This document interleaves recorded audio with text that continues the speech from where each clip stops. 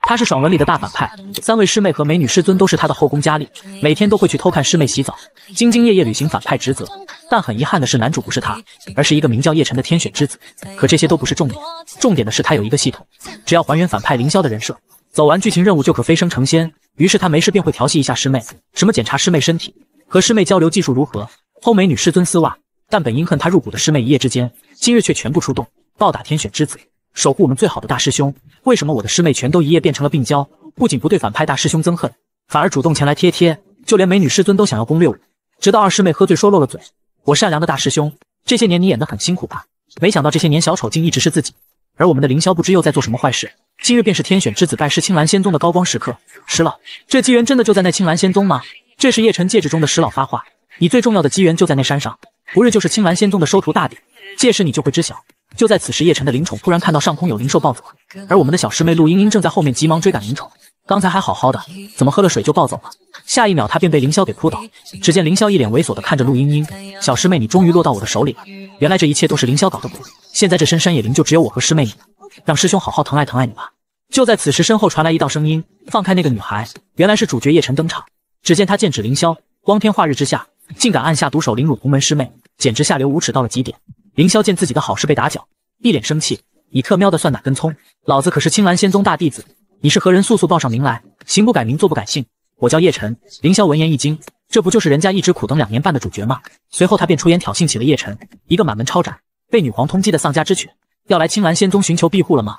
赶紧给爷爷跪下舔脚，说不定还能放你一马，勉强收你做个外门扫地弟子。如此挑衅的话也成功激怒叶晨。没错，这就是凌霄想要的。接下来只要按照剧情的发展。当主角叶晨刺伤了我，四师妹将会看穿大师兄的真面目，并且爱上叶晨。只要在叶晨拜入山门后，处处找他麻烦，一次又一次被他打脸，最后绝望自杀，就可以飞身成仙了。来吧，让暴风雨来得更猛烈些吧！可下一秒，天选之子竟被师妹一脚踹飞。凌霄一脸懵逼，这什么情况啊？只见陆茵茵一脸娇羞，搂着凌霄的胳膊：“大师兄，你没事吧？都怪那个不知道从哪里冒出来的丑八怪，坏了我们的好事。刚才我们进行到哪里了？人家还想继续。”凌霄麻了。到底是怎么回事？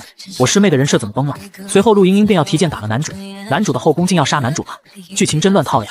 好在叶晨的灵兽救了他一命。这时石老感觉到了大事不妙，因为本是叶晨的机缘似乎发生了改变，而我们的四师妹又将魔爪伸向了他的大师兄，吓得凌霄撒腿就跑，留下喃喃自语的陆茵茵。小喵失控被大师兄扑倒，还有那个叶晨，看来那个记忆都是真的。眼前的这个男人可以说是把反派人设做到了极致，不仅坐拥三位师妹每天进行交流技术如何，更是连他师尊的丝袜都不放过。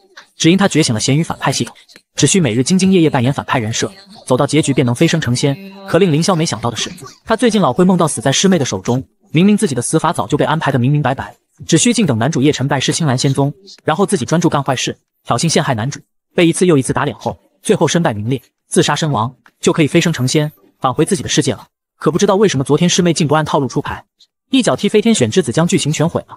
就在此时，凌霄的小狗腿子怀真端着洗脸盆来了。经过怀真的梳洗打扮，大师兄今天也是一样的英俊呢。只可惜了这张脸，怎么就是个炮灰反派的命啊！一想到师尊住的山峰真够远，就头疼了起来。但这怎么难得住凌霄呢？只见凌霄纵身一跃，便跳进自己的缆车中。虽说垃圾系统罢了功，但剧情该走还是要走的。四师妹不知道为什么崩了人设，其他女主可千万别崩啊！就在此时，一道声音从凌霄耳边传来：身为宗门大师兄，居然连御剑飞行都不会。真是丢尽我们师门的脸，不思进取就算了，还花费宗门经费大肆建造缆车。听到师妹们的吐槽，凌霄不怒反喜，还是那原来的味道，还是那熟悉的配方，连四师妹的人设也恢复了。我的师妹人设看来没有崩。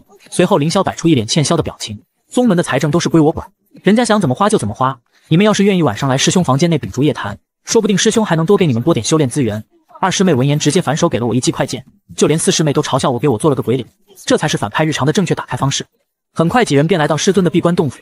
师尊闭关的这三年来，宗门内务一切顺利，弟子们均已突破至先天，只有大师兄依旧停留在筑基期。正如师妹所说，宗门在弟子的领导下井井有条。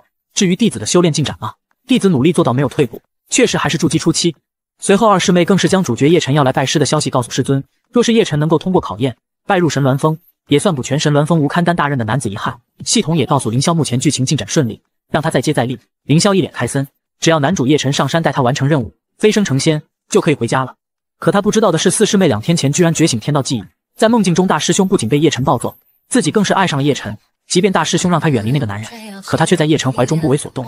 但没想到这个叶晨居然是个渣男，不仅玩弄师姐们的感情，就连宗门都因为他被灭门。他也意识到自己一直都错怪了大师兄。昨日叶晨的到来让陆茵茵更加确信这段记忆不仅仅是未来的启示，更是过去的警告。他不理解为什么自己会爱上这样的一个人渣呢？一直视为卑鄙小人的大师兄到底做了什么？陆茵茵下定决心，一定要调查清楚，还大师兄一个清白。他是宗门里公认的废柴师兄，每日只知道调戏师妹、摸鱼摆烂，但依旧深受无数同门师妹的喜爱。只因他的反派人设早已被师妹们看穿。此时的村民正在教训偷瓜妖兽，而这只妖兽正是主角叶晨的灵宠。这次多亏凌霄所赐的法宝，瓜农们才能将他抓住。我们的大师兄此刻正在瓜田悠闲地喝着下午茶，随后问到旁边的老农：“这瓜保熟吗？”“这肯定保熟啊！”而这片瓜田也被凌霄承包了下来。此刻的他一边吃着西瓜，一边朝着灵宠吐着西瓜子。你主人坏我好事，我还没找他算账呢。正巧你这个小不点落在我手上，小爷就好好陪你玩玩。你不是爱吃瓜吗？今天就让你吃个够。可就在此时，叶晨突然出现。叶晨看见自己的小雕被如此欺凌，一脸气愤。老农见来人正是妖兽的主人，连忙让他赔瓜田的钱。可没想到主角叶晨居然是个嚣张跋扈之徒，侮辱他们这群凡人不配碰自己的灵宠。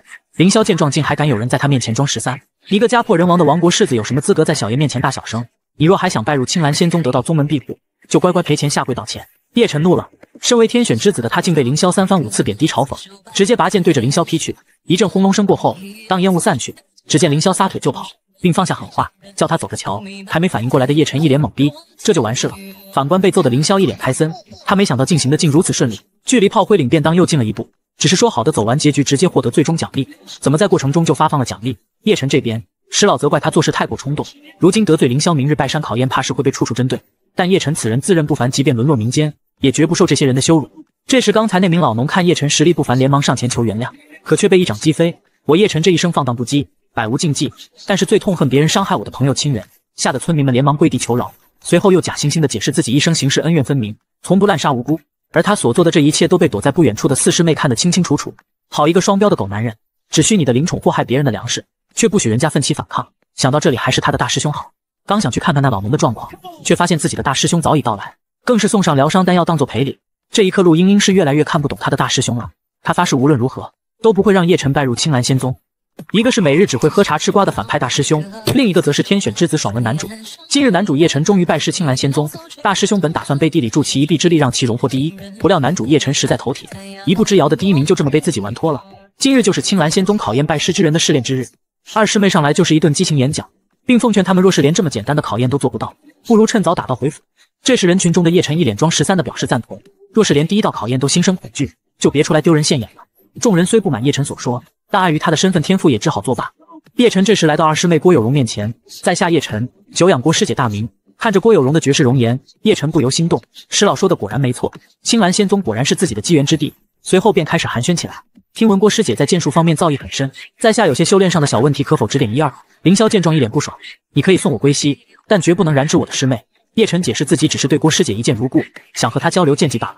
凌霄可不惯着他，一个没入门的散修，居然还有脸向我家师妹交流剑技。而叶晨则嘲讽凌霄修为低微，一看就是用了卑鄙手段拜入宗门。怀真则表示大师兄只是隐藏了实力，大师兄可是登仙梯的最高纪录保持者。虽然这最高纪录的由来是个美丽的误会，但今天这十三他是装到了。叶晨则完全不相信面前这个废材竟是纪录保持者，并扬言不管凌霄之前用了什么手段，自己今日定要破了他的记录，狠狠打他的脸。随后郭有荣开始介绍起试炼规则。挑战者不允许使用武器、法宝，需凭借自身灵力登梯，达到金色阶梯前一百者可获得参加收徒大礼资格，或者可继续挑战最高纪录。如果作弊，取消其资格。很快考验便开始了，众人也是一拥而上。有些实力不济者在青色阶梯上都寸步难行。可叶晨这家伙真不愧是天选之子，这点灵压对他来说根本不算什么。他势必要将凌霄的名字踏平，让郭有荣倾心于他。按照剧情发展，反派凌霄因嫉妒叶晨才能故意给他使绊子。然而，身为气运之子的叶晨，靠着自身过硬的实力。不仅破了凌霄的记录，还在石碑上留下自己的手印。眼看时机已到，凌霄直接出手，叶晨也察觉到了不妙，一个闪身躲过了偷袭。就是可怜那即将完成青色阶梯的弟子。虽然叶晨很是不爽，但也拿凌霄一点办法都没有。这时郭有荣警告凌霄，让他不要再搞小动作。不然让他好看。凌霄表面上答应，但接下来才是最后一次，因为第二次丢出的石头将会被叶晨反弹回来击中他的脸，而郭有容再也无法容忍，直接将他告发。此刻的叶晨一脸得意，凌霄为了分散他的注意力，大喊天上有个美女在他上面飞。当叶晨抬头看去，凌霄再次出手，不料这种小把戏早就被叶晨看穿。可就当凌霄满脸期待他的反击，令他没想到的是，叶晨这家伙竟为了接住石块踩空坠崖了。凌霄麻了，这怎么和剧本里说的不一样啊？而隐藏在人群中的陆茵茵也一直都在注视着这一切。明明是宗门里公认的反派师兄，如今却深受师妹们的喜爱，反而天选之子爽文里的男主却遭到了大家的鄙视。只因我们的主角酷爱给自己加戏，才以至于被二师妹出手教训。为何叶晨会掉下登仙梯？其实这一切都是陆茵茵做的手脚。早就知道接下来剧本的他。提前一天就在登云梯放置了变色龙，为的就是在大师兄最后一次出手时，趁叶晨不备偷偷下手。当然有人欢喜有人愁，但毕竟是天选之子，又有气运加身，怎么可能会止步在这里？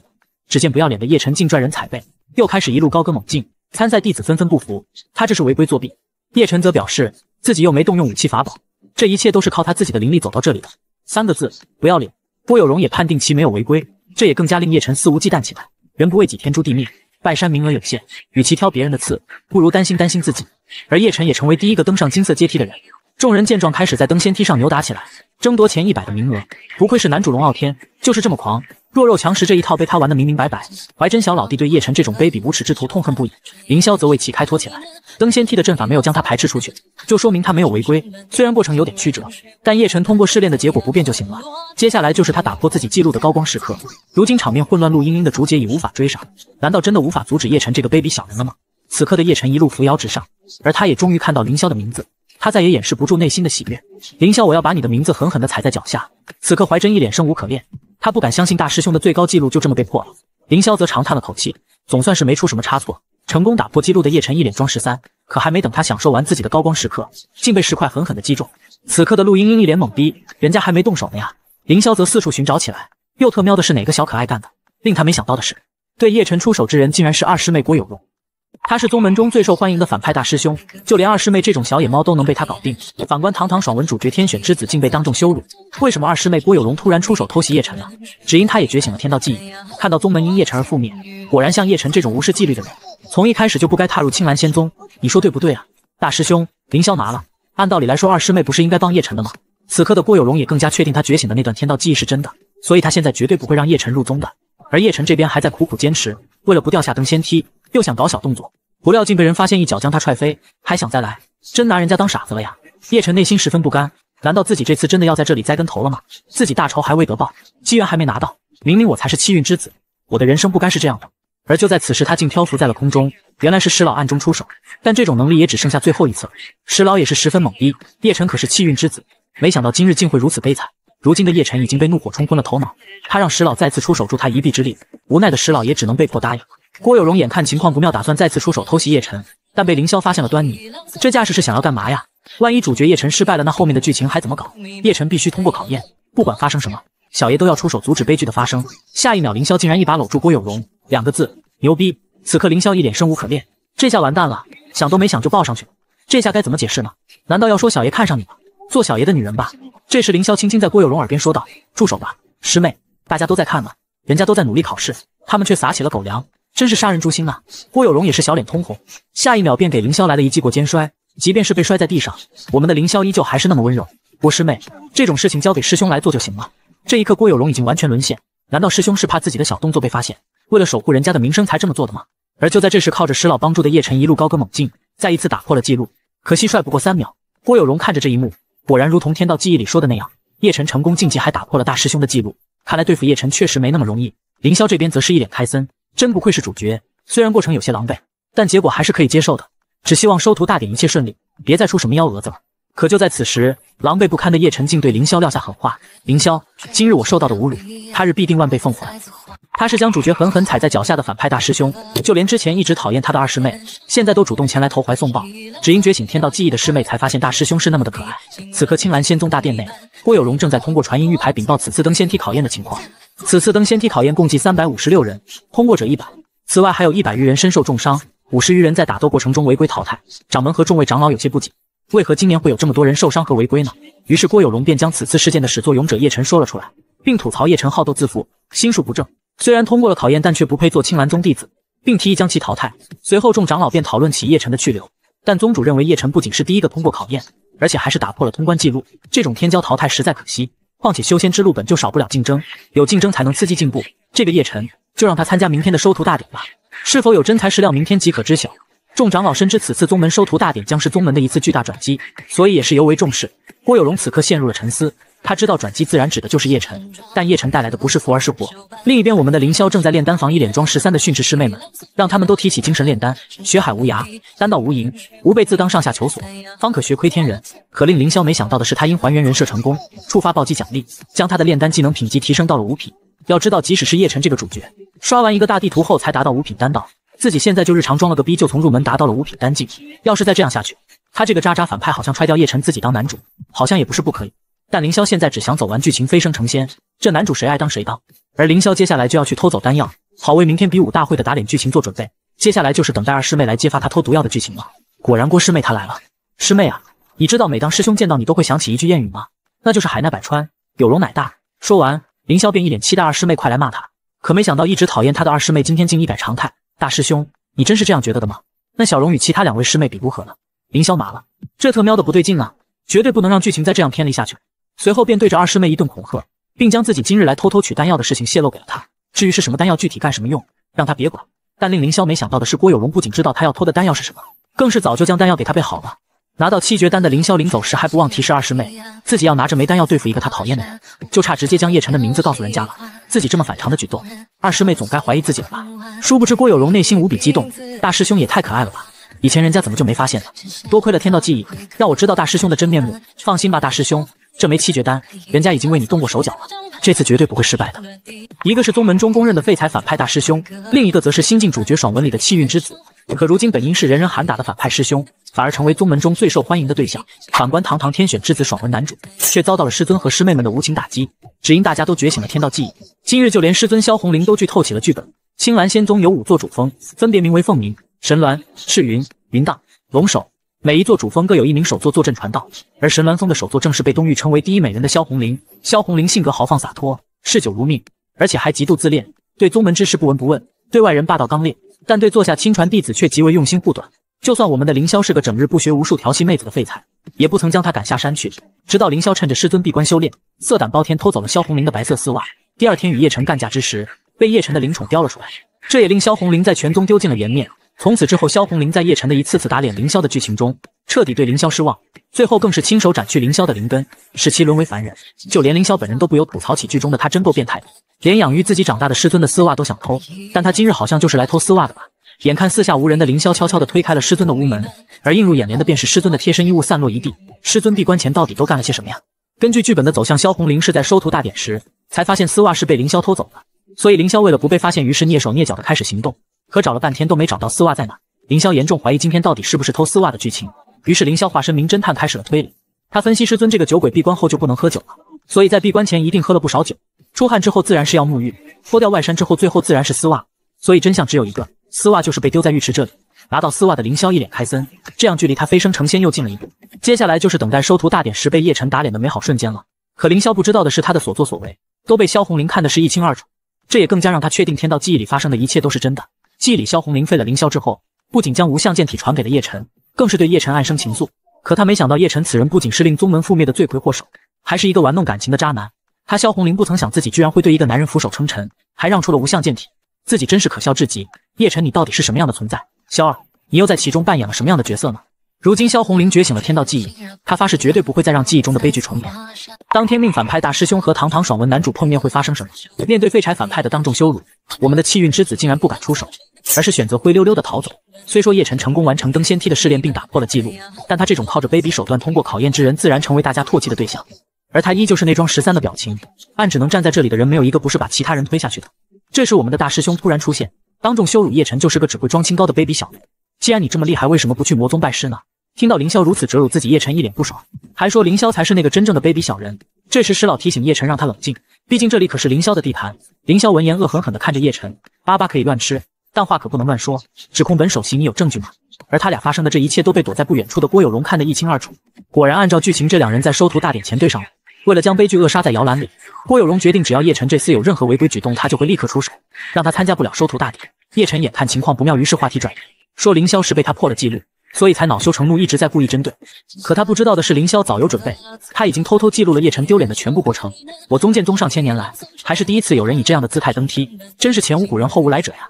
这刘影石就送你拿着当传家宝吧。此刻的叶晨已经愤怒到了极点，身为天选之子，当世的绝世天骄，今日竟被一个废柴当众羞辱，真是可恶至极啊！虽说波有龙很想出手，但一直没找到合适的机会。就在这时，萧红玲也出现，与徒弟一起暗中观察，两边又开始打起了嘴仗。叶晨更是直接放下狠话，若是有胆就来单挑，分个高下。而这一切不就是凌霄想要的吗？于是当即答应叶晨要与其一战。叶晨一脸不爽的看向他，区区一个废物，既然主动找打，那就别怪他不客气。郭有龙顿感不妙，师兄这是自掘坟墓啊！若是挑衅在先还被打败，会被天下之人耻笑的。果然还是打断叶晨的腿吧。此刻的凌霄气焰更盛，催促叶晨赶快对他出手。叶晨这时挠不起来，为何凌霄这厮敢在大庭广众之下如此挑衅呢？一定是想逼自己先出手，到时候再以此为把柄，让自己失去入门资格。凌霄见他还未动手，看样子只能再加把劲了。人家就站在这不动，你都不敢出手，难不成你还等着人家出手指点你们呀？你这卑鄙小人，别以为我看不出来你的奸计。凌霄则是一脸满不在乎的表情，于是继续加大嘲讽力度，而这也逼得叶辰拔剑就要对凌霄出手。可最终叶晨还是选择了放下长剑，随后撂下狠话，灰溜溜的离开了。这时郭有荣终于松了口气，若是刚刚那一剑攻向大师兄，后果将不堪设想。而萧红玲也被刚刚凌霄的表现所折服，之前怎么就没发现凌霄这小子这般有胆识气魄了？若非根骨太差，必然是人中龙凤了！这时系统提示凌霄已经成功完成激怒主角剧情，凌霄人麻了。原本剧情不是丢留影石就结束了吗？没想到叶晨竟会突然发难，吓得自己差点被吓尿。不过好在最后影帝附身，不然这段就要搞砸了。曾经人人喊打的反派大师兄，如今却成为宗门最受欢迎的存在。反观宗门新兴天选之子，竟沦为宗门师妹的头号公敌。只因我的师尊和师妹觉醒了天道记忆，一夜之间全部成为了病娇。今日就连冷面四师妹都差点灭掉天选之子。为了能够逼叶晨出手，凌霄更是变本加厉，直接脚踩天选之子，真是将反派人设做到了极致啊。突然一道音波攻击向他袭来，凌霄见状赶忙后撤。原来是四师妹楚幽微出手，并指责起凌霄欺人太甚。毕竟叶晨早晚都要入宗，身为大师兄却如此欺辱同门。凌霄想到小说里的冷面师妹楚幼薇对叶晨的专宠可是独一份的，这次他肯定能顺利走完剧情任务。随后便躲到不远处观察起来，就是没想到他们为何会这么快就遇上？难道是剧情快进了？叶晨这个渣男内心开心的一批，青兰仙宗果真是盛产美人的桃源之地，自己随便走走就能遇见这般绝色美人，更是夸赞有楚师姐为自己奏乐，他的剑一定能更上一层楼。看到这一幕，凌霄就放心了，接下来他就只需要等叶晨开始修炼，到时候果断来个偷袭。将他美美的胖揍一顿，那么今天的任务就圆满达成了。可还没等凌霄做好准备出手，叶晨这边就突然口吐鲜血，身受重伤。原来是楚幼薇的琴声里藏了杀机，听久了就会伤及五脏六腑。这时四师妹冰冷的说道：“没人敢打扰她练琴。”本想试试叶晨的深浅，不料竟是个饭囊衣架。虽然叶晨很是恼火，但还是无奈道歉。反观之前救下他的四师妹，却变了一副样子，也开始对叶晨嘲讽起来。一旁的凌霄人直接傻了，男女主怎么突然就打起来了？再这样下去之后的故事还怎么演？想到这里，凌霄决定为叶晨找回场子。还以为是谁在欺负楚师妹呢，原来是你这无胆鼠辈！之前不敢和人家比试过招，欺负起女人倒是得心应手了。看到凌霄出现，叶晨直接暴怒，猜测刚才发生的一切肯定都是凌霄胁迫妹子对他下手，如此下作简直无耻至极。凌霄则表示那又怎样？明明是你打扰师妹练琴在先，人家可是纯粹的在惩奸除恶。面对处处找他麻烦的凌霄，而且这次还有妹子在场，他实在是忍无可忍了，打算出手好好教训一下凌霄，顺便找回场子。凌霄本以为终于能够得偿所愿，被当众打脸。可下一秒，他俩便被楚幼薇的音波全部干翻在地，凌霄直接麻了。剧情怎么又走歪了呢？这也让叶晨认定他俩就是一伙的，直接撒腿就跑。虽然剧情跑偏了，但好在任务成功完成。为了避免节外生枝，凌霄也紧随其后。看到大师兄走后，楚幼薇彻底绷不住了。他不晓得事情为什么会变成这样子吧，自己只是想为大师兄出出气，怎么反而把大师兄打伤了？都怪这个死叶晨非要凑得那么近，不然也不会误伤了大师兄。楚幼薇想到前几日觉醒的天道记忆里，叶晨会在他出现时重伤大师兄，如今大师兄被自己重伤，而且叶晨也没讨到什么好处，这样看来结局似乎已经偏离了。只要不顺着天道发展，那就算成功。但为了以防万一，接下来依旧不能掉以轻心。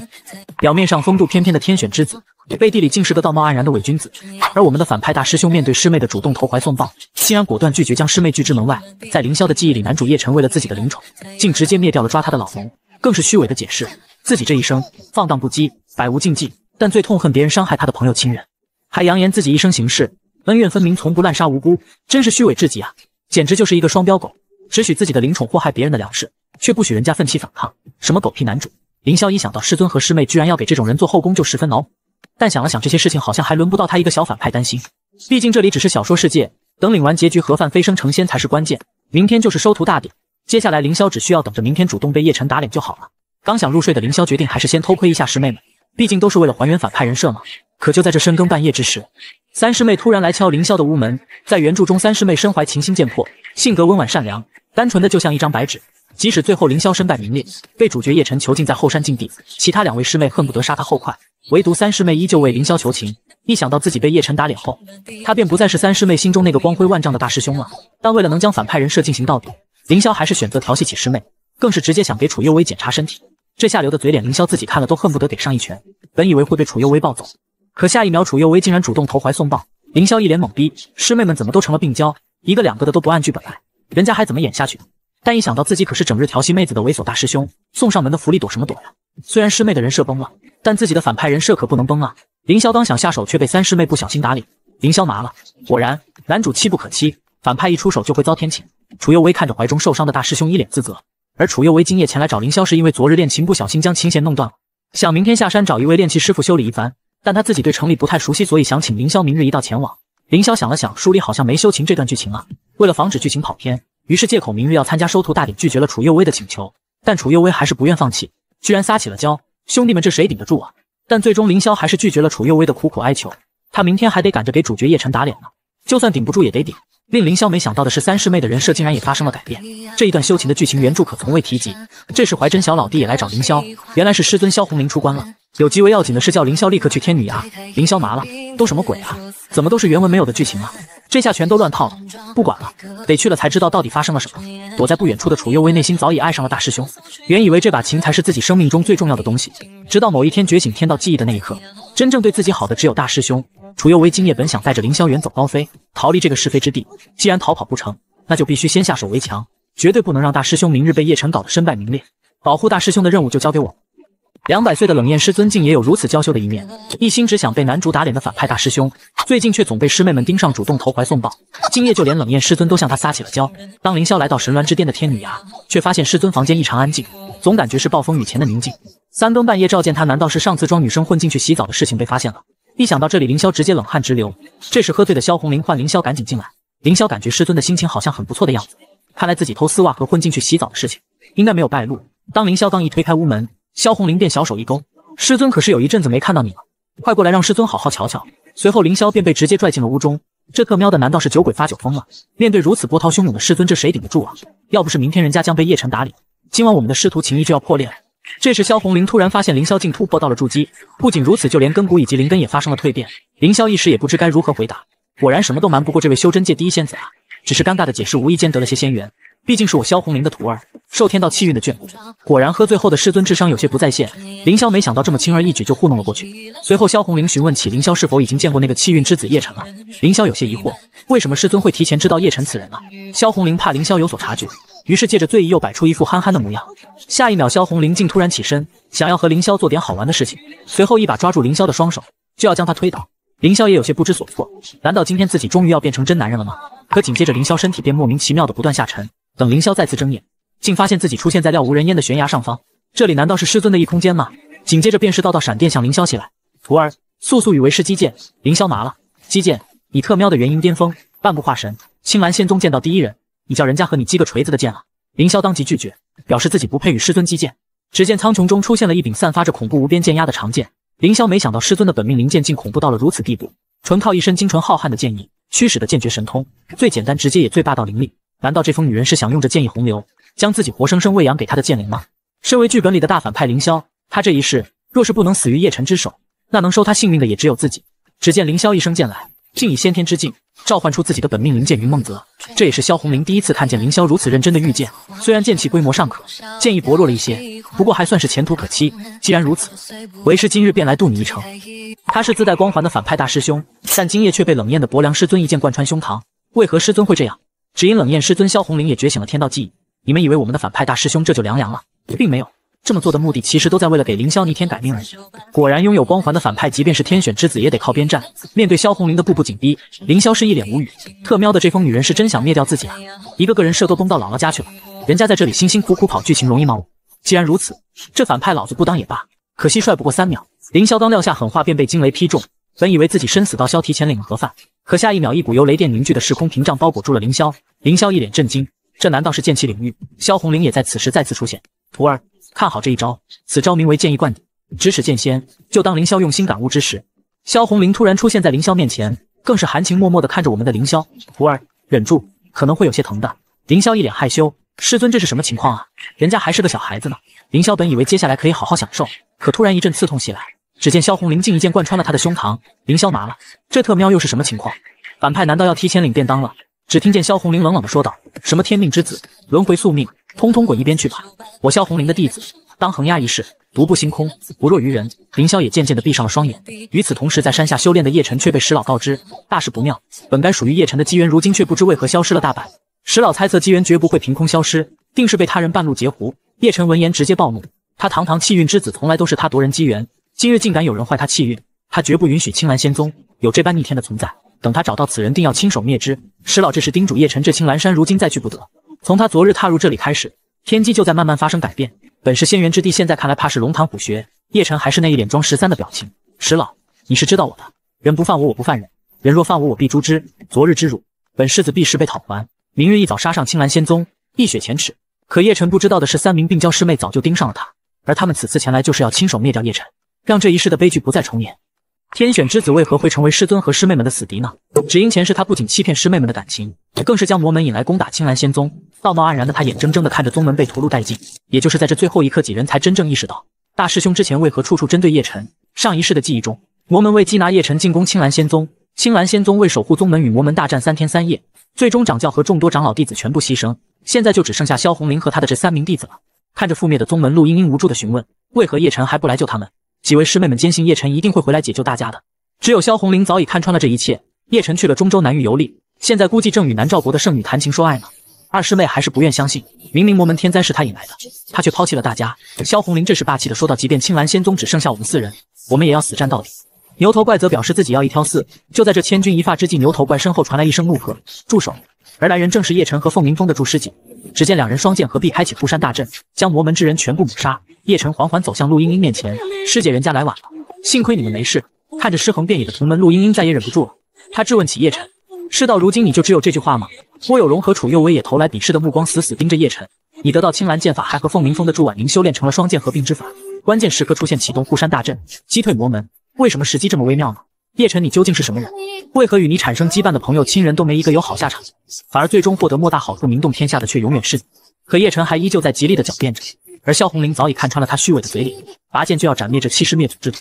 可拥有天道庇护的天选之子，岂会是那么容易解决的？萧红玲也不幸被天道降下的惊雷劈成重伤，而叶晨这时终于暴露出他本来的面目。师尊，我叶晨乃天道庇佑的天选之子，就凭你也配与我为敌？如今我的妹妹叶轩儿已经率领八十万北川精骑来到青兰山下，只等我一声令下，便可将魔门一网打尽。现在回到我的身边，我们一起为青兰报仇雪恨吧。而就在这时，一道声音在萧红林和师妹的耳边响起，随后几人的脑海中竟浮现出凌霄和叶晨之前的种种过往。几人看着这出现的画面，难道大师兄与叶晨作对，是因为早就识破他的真面目了吗？是我们害死了大师兄，原来我们一直误会大师兄了。最终这些记忆融合在了一起，把你们的记忆交给我们，由我带给过去的你们，能不能扭转命运就看这一次了。这一连串的记忆穿越时空回到了过去，纷纷涌入了四人的脑海中。这也是为何四人一直将叶晨视为死敌。他们发誓这一世绝对不会再让悲剧发生，杀叶晨，保护大师兄。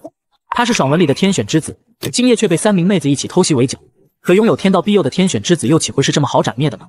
为何师妹们会集体出动讨伐叶晨？只因外表看似风度翩翩的叶晨，其实内心却是个道貌岸然的伪君子。不仅宗门因他覆灭，就连一心为师妹们的大师兄都因为他惨死。此刻的叶晨正在房间内呼呼大睡。陆茵茵看时机已到，吩咐自己的灵宠小喵出手。小喵去吧，用你的利爪把叶晨那个人渣撕成真正的人渣。可刚飞出去没多久，小喵身后就出现两道攻击。好在陆茵茵及时提醒，这才令小喵躲过一劫。可两道攻击碰撞产生的声响也使叶晨有所察觉。本以为是雷声，却被石老告知有敌袭。叶晨闻言猛地惊醒，一把拿起床上的长剑，随后跳上屋顶，可却并未发现一人。叶晨询问起石老是不是老糊涂听错了。石老坚信自己绝不可能听错，他分明感应到有三股极强的敌意锁定了客栈。这青兰山果然古怪的很啊！石老，你是不是不想让人家上青兰山？特意编出来唬人家的吧？你看老夫像是那种人吗？随后又是几道惊雷劈下，这也让叶晨确信刚才的就是雷声。为了明天能更好的参加青兰宗的收徒大典，叶晨又返回了房间睡觉，还不忘特意叮嘱石老安静点，别没事大惊小怪的。其实刚才的两道攻击分别是来自二师妹郭有容和三师妹楚幼薇。为什么自己的全力一剑，剑势居然消失的无影无踪？而为何人家的琴音没有攻击到叶晨呢？明明已经瞄准了呀！二人决定再试一次。刚回到房间的叶晨正打算躺下，却又被石老提醒小心身后。可等叶晨回头，却什么都没有，有的也只是道道惊雷。叶晨一脸不爽，这老家伙又来这一套。石老，你可听说过狼来了的故事，石老解释自己刚刚明明看见了。若老夫说谎，天打五雷轰！话音刚落，便是五道惊雷回应：石老，饭可以乱吃，话可不能乱说。你现在都是一缕幽魂了，再被天雷劈了，怕是要魂飞魄散。行了，睡觉吧。师妹们麻了。那叶晨果然如记忆里说的有天道庇护。什么天道庇护啊？还不是你们三个都不知道对方的存在。三人决定等叶晨明日入宗，在收徒大典上再次出手，定要让叶晨有来无回。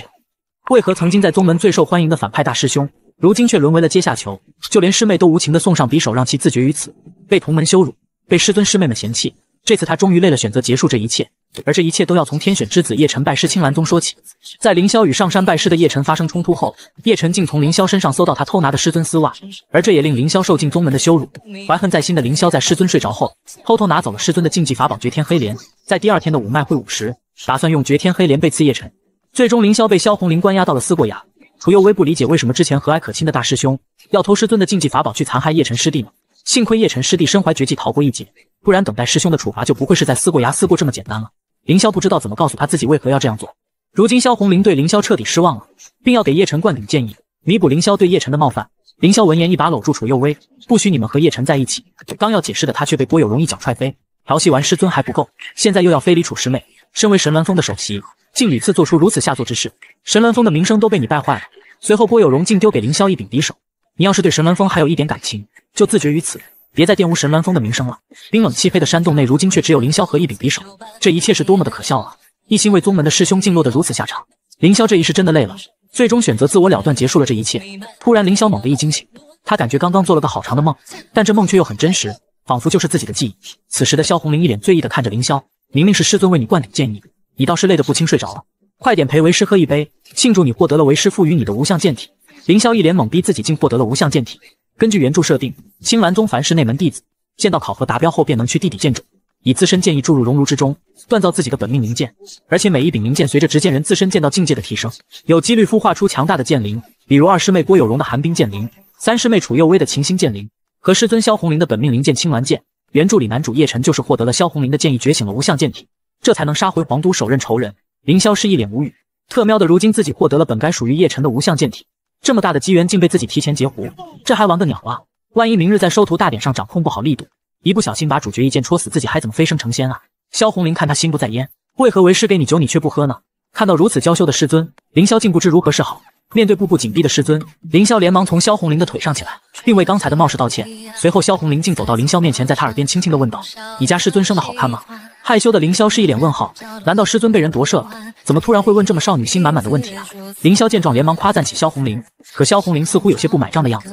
其实今夜叫凌霄前来，除了帮他提升剑境之外，还有一件事，那就是身为神鸾峰首席的他，若是有人敢挑衅，让他务必出手斩杀此人，不要问为什么。只管照做就好，出了什么事，师尊替你担着。凌霄顿时有一种不祥的预感，师尊到底是怎么了？一个是拥有光环的反派大师兄，另一个则是天选之子爽文男主。今日两人终于在收徒大典正面对上，本以为马上就要杀青回家，不料主角竟被师妹一个大壁咚扇飞。收徒大典当日，我们的主角叶晨一脸装十三的闪亮登场。石老问他有没有什么心仪的师傅，可在叶晨眼里这些都不重要，他此番前来只是为了机缘。若真如石老所说，有人截胡了他的机缘。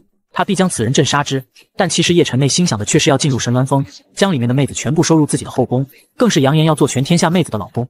不像那个空有皮囊的大师兄，与自己相比不过是个废物而已。就在这时，我们的大师兄御剑而来，也只有如此出场的方式，才能配得上我们这个绝世风华的仙门公子。仙者当如是也。看到风头被凌霄抢去，叶晨是一脸不爽，什么狗屁绝世公子，就是个虚有其表的小白脸罢了。话音未落，凌霄便来到主角叶晨面前。叶晨见状，看来被认出来了。打算先下手为强，但却被石老制止。毕竟此人是青兰宗首席弟子，现在还不能得罪。而且众目睽睽之下，他也不会对你怎么样。凌霄这边确认过眼神后，直接开喷：“你特喵的不长眼的臭小子！昨晚老子不是警告过你了吗？还敢来？真是活得不耐烦了是吧？我凌霄是什么人，不用我自己说了吧？跟老子对着干，你有这个实力吗？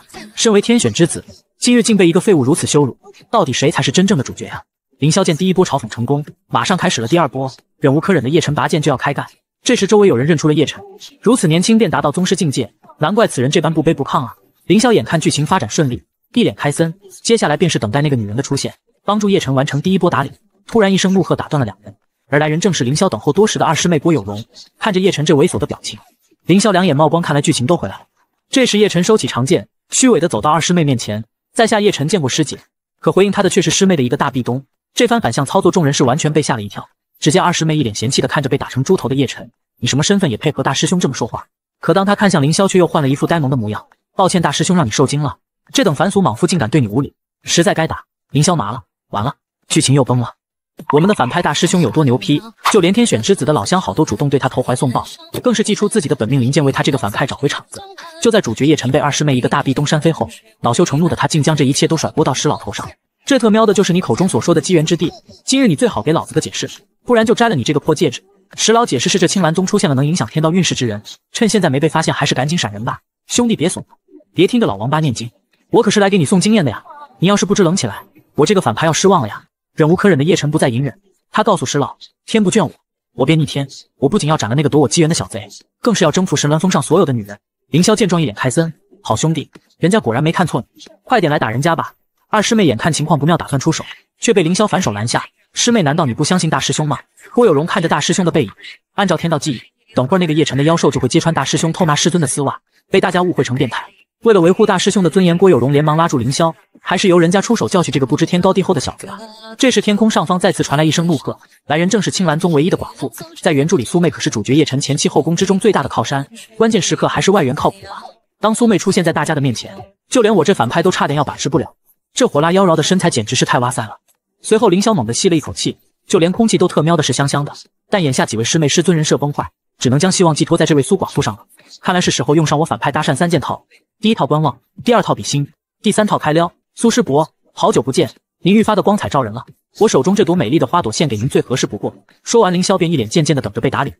谁知苏师伯却不按套路出牌，一个箭步直接扑进凌霄的怀中，差点压得凌霄喘不过气来。苏妹一脸娇羞的小脸看得凌霄是一脸懵逼。当他看向我们的男主时，凌霄还以为这次稳了，谁知下一秒苏妹竟直接祭出自己的本命灵剑，要为凌霄这个反派找回场子。凌霄直接麻了，为什么你们都喜欢不按套路出牌啊？身材火辣的苏寡妇竟也对反派师兄芳心暗许，更是差点令天选之子当场吓尿。当得知凌霄看主角不爽，于是直接祭出本命灵剑，打算打了天选之子。你个小子好大的胆子，竟敢挑衅我青兰宗的首席弟子！你知道这意味着什么吗？凌霄麻了，特喵的怎么连苏师伯都不按剧情走了呀？该不会真要打了男主吧？看到苏师伯这杀气腾腾的眼神，我们的主角叶晨差点当场吓尿。自知在这个女人面前没有一丝还手之力，本打算求助石老救命，谁知这老头竟在关键时刻选择装死。凌霄这边也是慌的一批，怎么办？要是他上前求情的话，岂不是自己的反派人设也崩了？但什么都不做的话，男主没了，他可怎么演下去啊？这时一道声音响起，打破了僵局。只见一名胖子骑着一头飞猪正在向这边赶来。凌霄见到来人，一脸兴奋，原意老道，人家终于等到你了。原著中，此人看似是个与世无争的老好人，实则城府颇深，是多年隐藏的魔宗间谍，差点干翻整个青兰宗。如今剧情偏离轨道，好在这个胖子如期出现。胖子道人见状，连忙为叶晨开脱，当起了和事佬。苏师伯也看在他的面子上，放了叶晨一马，随后便当着众人的面关心起凌霄可有大碍。人家只是一个小反派而已，和你也没有这么多戏吧？更是一个箭步走到凌霄面前，聊起了他这个反派。林师侄，师伯观你天资奇异，极其适合我凤鸣一脉，不如考虑下离开神鸾峰，投入师伯的怀抱，人家定会好好教导你的。此刻的凌霄是一脸问号，原文好像没有这一段吧？难道自己看的是盗版章节？在和凌霄近距离接触后，他这才发现这小子生的是这般俊美，坐拥如此美男徒儿，难怪萧红林对叶晨一直无感。既然知晓未来因果，可不能再便宜了他。而这大胖子对叶晨也是十分看好，前期的大 boss 竟和男主搞在了一起，一个个都特喵的不按剧本来，都来这里搞人家心态是吧？很快收徒大典正式开始，凌霄突然发现本该一起见证他身败名裂的三位师妹全都不在，但冷静下来，好歹叶晨留下来参加了收徒大典。后面的剧情稳住就行了。于是他赶忙叫来小弟怀真，看着这个一直对他这个反派不离不弃的小师弟，不由得有些惋惜。毕竟跟着反派混没有什么好下场。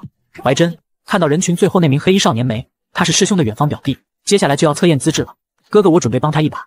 跃进亲戚情分，这是我为表弟重金买来的九炼金丹，吃了以后能临时提升体质。其实这是杀人夺宝的必备良药，七绝丹。劳烦师弟送去给我表弟，就说是长老的意思，人人有份。怀真一脸不解，为何大师兄不亲自送去呢？我这不是怕表弟知道太过感动影响发挥吗？随便的几句话就把这傻孩子感动的不行，屁颠屁颠的跑去送药。很快怀真便来到叶晨面前，按照师兄的说辞将丹药交到了叶晨的手中。叶晨看着这枚丹药，也不知道在想些什么，但还是愉快的选择收下。按照小说剧情，身为六品丹师的男主轻易的便察觉到丹药不对劲，然后机智的反将一军，直接拿着毒丹兑现紫云掌教。随即我那嫉恶如仇的二师妹就跳了出来。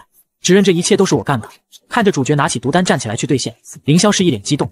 可下一秒他人直接傻了，这特喵的傻子男主居然把毒丹一口吞了。天选之子竟差点交代在自己手上，明明知道是毒丹，居然还特喵的一口吞下。原来在怀真交给他丹药时，他便发现了这丹药有些不对劲，这点雕虫小技岂能骗得过本世子？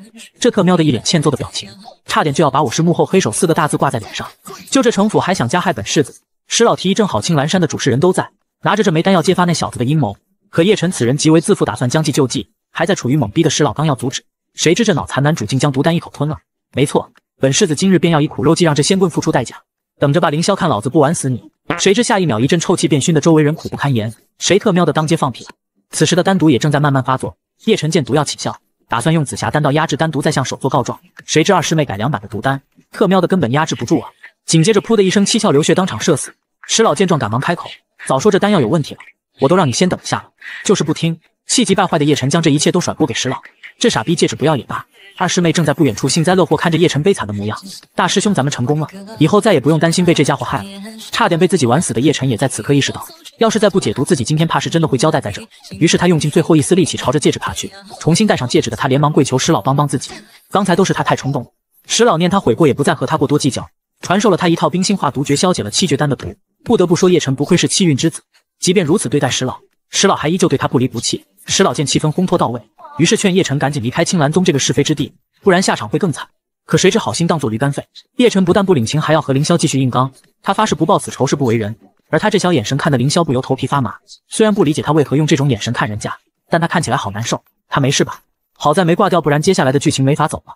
不愧是拥有主角光环的男人，就是命硬。凌霄没想到女主角人设出问题也就算了，现在就连七绝丹这种特殊道具也能出幺蛾子，看来是时候来点猛药了。于是凌霄拿出从师尊那里偷来的丝袜。打算给自己来个社死现场，直接把他这个反派送走。很快便轮到叶晨上台测验体质。只见解完毒的叶晨容光焕发，那嚣张的表情恨不得一个打八个。台下众人都投来仰望的目光，就连长老都觉得叶晨此子天赋异禀，是个好苗子。而测验体质最好的方法就是决斗。当得知自己对手是个练气期的废柴，叶晨一脸不屑。就这对手，他一招就能解决。这时，胖子道长问他想要如何测试。只见叶晨一脸嚣张的指着凌霄：“我要挑战神鸾峰首席大弟子凌霄，十招之内既决胜负也决生死。若是不能将他碾压，我磕头认输。”温柔善良的三师妹竟要为我这个反派师兄找回场子，但女人特喵的只会影响我走剧情的速度。原来主角在收徒大典上指明要挑战凌霄这个神鸾峰首席大弟子，更是扬言十招之内不打的凌霄哭爹喊娘，他就当场下跪。凌霄闻言，随即摆出一副反派嘴脸，鄙视他就是个丧家之犬。其实内心早已乐开了花，终于可以上场被打脸，回归正常了。可就在裁判宣布对战开始的时候，一声大喝打断了对战。等等，你不配跟我大师兄打，我来做你的对手。此刻的凌霄想死的心都有了。二师妹刚教训完，现在三师妹又来搞事情。而观战台上的长老们一眼就看出来，三师妹这是要为我找回场子啊！胖子道长见状，感觉大事不妙，这叶晨怎么莫名其妙跟两位神鸾峰弟子结了仇怨？就在他打算出手干预时，却被旁边的苏寡妇出言阻止。而擂台上，凌霄为了这场战斗，不知等了多久。他连忙劝解三师妹退下，这是属于男人之间的决斗。可当他握住三师妹的手掌时，一脸诧异：师妹的手怎么这么烫？当看到师妹手掌上密密麻麻的伤口，凌霄这才反应过来，师妹竟强行修炼了天阴琴剑诀第七卷噬心魔琴。要知道，第七卷的噬心魔琴以半圣魔道、仙魔交融之下，虽有着毁天灭地的惊世魔能，但对自身也有着极大的伤害。原著中，叶晨被大周女帝包围在地窟里，三师妹都没使出这招。凌霄一脸诧异，询问三师妹为何要修炼这魔功时。三师妹的回答有些让我无地自容，只因变得足够强大才能保护大师兄你啊！你清醒一点好吗？人家只是个反派，要保护也是保护我们的男主啊！在三师妹觉醒天道记忆的那刻起，他就在心里暗自发誓，为了大师兄做什么都是值得的。他这次绝对不会让大师兄一个人默默背负所有骂名，也只有你试图反抗叶晨这个灾星，在我心里，大师兄，我知道你才是真正的孤勇者。师妹啊，反剧情的孤勇者是你啊！师兄，求你别在这里发癫了。就在凌霄再次劝解师妹时，一股至强剑意席卷全场，而来人正是凌霄的师尊。神鸾峰首座，东域第一美人萧红玲，幼薇还不快退下！我神鸾峰的大弟子岂会怕这凡夫俗子？师尊放心，此人胆敢以生死战挑衅于我，徒儿必弹指灭杀之以报师恩。不料这时系统突然跳了出来，因还原反派人设获得修为提升百分之四十。特喵的狗系统，是生怕人家打不死叶晨吗？就连师尊也不忘叮嘱他记住昨晚对他说的话，找机会杀了叶晨。要是打了叶晨，为师今晚还给你准备了一份意想不到的奖励。很快，天选之子和天命反派的生死对战正式开始。四位长老对此战都有自己的独到见解，唯独师尊对凌霄信心满满。我萧红林的徒儿，自当横贯无敌，击压全场。而擂台上的叶晨正不断的出言挑衅，更是猥琐的表示，等嘎了凌霄之后，他就会想方设法加入神鸾峰，代替他好好照顾师尊和师妹。这无耻的嘴脸，整的凌霄都不知道到底谁才是反派。嘲讽技能谁不会？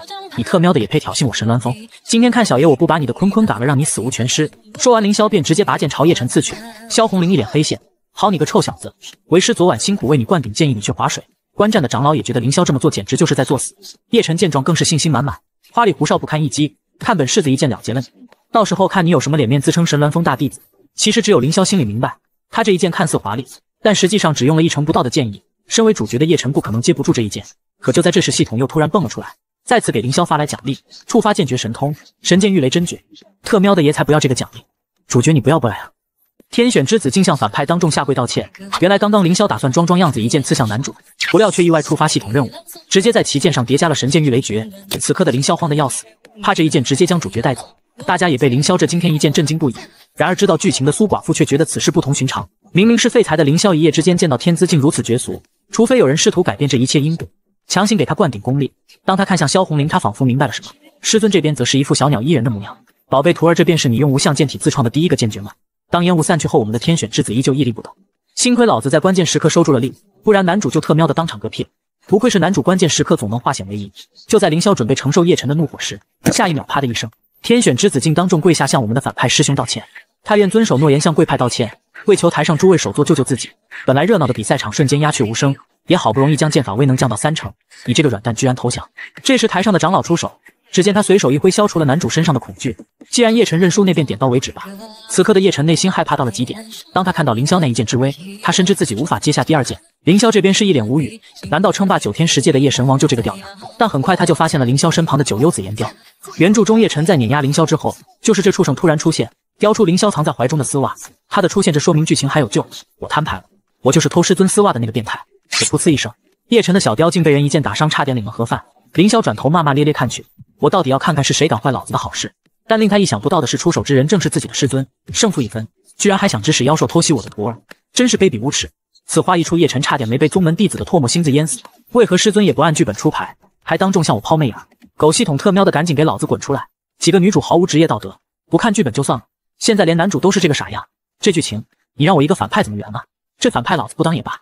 这时系统突然发来提示，检测到宿主心境跌落，任务随时可能失败。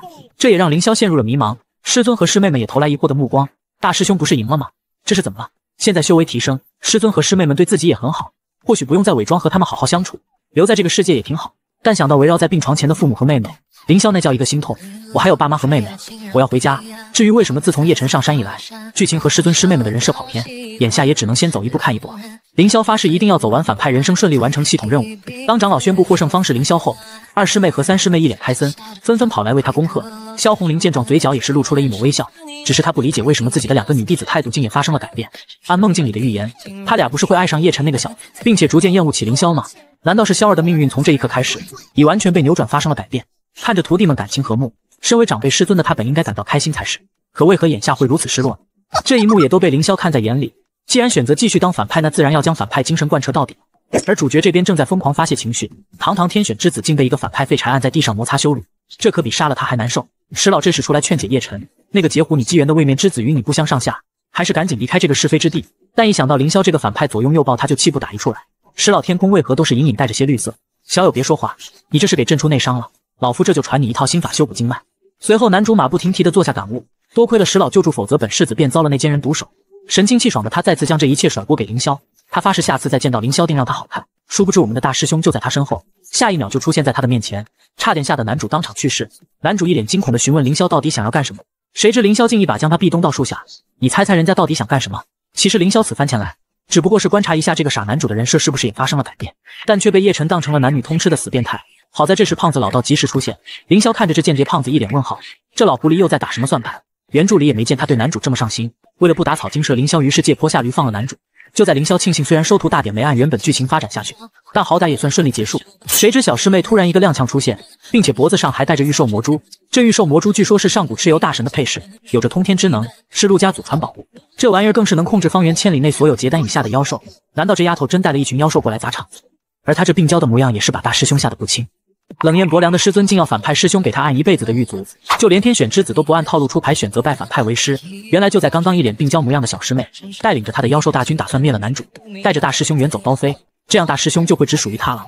这时二师妹和三师妹突然出现，以为是来阻止他的，竟令他起了杀心。而凌霄也注意到了这一点，于是赶忙摸着小师妹的头安抚她的情绪。随后凌霄急忙交代自己要和小师妹单独聊聊，让他二人先离开此地。从上个月开始，小师妹的性格忽然变得冷漠孤僻，对一切充满敌意。不管他是因为什么发生了变化，现在最要紧的是先稳住他。本打算出卖色相套出他心中所想，没想到下一刻小师妹竟向他当众表白，更是一把扑进凌霄怀里，说想和他永远永远在一起。这又萌又甜的模样，哪个男人能不喜欢？这突如其来的表白也差点令他这个反派沦陷。这难道就是恋爱的感觉吗？但下一秒系统就跳了出来，因他成功还原了主线剧情，奖励青蓝剑法一部。凌霄麻了，这特喵的青蓝剑法不是男主叶晨的关键性装逼道具吗？怎么送给我？另一边的叶晨正在感谢胖子老道的搭救之恩，他深知这次在宗门大比出了这么大的丑，想必青蓝宗的各峰首席怕是无人会收他为徒了。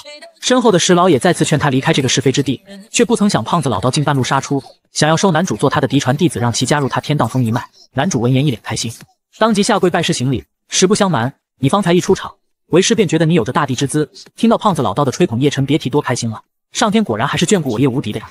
等进了青蓝宗，便找机会斩了那个凌霄报仇雪恨，顺便将截胡自己机缘的狂徒找出来一剑格杀。石老怎么也没想到，一直传授他仙元武道，早已将他视作弟子，而今居然拜了一名下界修士为师，这不是当众打他的脸吗？其实，在叶晨心中，石老不过是个寄生虫罢了，即便来历再深不一样，也得靠他生存。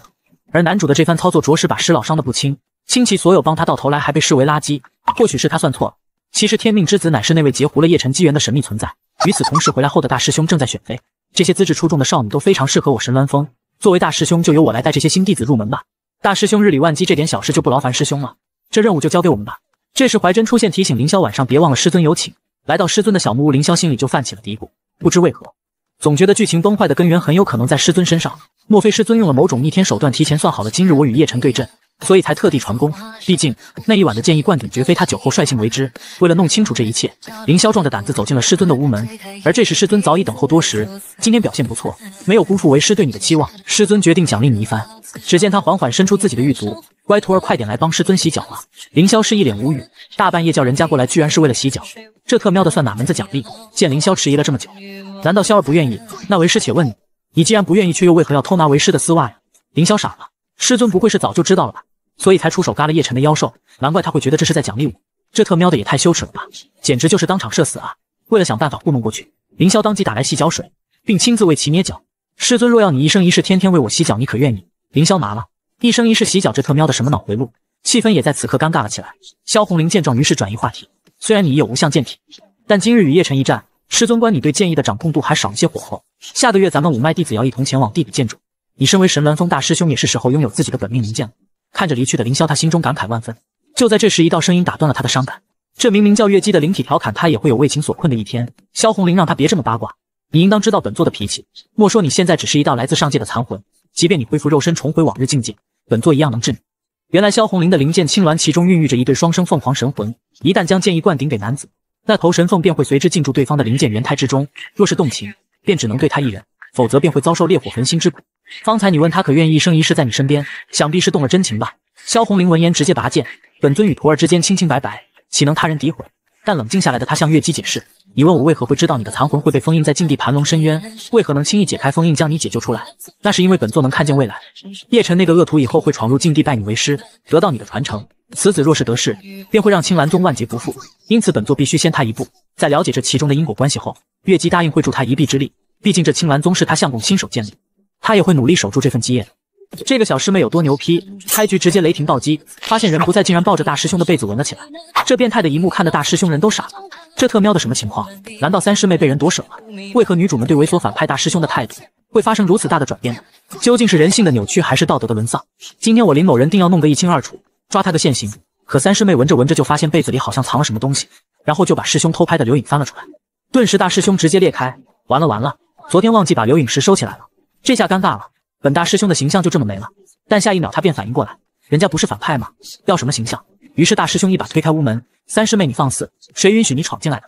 只见三师妹一脸娇羞的看着大师兄，就算她是多么温柔的宝藏女孩，看到如此猥琐下流的师兄也是无法原谅的。打我骂我都行，最好再来个倒打一耙威逼利诱什么的，将反派值直接拉满。下一秒，三师妹便将手中的留影石咔嚓捏碎。大师兄若有此等爱好，为什么不能只看我一人呢？傻子才要做选择，正常人当然是全都要了。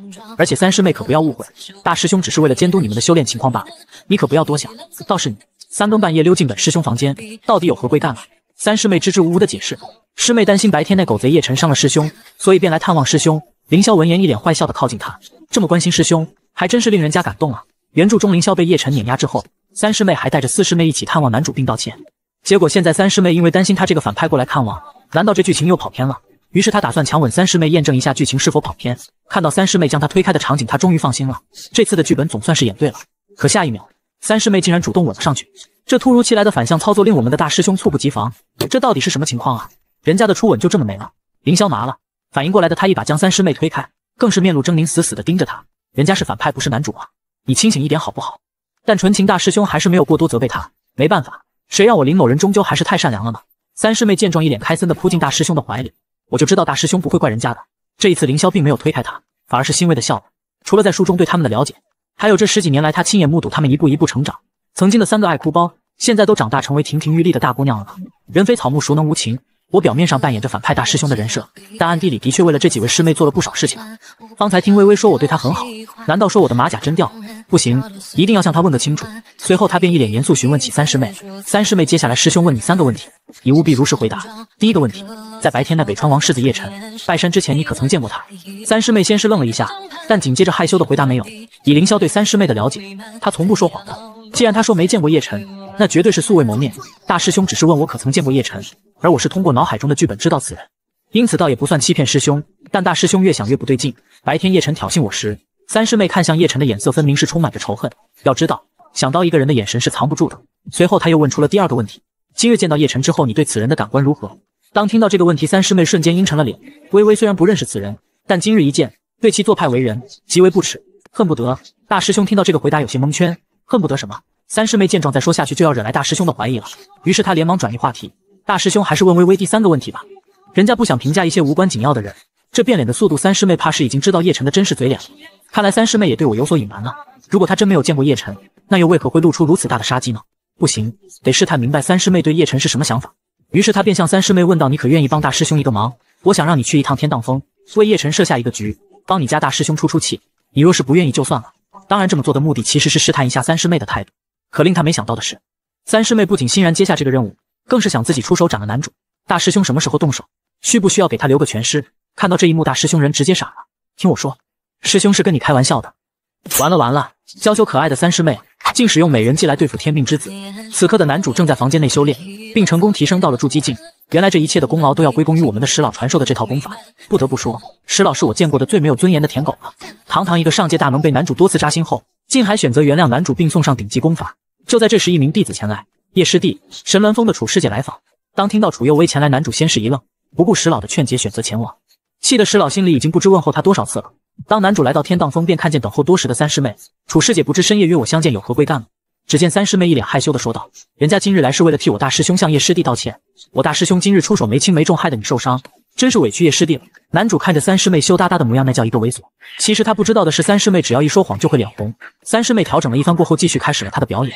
其实一切都是我大师兄的错。他见我英英师妹对你一见钟情，便心生嫉妒。叶师弟，你是无辜的。当然，这一切都是骗他的。三师妹心中恨不得现在就斩了男主。叶晨闻言流下了激动的泪水。果然，这个女人她是懂我的。本世子有预感，从今夜开始之后，那人见人爱的天命之子光环又回来了。说着便上前打算给三师妹一个爱的抱抱，但被三师妹及时躲开。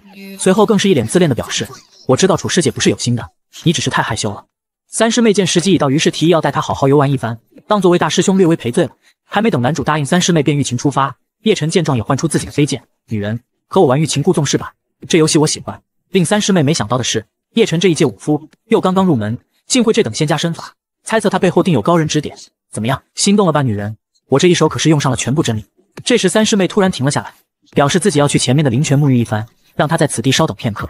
石老提醒他小心有诈，此地灵气充沛，像是一块极为稀少的先天巨灵地。通常这种地方都是宗门内提供给核心弟子。甚至只是长老们的修行宝地，咱们还是快快离去为好。可这时的叶晨面对如此诱惑，岂会离开？我堂堂气运之子，哪一次危机不是化险为夷？半个时辰后，叶晨在外面冻的是瑟瑟发抖。怎么这么久了还没回来？不是说去前面的灵泉里沐浴吗？要不过去跟他打个招呼？而这时上方突然出现几名妹子在空中修炼，搞了半天，原来此地是凤鸣峰的地盘啊。当他看到“天女池”三个大字，猜想楚幼薇肯定是在故意拖延时间，等他主动过去。很快，叶晨便一路寻找，终于发现一名女子正在灵池沐浴，随后一脸猥琐的向灵池跑去。楚师姐，我来了。可下一秒迎接他的竟是洗澡水打脸。何方小贼，竟敢擅闯我凤鸣峰禁地天女池？叶晨下意识咽了口唾沫，完了完了，这下真的完了。这个男主有多自恋，偷看人家妹子洗澡被发现后不选择逃跑，竟还主动上前搭讪，这难道就是来自主角光环的优越感吗？原来就在男主偷看妹子洗澡被打脸后，当场愣在了原地，只因他看到美女就走不动道的老毛病又犯了。石老让他赶紧闪。这女人是天生的修罗战体，杀气极重，而且实力远在他之上。男主则认为石老是在杞人忧天，表示自他出生起就有一种特别的魅力光环，并扬言只要是美女都对他难以抗拒。即便是这个小野猫也抵挡不了他的魅力。就当男主一脸自信向前搭讪时，妹子直接一剑向他斩来。你这偷窥狂还敢嬉皮笑脸，真是不知死活！此刻的男主才真正意识到，面前的这个妹子不好惹。这霸道凌厉的剑意可不是他能够抵挡的。这女人是真的对他动了杀心。石老也是一脸无语。初见男主时，他还并不是这样猥琐。从前的他满腔热血，却不是缜密冷静。但自从遇到反派凌霄之后，他的人格也逐渐扭曲。这也让石老怀疑他可能不是天命之子，反倒是那凌霄气运极佳，更像自己要找的人。这时又有几位师妹出现，并认出了叶晨的身份。于是祝婉宁吩咐师妹先将叶晨压下去，将此事禀报师尊后再做定夺。躲在草丛后面的三师妹看到计谋得逞，一脸开心。但想到祝婉宁长得又美，实力又强，大师兄让他将叶晨引到此地，也正是因为了解祝婉宁的脾气秉性，猜测大师兄可能对祝婉宁芳心暗许。一想到这里，三师妹心里那叫一个气。凌霄也因还原反派人设成功，获得了诸多奖励，更是自动领悟剑诀神通，剑影苍龙真诀。可下一秒他就感觉情况不妙，叶晨怎么会被祝婉宁打成重伤呢？这不应该呀！根据原著剧情，三师妹拜访了叶晨，两人聊得正嗨，因此误入凤鸣峰的地界，和祝婉宁打了一架。叶晨因为三师妹的出手，所以并没有受伤。但想了想，这样也好，就叶晨这个狗男主，以后有他再别想染指他的宝藏师妹。眼下三师妹确定人设崩坏，看来要走完反派大师兄的剧情线。只能将希望寄托于其他两位师妹了。接下来就是男主装逼打脸的第二大剧情，剑冢外的五脉会武。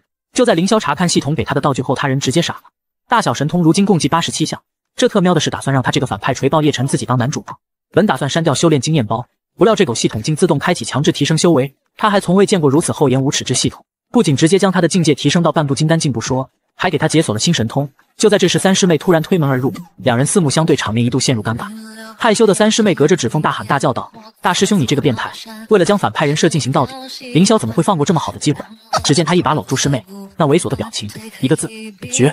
反派师兄竟将男主的后宫收入怀中，先是纯情三师妹主动投怀送抱，现在又来了个高冷二师妹千里追夫，左拥右抱的感觉简直不要太爽。寂静的夜晚，凌霄带着三师妹来到神鸾峰赏月，看着天空中那优美的月光，三师妹一脸幸福。原来眼前的星空便是大师兄要送给我的礼物。凌霄告诉他，此地乃是神鸾峰观星赏月最佳之地，每逢他夜不能寐之时，自己就会来此处赏月。这时，三师妹突然问道：“为何大师兄会突然想到把叶晨引到祝师姐那里借刀杀人呢？并且如此断定叶晨一定会上当，以及祝师姐一定会出手伤他呢？”凌霄一脸尴尬，表示自己这么做全凭直觉，要不然也不能说自己对祝婉宁的人设了如指掌吧。在原著中，祝婉宁天资无双，身负太古修罗战体，她对于为人轻浮桀骜的叶晨，起初更是完全无感。但在接下来的五脉会武的剧情中，心高气傲的他被叶晨爆冷击败后，就对其另眼看待。在剑种副本，他二人被困秘境，为了逃出升天，更是一起修炼了青蓝双剑。但很快凌霄就察觉到有些不太对劲。现在他俩提前见面了不说，祝婉宁还直接打伤了男主，结下仇怨。那后面他俩还能一起修炼吗？这时三师妹突然打断了他。既然大师兄心中郁结已除，那接下来就轮到师妹了。又是这突如其来的场景，这么可爱的三师妹谁顶得住啊？在这幽静的山峰，三师妹竟向凌霄当众表白，表示想做大师兄的道侣。不知大师兄可愿意否？这就是心动的感觉吗？哪个男人会拒绝如此可爱的师妹呢？但现在这个时候，他一定要冷静，不能被福利冲昏了头脑。现在最要紧的就是要搞清楚三师妹为什么人设发生了改变。凌霄害羞地问道：“难道你家大师兄还不够猥琐，不够讨厌吗？”要知道他在神门峰里没几个人真心待见他。平常温柔可爱的三师妹一脸严肃地表示：“她永远不会忘记入山的第一日，她绝望无助的时候，是大师兄给了她温暖；还有六岁时不小心弄坏琴弦，是大师兄熬夜帮她修好的。”凌霄麻了，三师妹怎么什么都知道啊？表面上维持反派人设，暗地里却做着暖男的事。凌霄怀疑是不是因为他们发现了自己背后做的事，所以人设才发生了改变？难道说此时此刻的三师妹，并不是喜欢书里的反派凌霄，而是当下的自己？还没等凌霄反应过来，三师妹竟主动将大师兄搂进怀里。大师兄，你愿意接受微微的心意了吗？凌霄刚要回答，却被三师妹再次亲吻。而这尴尬的一幕，也恰巧被前来的二师妹尽收眼底。三人顿时愣在了原地。凌霄见状，今天豁出去了，还不等二师妹拒绝，便将其一把拽进怀里。果然，当反派才是最快乐的事。其实凌霄的内心慌得要死，为了将反派人设进行到底，凌霄打算先把他们灌醉，就是看师妹们的样子，怎么有一种不祥的预感呢？男主的后宫竟打算对反派师兄霸王硬上弓。原来大师兄的秘密早就被二师妹发现。二师妹从小家破人亡，后被师尊带回神鸾峰收为弟子。二师妹每日刻苦修炼，只为早日变强报仇雪恨。而凌霄小时候却只知道欺负二师妹，每次在师妹练剑时，就会一把抢走师妹的宝剑，即便被抓，还是一脸嚣张的小表情，表示不就是拿他的剑玩一玩吗？他的剑又笨又重，人家才不想要呢。二师妹的手也因每日过度练剑磨得满是伤痕。其实大师兄这样做只是不忍心看他受伤罢了。溜走之后的大师兄路过三师妹的房间时，发现三师妹正在房间内痛哭，原来是因琴弦断了而伤心。大师兄走上前来表示，是他偷偷剪断的琴弦，原因就是因为三师妹弹琴太吵，吵得他晚上睡不着。得知琴弦是大师兄故意损坏后，三师妹哇哇大哭。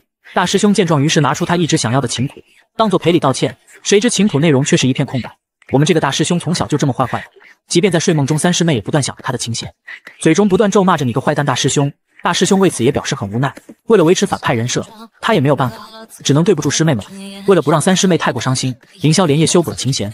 当清晨起来看到床边修好的琴弦，三师妹终于露出了久违的笑脸。可当她酒醒过后，却发现自己被捆绑起来。只见二师妹一脸病娇的模样看着自己，凌霄也没想到他竟然喝断片了。上一秒还在和两个师妹看星星看月亮，下一秒就被师妹捆绑，这特喵的到底发生了什么？大师兄，你看咱们又为师妹多训啊，才喝几杯就醉了。看来只有小龙能陪师兄一醉方休了。我善良温柔的大师兄啊，这些年你一定演得很辛苦吧？大师兄麻了，难道自己的演技早就被二师妹看穿？二师妹的定情信物有多牛批，竟将自己的贴身之物当做定情信物？被推倒的大师兄一脸害羞，二师妹则表示，如今师兄不用再隐藏自己了，你的秘密人家早就知道了。大师兄看着二师妹一脸病娇的模样，怕得要死，畸形的爱人家不喜欢了，但一想到自己可是个反派，于是酝酿一番过后，开始了自己的表演。二师妹，你大胆，这帮放肆就不怕师兄今晚狂性大发吗？你可知道，你师兄发起飙来，连自己都怕。其实二师妹早就看穿了一切，明明内心善良温柔，却努力想要扮演一个好色猥琐之徒。大师兄，你真的是太可爱了。谁知下一秒，二师妹竟强吻了上去。凌霄麻了，这特喵的真是令人猝不及防呀！借着微醺般的感觉，二师妹竟脱下了她的丝袜，遮在了凌霄的眼上。大师兄既然偷了师尊的丝袜，想必一定很喜欢女孩子的衣物吧？这是人家特意送给大师兄的定情信物。凌霄麻了，他怎么知道人家偷拿了师尊的东西？凌霄猜测，这个位面从一个时间线开始，剧情就已经彻底崩坏，一切都是命运石之门的选择呀！此时，二师妹酝酿已久的喷嚏终于打了出去。这时，她似乎有些清醒起来，看着这尴尬的一幕，连忙解释刚才喝的有些头昏，这才冒犯了大师兄。凌霄一脸无语，气氛都烘托到这了，你给我掉链子！这时，二师妹一本正经的说明了此次来意，那就是下个月的五脉会武，咱们各脉内部将会定下最终出战的人选。她请求凌霄跟往届一样不要出战，由她姐妹三人代表神鸾峰。若是那个叶晨再敢狗胆包天挑衅大师兄，由他亲自出马教训即可。大师兄闻言一口回绝了这个提议，表示自己身为首席，岂能躲在几位师妹的身后？并扬言叶晨再敢叫嚣，他必上台打的此子，连他亲妈都不认识他。就连临走时还不忘小装一下，表示现在的他已无敌手。凌霄心中早已暗自发誓，这次五脉会武，他定要抓住机会被叶晨成功打脸。毕竟这么好的机会，他怎能容许剧情再次崩溃呢？看着大师兄离去的背影，果然大师兄拒绝了。也就是说，师兄真的会像天道祭预言的那样，与叶晨比试走上不归路吗？但想到白天的收徒大典，大师兄一剑碾压叶晨，扭转了命运。他对大师兄有信心，接下来的五脉会武一定会再一次改写命运的。看着早就醉得不省人事的三师妹，感慨道：“师妹啊，师妹，只要今后你不跟师姐抢大师兄，师姐还会疼你的。希望我们不会有反目成仇的一天吧。”天选之子竟差点死在自己的后宫手中。原来被套路的男主被关在暗无天日的地牢之中。此刻的叶晨犹如丧家之犬，将这一切都甩锅给凌霄。要不是他派楚幽微使用美人计，自己怎么会变成这样？这时石老让他别狗叫，有位半步化神的强者来了，看样子怕是要来处决你的执法堂太上长老。下一秒，砰的一声，牢门竟被直接踹开。来人正是苏寡妇叶世子，你总算落在本座手上了。说吧，你想怎么死？看到浑身杀气的苏妹，男主被吓得瑟瑟发抖，连忙求助石老救命。这女人是真的要对自己下杀手呀！见石老一言不发，于是叶晨便开口威胁：你如今已残魂寄生于我，我若身死，你也没好果子吃。你若今日救我，从今往后什么都听你的。苏妹看着男主的这副嘴脸，只觉得十分恶心，记忆里那大气运加深，搅动青兰宗乃至整个中州大陆的天命之子，难道就是这副贪生怕死的德性吗？你这个疯女人，你使得并非仙门法术。而是魔修的伎俩。此时的苏妹已经接近疯狂的状态，什么天道记忆，什么悲惨下场，她今日就要打了男主扭转乾坤。就在男主即将挂掉的时候，石老突然出手将男主从苏妹手上救走。苏妹也猜到了救叶晨之人应该是记忆里提及过的神秘高人，可惜剧本只是勾勒出了大概的未来图景。叶晨背后的高人到底是什么来头，还从未展示。想到接下来的五脉会武，如若不阻止叶晨，后果不堪设想。回想之前凌霄在剧本所作所为，本应是一名郁郁而终的小人物，但却在收徒大典上改写了自己的命运。猜测凌霄就是改变整个局面的关键棋子。只见苏妹露出一脸病娇的模样，她发誓这次一定要把凌霄牢牢抓在自己的手心。此刻的男主正在疯狂逃命，石老则在一旁继续劝他借此机会离开青兰宗。身为天命之子，以后的机缘也不会少的。等修成大果，正道神王，再回到此处覆灭青兰宗，岂不美哉？只见男主停下脚步，扬言自己乃是天命之子，与他作对的都得死，否则这天命之子不当也罢。你我不过是各取所需，何必将自己说的那么伟大？无奈的石老也只好再次低头，随后便问起男主接下来打算怎么做。而男主自然是要将凌霄与楚幽微合伙陷害他的事情告诉元一老道，让凌霄为此付出代价。石老这时提醒叶晨，那元义老道身上夹杂着一股上古邪魔之息，搞不好此人是八大宗门安插在正道的奸细。叶晨闻言竟哈哈大笑起来，正好与这家伙联手一起灭了青兰宗。只要他一封书信，他那没有血缘关系的美少女妹妹叶轩儿就会率领八十万北川精气配合魔门势力一举将青兰宗踏灭。此刻的石老已经是对男主失望透顶，正邪不分，善恶不辨，此子没救了。随后他便想到那位隐藏在青兰宗劫胡叶辰气运之人，或许抱此人大腿还算不错。天命之子竟阴差阳错拔出了魔剑，原来逃跑后的主角意外来到剑种秘境，石老一眼就认出了这里。剑种秘境是青兰宗专门用来给本宗弟子铸就本命灵剑，十年才会开启一次。男主闻言，也就是说里面有很强大的武器了。石老一脸兴奋，告诉叶晨，只要能成功得到一把，对修士本身的实力内将是质的提升，所以每年才有这么多人要拜入青兰宗。石老感受到剑种内有一股神秘的精纯力量，猜测里面可能是叶晨的大机缘。叶晨闻言一脸兴奋，前一秒还在被人追杀，后一秒就碰上此等机缘。这才对得起他天命之子的身份吗？可这时石老突然拦下他，只因怕剑种内危险重重，凭他现在的实力进去只有死路一条。叶晨则认为常年关闭的剑种因他的到来而打开，这分明就是为他而特设的机缘。有了这机缘，他定能将凌霄狠狠踩在脚下。最终，叶晨不顾石老的劝解，还是进入了剑种内。在两人的不断探索中，石老终于找到了那股神秘力量的源头。就在打开石门的一瞬间，叶晨就飞快地冲了进去。而映入眼帘的却是一柄诡异的魔剑插在棺材之上。石老不解为何仙宗内会有魔族的武器，可叶晨则不管那些，只有此等魔兵才配得上本世子的身份。这时石老再次阻止叶晨不要轻举妄动，提醒他这魔剑有极其邪恶的镇压封印，此情此景必有重大隐情，不是他能把握的。叶晨闻言恶狠狠地盯着身后的石老，他把握不了。那你觉得青兰宗内抢走他气运的那厮能有把握吗？石老无奈地告诉他，对比目前的气运情况，确实那人或许有把握。男主闻言当即暴怒，凭什么他可以？我就不行，今日就让你看看谁才是真正的天命之子。当叶晨拔出魔剑的一刹那，棺材内的魔气蜂拥而出，石老也在这时感觉到来自上界的气息。此刻的叶晨已经接近疯狂的状态，扬言这就是为他特设的大机缘，扭转乾坤，指日可待。下一秒，萧红林就出现在男主的身前。此刻的叶晨一脸懵逼，凌霄的师尊怎么会在这呢？这时，萧红林才缓缓开口说道：“你果然能解开这个封印，不枉人家引你到此处。”而凌霄看着裂开的茶杯，一种不妙的预感瞬间涌上心头。堂堂爽文男主天命之子，明明天下的女子都该倾慕于他，可如今这一切都成为反派大师兄的了。其实上一世的叶晨在拔出魔剑后，青兰宗的祖师娘娘月姬便就此出现，并将青兰宗祖脉之力传授于男主，作为助他解除封印的报答。自那之后，叶晨便暴露出了他的本来面目。如今的青兰宗沦落至此，全都是拜他所赐。这时男主也不再掩饰，扬言只要师尊带着师姐们老老实实顺从于他，他就会帮其保住青兰宗；如若不然，便屠灭青兰。时间来到叶晨入剑种之前。萧红林按照天道记忆来到魔剑所在位置，他不解到底是谁将月姬封印于此，但不管出于什么目的，既然他已经提前知晓，那自然不能如叶晨所愿。这魔剑可是叶晨的机缘，所以他必须提前拿走，这样叶晨的人生就将止步于此了。可萧红林使出浑身解数，魔剑依旧纹丝不动。果然，这把魔剑只有真正的气运之子才能拔出。于是他便想了个办法，那就是将叶晨引入剑种，让其拔出魔剑，他在半路截胡，这样叶晨所有的努力便会功亏一篑。时间来到叶晨拔出魔剑后。萧红林也在此时霸气登场，石老见状连忙提醒男主情况不妙，叫他赶快逃离这个是非之地。谁知男主两眼冒光，将半路杀出的萧红林当做他的机缘。石老拔了，你小子还真是油盐不进啊！面对如此妩媚动人的师尊，身为天命之子的他也沦陷了。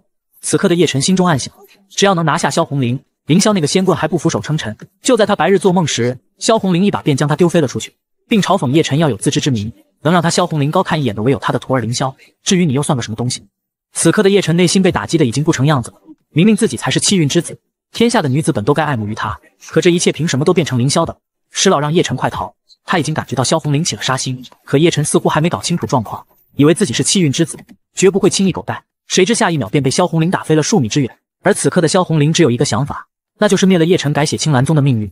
谁知就在长剑即将刺中叶晨时，拥有天道庇护的叶晨再次化险为夷，并降下天雷重伤了萧红林。天命之子竟被师尊打成猪头。就连戒指中的石老都被揪出来一顿胖揍。就在萧红林打算一剑解决掉男主时，竟意外受到天道庇佑降下的惊雷，身受重伤。此刻的男主感觉自己又醒了。小爷我果然是气运之子，想要对我出手，这下遭老罪了吧？想到萧红林刚才对自己的羞辱，他今日必报此仇。要不他还算得上男人吗？萧红林也在这时拖着重伤的身体艰难站起，即便浑身是伤，他也要干掉叶晨。可每一次想要对叶晨动杀心，就会被天道庇护惩罚。此刻的叶晨一脸猥琐，放弃吧，萧仙尊，人家会让你死得其所的。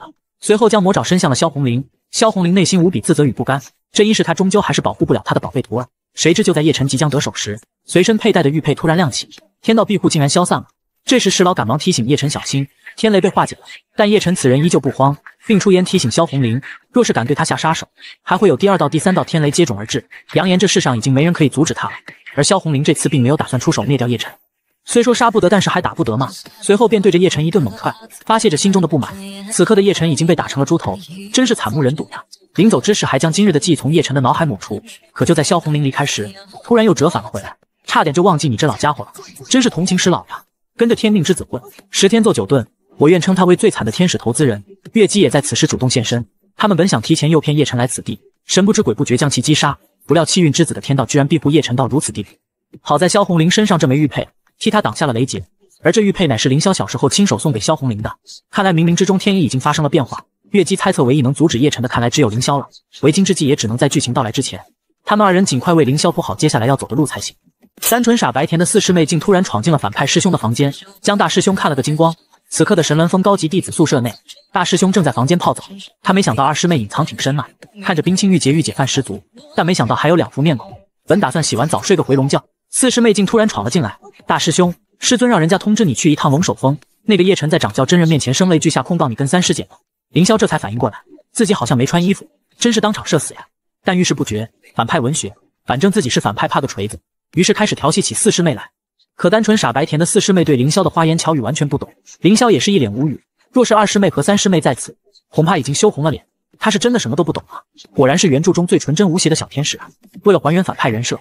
他竟然对如此单纯的小师妹说出这等不要脸的话，真是心痛啊！于是连忙将小师妹请出房间，自己先去穿个衣服。关上房门的小师妹一脸病娇的模样。大师兄的身材好棒呀！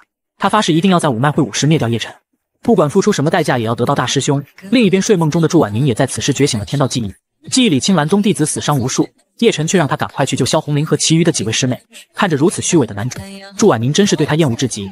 若不是叶晨一路上故意耽搁时间，青蓝宗怎会落得如此下场？如今只有萧师叔和三位师妹正在血战，为了救下萧师叔和神鸾峰的师妹们，即便他多么不愿与叶晨为伍，还是同他一起开启了护宗大阵。你的师妹是活下来了，可他的师尊和师妹们却全部惨死。就在叶晨本以为自己的计划天衣无缝时，殊不知萧红林和师妹们已经看清他虚伪的嘴脸。一阵敲门声也将睡梦中的祝婉宁惊醒。原来是叶晨现在控告他跟神鸾峰的三师姐合谋，所以掌教叫他去一趟龙首峰对峙。如今觉醒天道记忆的祝婉宁也在心中暗自发誓，一定不会放过这个该死的叶晨。他现在唯一不解的是。萧师叔口中的萧儿是谁？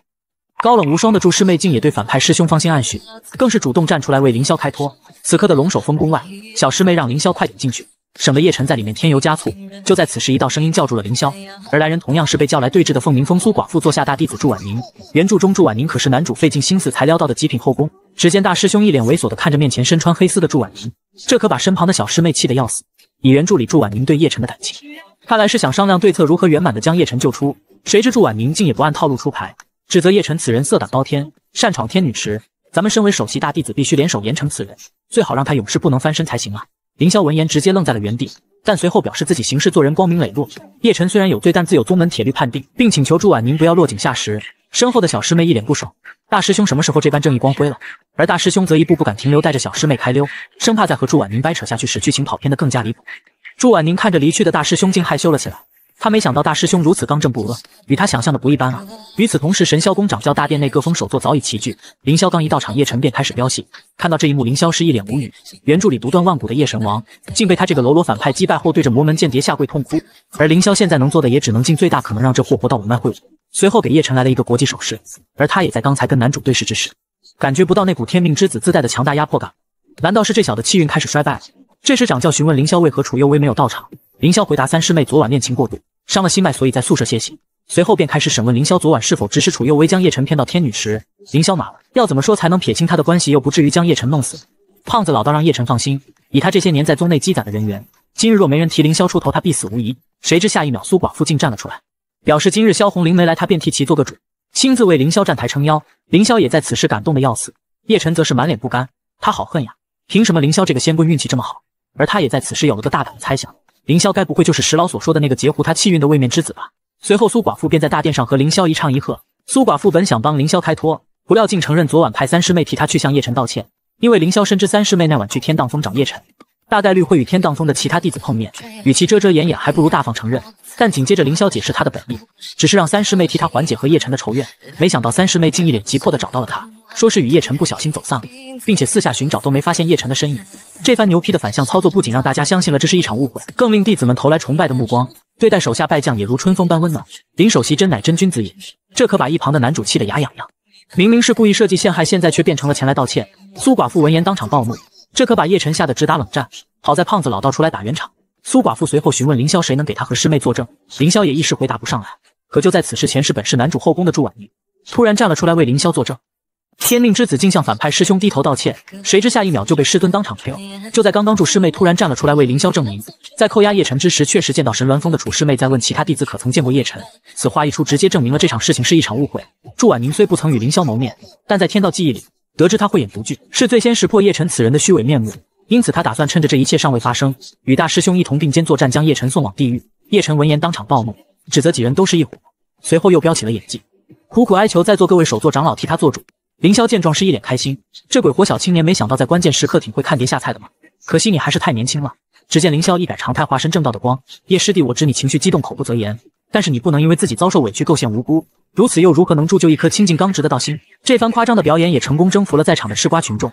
本想再为自己辩解的叶晨被胖子老道一把堵住嘴，只见他一脸黑线，让叶晨就此承认此事是个意外。今日之仇，他日为师定会助他血债血偿。于是胖子老道也借坡下驴，打起了圆场。解释整件事都是个误会，并让叶晨服软，主动握手言和道歉。叶晨一脸不甘，明明他才是本次事件的唯一受害者，都被打成猪头了，到头来还要跟这个仙棍低头道歉。但大丈夫能屈能伸，虽有万般无奈不甘，最终还是当众向凌霄道歉。凌霄见事情总算告一段落，于是打算握手言和。谁知下一秒，叶晨竟被师尊当场 k。萧红林赶忙来到凌霄面前，扬言今日只要有为师在，这青兰宗便无人敢动凌霄分毫。叶晨麻了，为什么受伤的总是自己呢？凌霄赶忙向师尊解释，都是误会，刚才人家叶晨是走过来握手言和的。一脸尴尬的萧红林连忙带着凌霄返回了神鸾峰，留下独自一人的小师妹在此。小师妹一脸不爽，师尊一来，师兄的眼睛就再也没有人家了。明明是人家先来的。几位首座见萧红林越发没有章法了，于是打算派出一人前去敲打一下。苏寡妇直接毛遂自荐，正好他对凌霄师侄的资质很是欣赏，师妹的脾气秉性他也最清楚不过了。这件事就交给人家好。苏寡妇深知若再不出手，凌霄怕是要被萧红林拐走了，他绝不允许到嘴的猎物再飞走。反派师兄竟向师尊当众表白。而这突如其来的告白也令师尊开心不已。自证清白过后的凌霄第一时间便被师尊带回了神鸾峰。霄儿，咱们总算回家了，不用害怕别人欺负你了。此刻凌霄内心无语到了极点。我特喵的是害怕您老疯狂改剧情了，一言不合就 KO 天命之子。师尊看他好像不太高兴的样子，凌霄连忙解释，劫后余生，现在开心还来不及呢。萧红林深知他心中不满，觉得今日为师多此一举了，心情也变得格外低落。凌霄也在此刻爆发，觉得萧红林今日有些偏激。虽然叶晨不是什么好人，但他确确实实没有伤害人家的意思。师尊不分青红皂白就将他打成重伤。凌霄说完这些肺腑之言后，内心慌的一批，早就做好被师尊一巴掌拍飞的命运。谁知师尊竟没有反应，而是站在原地痛哭了起来。萧红林没想到这一世从不在意任何人的看法，但是凌霄竟如此看待他。他今日只是想保护他心爱的徒儿，这难道也有错了吗？想到之前月姬所说，难道凌霄真的对他没有一丝情感吗？而今日就让我们的缘分止步于师徒吧。没有幻想就不会受伤。谁知就在他伤心欲绝时，凌霄竟突然从身后抱紧了他。什么反派师兄，什么飞升成仙，剧情崩坏，都先一边去吧。施恩浩荡，做人若不能知恩图报，跟咸鱼又有什么分别呢？随后凌霄说出了那一日师尊问他的问题。只见大师兄一脸深情的表示，自己愿意一生一世陪伴在师尊左右，一直到永远。师尊也被这突如其来的告白整得不要不要的。他没想到凌霄这小子竟然这么会撩。凌霄看到师尊开心的就像个小女孩，他发誓飞升成仙之前绝不会再让师尊落泪。莲花洞府内。萧红林一脸严肃交代凌霄，在接下来的五脉会武，要让他大杀四方，名震整个东域修真界。大师兄无语到了极点，师尊怎么又开始改剧本了？凌霄连忙自嘲起来，徒儿资质平平，这辈子看来是成为不了一代天骄了。萧红林看他一副吊儿郎当的样子，那叫一个气。得知凌霄心中所想，他也很是感动，于是主动提出要帮凌霄脱胎换骨，这样也能让他更长久的陪在他与三位师妹身边。只是这个办法可能会令萧红林付出一些小小的代价。原著中曾经提到过，师尊乃是上界太阴剑帝转世。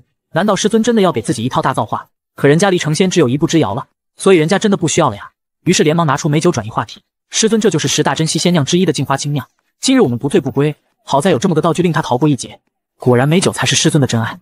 反派师兄竟对师尊做出如此可爱的事，更是在临走时偷偷亲吻熟睡的师尊。前世的大师兄在五脉会武时，因不满之前被男主羞辱，所以偷拿师尊的绝天黑莲，打算找回场子。谁知竟被师尊发现，斥责凌霄竟敢擅自盗用绝天黑莲偷袭同门，真是太令为师失望了。凌霄连忙解释叶晨此人的话不能相信，可师尊已经对凌霄失望透顶，并将其带去思过崖面壁。凌霄心中虽有万般不甘，但最令他心痛的还是师尊对他的态度。其实凌霄不知道的是，萧红林以建议灌顶为条件，才赦免了凌霄的过错。谁知当他来到思过崖，却发现自己的宝贝徒儿竟自绝于此。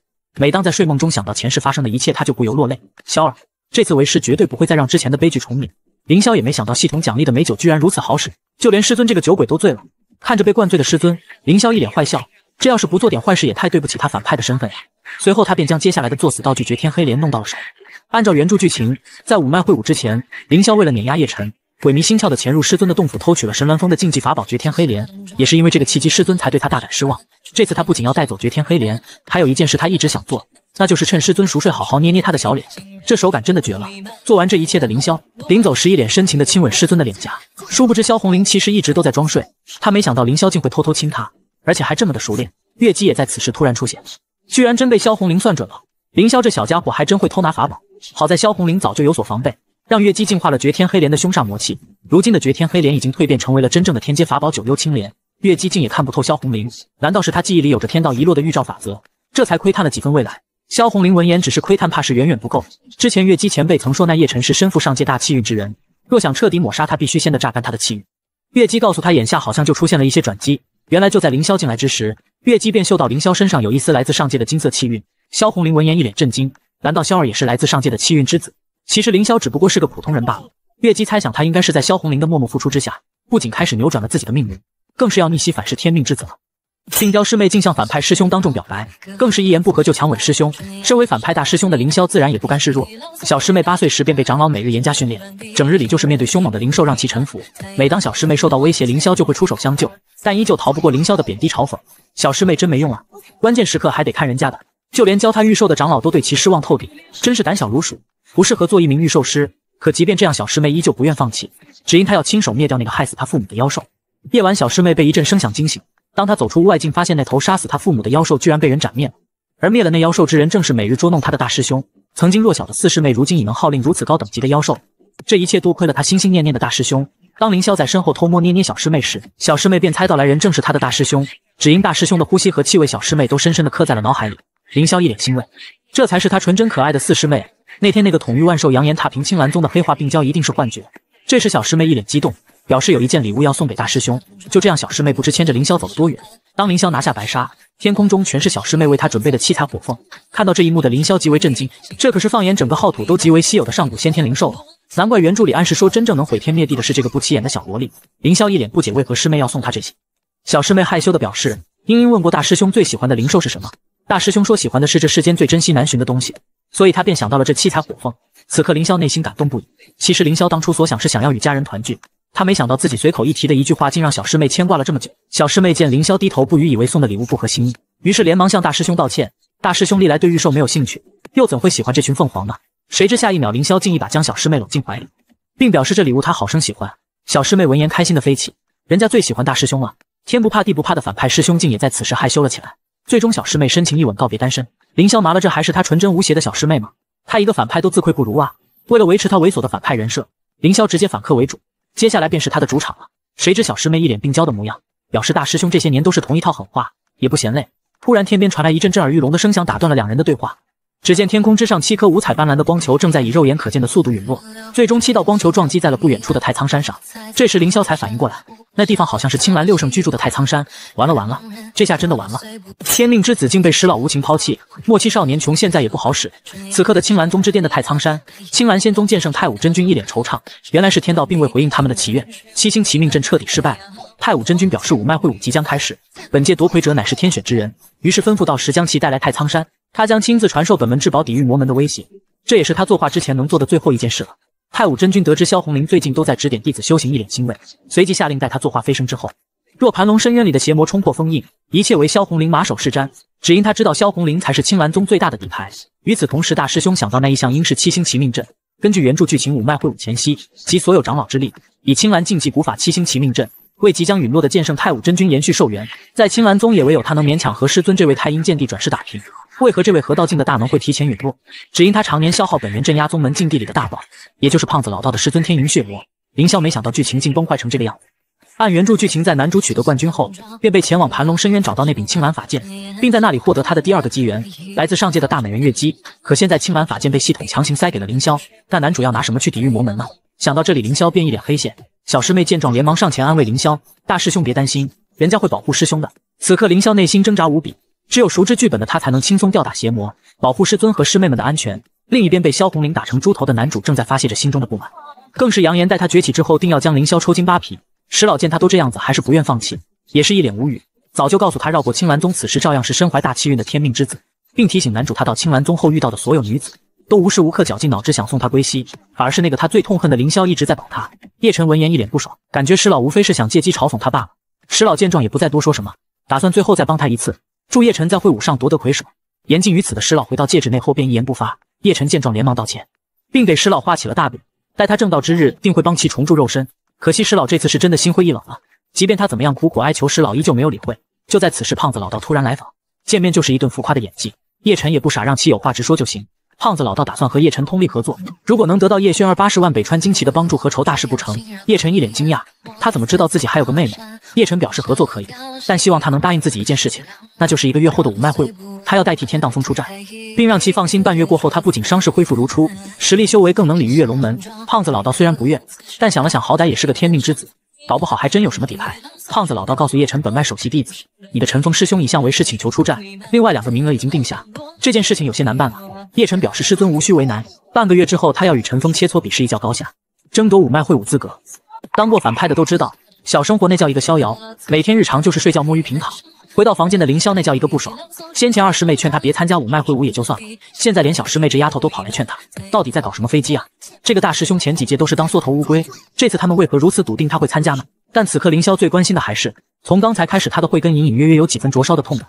凌霄一脸害羞，完了完了，情况好像不妙了。”下一秒，金色莲花浮现。由于在十枚聚气散的加持下，系统自动为凌霄开启高速无内耗修炼模式，并突破至金丹境初期。凌霄一脸无语，人家主角叶晨都在老爷爷的指点下，一步一个脚印的升级，他一个反派直接给整成了金丹大修士。到时候在五脉会武时碰上叶晨，他想输都难啊。于是凌霄决定来到幻灵洞府，选择平躺，每天只做三件事：睡觉、看流影，还有摆烂。谁知即便如此，在高速无内耗修炼模式下，凌霄仅用了十天的时间，就自动修炼到金丹中期，连呼吸都能变强。真的是造孽啊！这时怀真突然来访，原来是师尊传召本脉所有弟子前往天女崖的太一广场，召开五脉会武的动员大会。按原著时间线，凌霄就是在这次动员大会上收到叶晨递来的战书。如今叶晨拜入反派阵营，不知剧情会发生怎样的变化了。凌霄询问怀真，其他几脉的出战人选都是谁？怀真也是将他所打听到的消息一告知了大师兄。当凌霄得知龙首峰今年还是由徐正清出战，一脸惊讶。按照原著这一届的五脉会武，龙首峰将会派出他们的秘密武器，那就是龙首峰上一代首席大弟子江源。毕竟他天生通明剑心体质，天赋绝佳，更是甚得师尊紫云真人的宠爱。多年前，江源因为私通魔门妖女，被关在龙首峰悟道崖关键六十年。今年正是他解除禁足的时候，随后一路碾压对手，成功与叶晨会师决战，但最终还是不敌天命之子，被无情暴打。凌霄猜测不会是江源认怂了吧？更是从怀真口中得知，叶晨不仅修为突飞猛进，突破金丹初期，更是还打败了陈峰师兄。凌霄闻言一脸开心，师老真是太给力了。随后，凌霄从储物戒中拿出一袋灵石和一柄炼气期的低阶飞剑，送给了怀真。怀真看着这两件东西，眼睛直冒金光。大师兄嘱咐怀真，在五脉会武时，无论发生何事都不要去插手。会武结束就下山找个地方摸鱼躺平，潇洒过一生吧。只因凌霄在五脉会武被男主打败后，最终在众叛亲离下选择自我了断。而在凌霄死后，怀真欲要为大师兄报仇雪恨，最终偷袭失败，生死道消。看着憨憨的怀真，凌霄一脸伤感。他希望在自己离开之前，顺手改变这老实孩子的命运。听完大师兄所说，怀真竟嚎啕大哭起来。在他心中，也只有大师兄愿意与他说话，试图育他成才。这份恩情，他一直牢记于心，从不敢忘。怀真答应大师兄，五脉会武之后便离开青兰宗，做一个平凡之人。安慰完怀真后，凌霄便没有什么后顾之忧。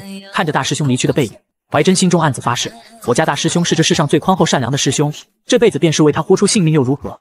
人家一定会守护好我们的大师兄。羡慕反派师兄的每一天，大师兄刚刚出场，两位师妹就主动前来投怀送抱，但如此美妙时光却被天命之子下的战书打破。当凌霄来到天女崖的太乙广场，众弟子纷纷鞠躬拜见大师兄，不愧是神鸾峰首席，气质高贵无人能比。大家也觉得凌霄好像和以前不大一样，当然不一样了，我在家平躺修为都突飞猛涨。就在这时，两位师妹突然抱紧凌霄，凌霄连忙让两人松开，人家不能呼吸了呀。师妹们发现大师兄竟然突破先天，进入了金丹，十分惊讶。要知道凌霄十几年都在先天初期原地踏步。几日不见，居然突破到了金丹，凌霄一脸不爽。你家大师兄之前是低调，不想突破罢了，现在不装了，摊牌了。我是天才，怎么低？如此嚣张的模样，让两位病娇师妹更加春心荡漾。果然如剧本中所说，大师兄为了保护大家，没日没夜的拼命修炼，用生命与叶晨那个天命之子战斗到底，十日入金丹，完全可以想象大师兄他承受了多大的压力与艰辛。凌霄麻了，这到底什么情况啊？还没等凌霄反应过来。师妹们竟当众再次扑进凌霄怀中，人家不就是摆烂了十天，至于这样吗？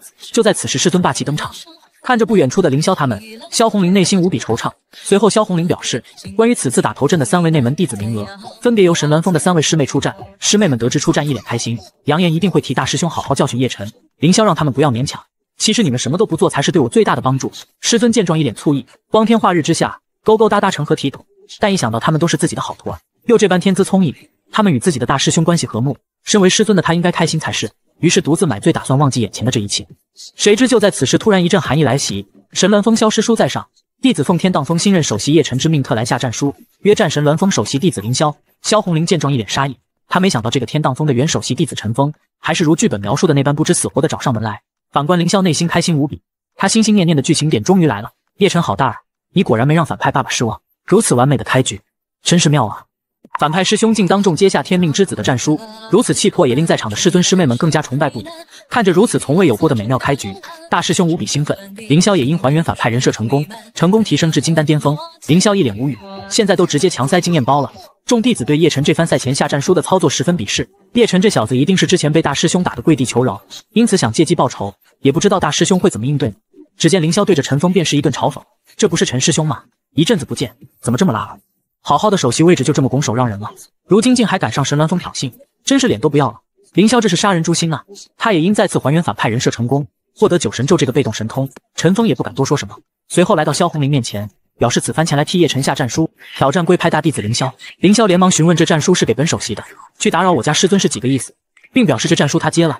就在这时，两位师妹赶来制止凌霄不要应战。师尊突然发话，让他们两个让开，这天荡风的战书他亲自接了。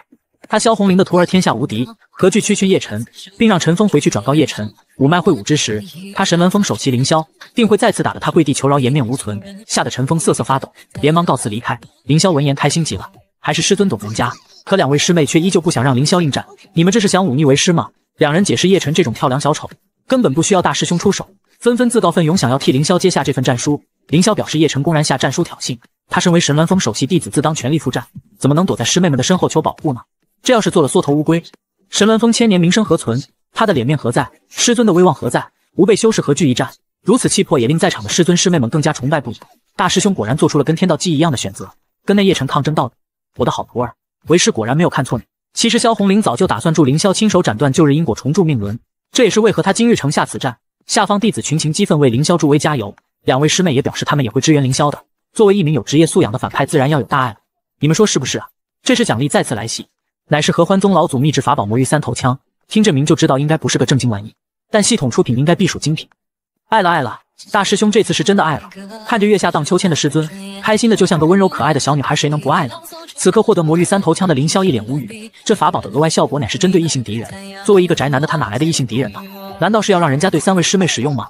这时师尊来到凌霄身旁，打断了他的快乐时光。霄儿，大战在即，莫要在这儿女情长。为师是时候传授你一些真东西。凌霄麻了。莫不是又要给人家灌顶了？萧红林连忙牵着凌霄的手，就要带他回莲花洞。这可看呆了两位师妹。只见萧红林唤出剑灵，带着大师兄一起回去。果然长得帅就是好啊！就连美女师尊都主动投怀送抱。师妹们看着身为下界修士的师尊，连仙剑的剑灵都孵化出来了。难道师尊的剑道已入剑仙境了吗？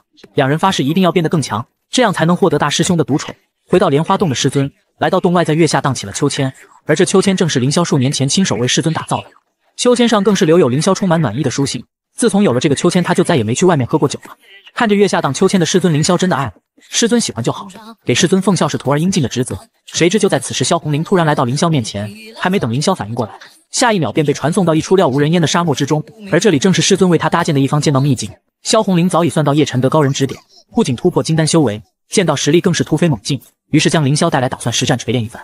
而接下来便是大师兄与师尊的对战。凌霄一脸黑线，师尊。你这是要谋杀亲徒啊！只是师尊的随意一击，大师兄就显然有些招架不住了。这便是中州修真界禁古剑道第一人的恐怖剑压吗？在这方秘境里，萧红林将所有剑诀神通与修为都压制到与大师兄同等境界，更是以数之为剑都能轻松压制凌霄。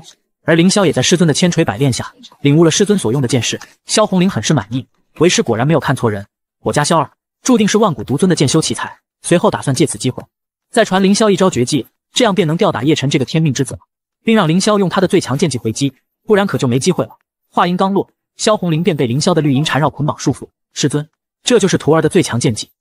谁能想到反派师兄竟轻松拿捏了师尊？其实早在师尊第一次见到凌霄时就已经喜欢上了他，而今夜是两人第一次在月下对酒当歌。就在刚刚，凌霄使用他的最强剑技森罗万象死角缠绕，成功将师尊制服。师尊怎么样？徒儿这招是不是很厉害啊？萧红林连忙求饶，让凌霄住手。凌霄也没想到他这本命神通连感官都能延续，这也太牛批了吧！萧红林一脸怒气，好你个凌霄，竟敢对师尊如此不敬！凌霄见状连忙撒腿就跑。徒儿刚刚想通了，我与那叶辰势不两立。今日师尊传授我神技，看我碾压他的五行剑诀，打爆他的狗头。此刻的萧红林虚弱的瘫倒在地，还好这副丢人的模样没被萧儿看到，真是丢死人了。很快大师兄便在师尊的指点下学会了这套剑诀。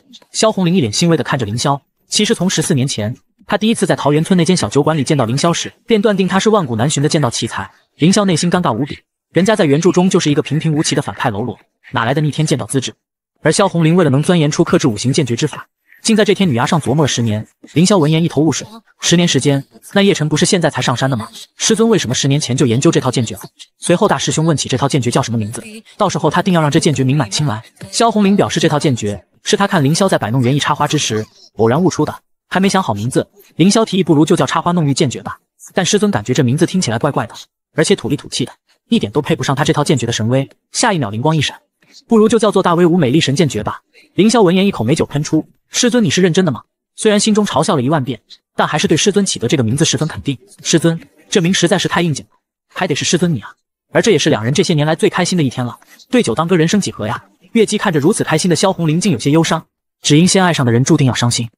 大师兄怒了，大师兄这次是真的怒了。只因天命之子竟敢对大师兄的小师妹出手，今日不管怎么样，他都要打爆男主的狗头。此刻的大师兄一想到他这个青蓝宗反派喽啰的戏份即将杀青完结撒花，就一脸开心。谁知就在此时，怀真突然跑来，告诉他小师妹正独自上天荡峰跟叶辰决斗去了。大师兄闻言便火速前去救场。此刻的天荡峰舞剑平看着被叶辰重伤不起、奄奄一息的小喵，小师妹哭得泣不成声。叶辰则是一副胜利者的姿态走到小师妹面前：“茵茵姑娘，还是到此为止吧。生死决斗的游戏可不是随便玩的。”并虚伪的表示，在桃源村初遇小师妹时，便对其一见如故。要不是凌霄三番四次挑衅他。此刻我们应该正在一起甜蜜的赏月。小师妹让叶晨赶紧收起他这虚伪的嘴脸。叶晨见他如此冥顽不灵，于是走到小师妹的面前。若是之前的我，或许敌不过你跟你的灵宠，但现在本世子已经今非昔比了。本世子最后再给你一次机会，给我磕头道歉。小师妹早已看穿他这个小人的嘴脸，对着叶晨便是一顿极致羞辱，并将他若是没有背后那位高人护持，就他这种卑鄙小人又岂会有这般实力？自以为气运无敌，高贵无双，实际上就是个跳梁小丑罢了。叶晨没想到他竟会知道自己背后有人。此刻的叶晨显然已经动了杀意，打算杀人灭口。毕竟石老可是他崛起的秘密，他是绝对不可能让任何人知道的。即便天荡峰的众弟子劝他冷静，可叶晨还是执意动手。就在这千钧一发之际，天空上方传来一道声音：“叶晨，你就是个地中之地，欺负女人算什么本事？而前来救场之人正是我们的大师兄。”此刻的凌霄怒气值已经达到顶点，今日小爷便要打爆你的狗头，为我家小师妹报仇雪恨。看着伤痕累累的小师妹，大师兄再也忍不了了，他这次是真的怒了。你对我怎么样我无所谓，但竟敢打伤小师妹，便是动了我的逆鳞。叶晨被凌霄刚才散发的气息吓得连忙后退，这家伙的剑意比之前又强了几分，而且修为也达到了金丹巅峰。若是再放任凌霄被萧红林栽培，五脉会武他便不能制霸全场了。于是打算借此机会除掉凌霄。可叶晨的攻击对大师兄丝毫构不成威胁，就他这剑法比师尊的差远了。而大师兄也发动绿银缠绕，将叶辰捆绑束缚起来。旁边的弟子一脸难以置信，神鸾峰大师兄竟用藤蔓锁住了叶晨，即便叶晨怎么挥砍，还是无法摆脱。叶晨见状，只好求助起师老破解之法。石老劝他还是赶快跑吧，在这结界中，你就是个弟弟。被逼到绝境的叶辰决定不藏了，我就是天命之子，摊牌了。下一秒，一道火柱直冲天际，而这便是叶辰从石老那里学来的最强剑法——五行剑诀。大师兄这次真的要对天命之子出手了，谁知男主叶辰竟怯战跑路了。就在刚刚，叶辰使用了他的最强剑法——五行剑诀。本以为大师兄会被击败，谁能想到叶辰自以为是的五行剑诀竟然对大师兄毫发无伤，这可看呆了一旁担心大师兄的小师妹。要知道叶辰实力大涨后，早已今非昔比，可他现在却仍然处于下风，大师兄怎会变得这般强呢？天道记忆里可不是这样的呀！只见大师兄一脸怒意，表示今日暂且先放叶辰一条狗命，待到五脉会武那天，定要将新旧老账算个明白。要不是为了任务，大师兄早就灭了他这个天命之子了。敢动他的人真是活得不耐烦了。谁知叶辰竟还在狗叫，嘲讽凌霄，还不是用了邪恶神通偷袭了他？本打算将绝招留到五脉会武，彻底将凌霄毁灭。现在他决定今日提前用了，而这招便是叶辰先前打败陈峰的那招，名曰五行破灭剑。即便大师兄知道今晚若是与叶辰死斗，无论胜负如何，接下来的剧情都将彻底崩坏，而他成仙回家的愿望也就彻底破灭。可不知为何，凌霄竟有一种说不出来的紧迫。只见凌霄这次不再留手，周身散发出来的强大剑意令人不寒而栗。他将使用师尊教他的大威美丽剑诀一剑秒了叶辰，这次就连石老都怕了。这可是剑意啊！于是连忙劝解叶晨赶紧撤。叶晨则表示他可是只凭一招便打败天荡风前首席的天命之子，他难道还会怕面前这个神鸾峰的神棍？谁知石老这次竟支棱了起来，指着叶晨便是一顿臭骂：“蠢笨如猪的小瘪三，你真以为你很能打吗？”并提醒叶晨与凌霄交手时，他每一次遭受重创，身上的金色至尊气运都会被凌霄夺走一部分。石老断定凌霄就是那个隐藏在青兰宗，一直截胡叶晨气运的位面之子。以前石老从没有在大师兄身上感受到杀意，但这次大师兄是真的要动真格的。此刻的叶晨也是真的怕了，毕竟连石老都不愿意出手帮他了。再这样下去，看来今日是真的要交代在这。最终不可一世的天命之子竟然怯战跑路了，凌霄麻了，这到底又是什么情况？叶晨这种无脑龙傲天，在自己掌握了五行剑诀最意气风发的时候，竟选择了不战而退。当大师兄缓过神来，才想到身后伤痕累累的小师妹，满身是伤的小师妹无比自责。大师兄，英英好生没用，不仅没能帮到大师兄，还麻烦大师兄赶来救人家。小师妹更是当众再次向大师兄表白：“大师兄，你现在的样子温温柔柔的，就跟小时候一样，以后不要再装出那一副凶巴巴的样子，好吗？”看着伤心流泪的小师妹，大师兄这次是真的心痛了。随后一把将小师妹抱起，走，大师兄带你回神鸾峰疗伤，你的仇，大师兄总有一天会为你讨回来的。一个是冷艳无双的美女师尊，另一个是傻白甜的可爱小师妹。面对师尊和师妹的争风吃醋，大师兄会怎么选择？看着伤痕累累的小师妹，大师兄心痛极了。可一旁的师尊却调侃起来：“还好萧儿将四丫头带来的及时，否则她的伤口就该自然痊愈了。”随后萧红玲便问起大师兄：“为何英英如此痛恨叶晨？”凌霄一脸尴尬，也不能跟师尊说小师妹这样都是为了我吧，于是便说：“应该是小师妹察觉叶晨此人是个大祸害，才如此痛恨的吧。”饮完美酒的师尊脸颊微红，看来我家萧儿果真是慧眼独具啊！就在气氛烘托到了的时候，刚才还昏睡的小师妹竟然醒了。刚醒来的小师妹便和大师兄求抱抱，旁边的师尊一脸醋意的看着两人，但想到小师妹刚刚遭遇变故，此时内心定然尚未平复，他便睁一只眼闭一只眼吧。看似傻白甜的小师妹，其实内心也绿茶的很，就连师尊都不是她的对手。此刻的师尊已经忍无可忍了，英英，你竟敢当着师尊的面以下犯上！随后连忙让凌霄注意影响，差不多得了。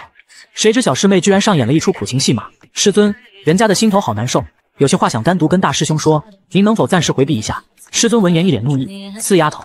你不要太过分了，为师只不过在这喝酒罢了，也碍着你了。不料小师妹竟嚎啕大哭起来，这还是曾经那个傻白甜吗？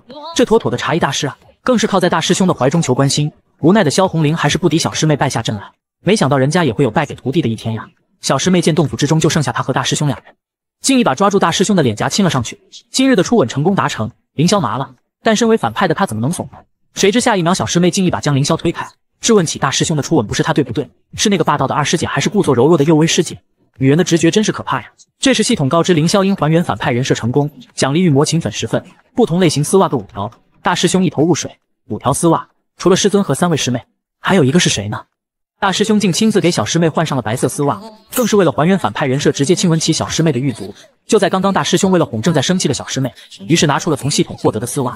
当看到大师兄手中的白色丝袜，小师妹心情这才好了一些。凌霄表示这是他亲自为英英缝制的袜子，英英的腿这么美，穿起来一定特别好看。小师妹看着大师兄送她的礼物，一脸开心。果然大师兄最宠我了。随后害羞的表示要让凌霄亲手帮她穿，凌霄连忙拒绝，这样不太好吧？小师妹见状，对着凌霄开始撒起了娇。大师兄见状也只能选择妥协，毕竟若是拒绝了，他还是那个尽职尽责的反派嘛。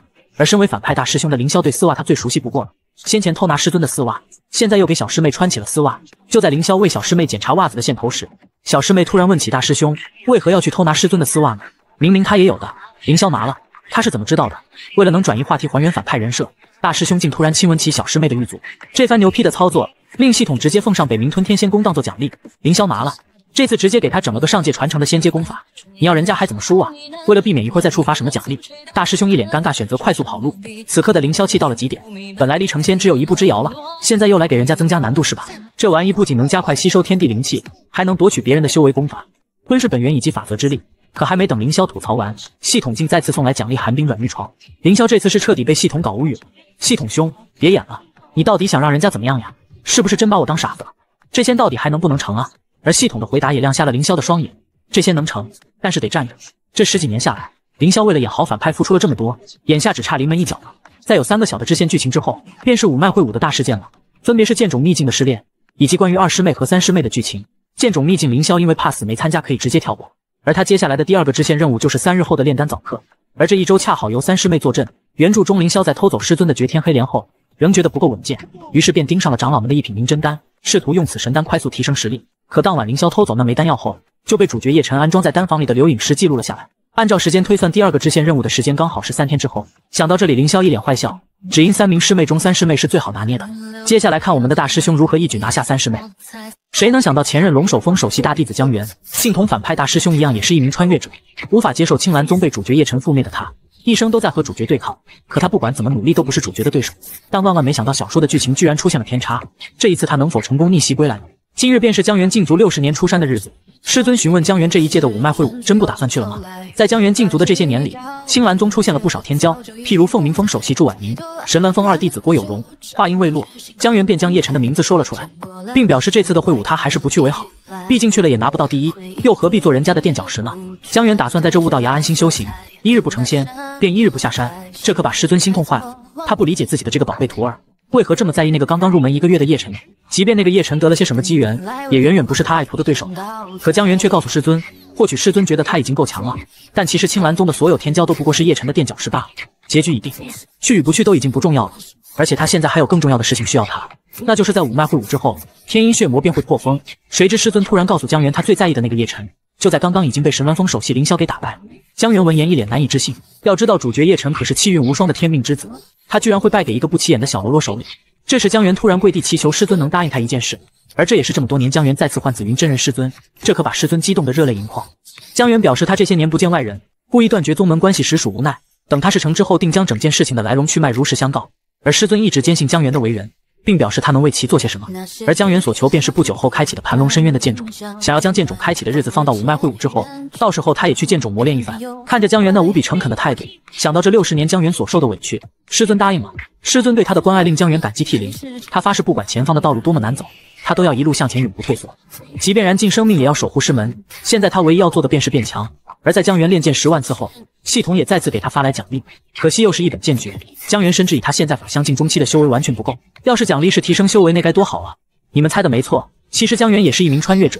八十年前，他以少年人的姿态穿越到这方世界，成为了为守护师门立战而亡的大弟子江源。在青兰宗，他感受到无比的快乐，所以他无法接受青兰宗被魔门覆灭的结局。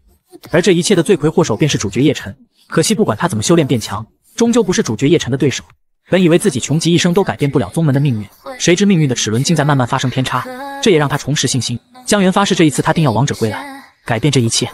女王叶轩儿，她终于要来了，只是没想到叱咤风云的女王大人，小时候竟也对大师兄暗生情愫，更是对凌霄许下他日若为女帝，许君共掌九重天的誓言。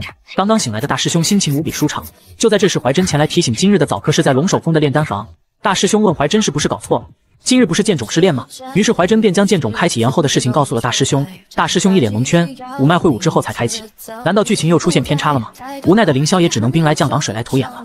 毕竟提前了也不妨碍他走剧情。此刻的龙首峰丹塔内，重量级的丹药即将登场。长老于是将这个展示菩提凝真丹的重任交给了大师兄，并嘱咐凌霄展示完后一定要放回原位。而这枚丹药正是供给六圣以及诸位太上长老们的一品丹药。这正是原著里凌霄要偷丹药的剧情。可惜凌霄找了半天都没发现叶晨。主角不盯着他，还偷什么丹药啊？而系统则让凌霄只需还原好自己的人设剧情就行，至于其他的无需担心。殊不知大师兄的一举一动都被三师妹看在眼里，他这次无论如何都要阻止大师兄身败名裂。夜晚，大师兄正焦急等待着去打听叶晨消息的怀真，原来叶晨昨日被大师兄打得落荒而逃后，就去胖子老道的洞府中闭关修炼，至今未出。凌霄没想到这胖子反派居然让叶晨去他那里修炼，难道真把叶晨当自己人了？虽然剧情线有些偏离。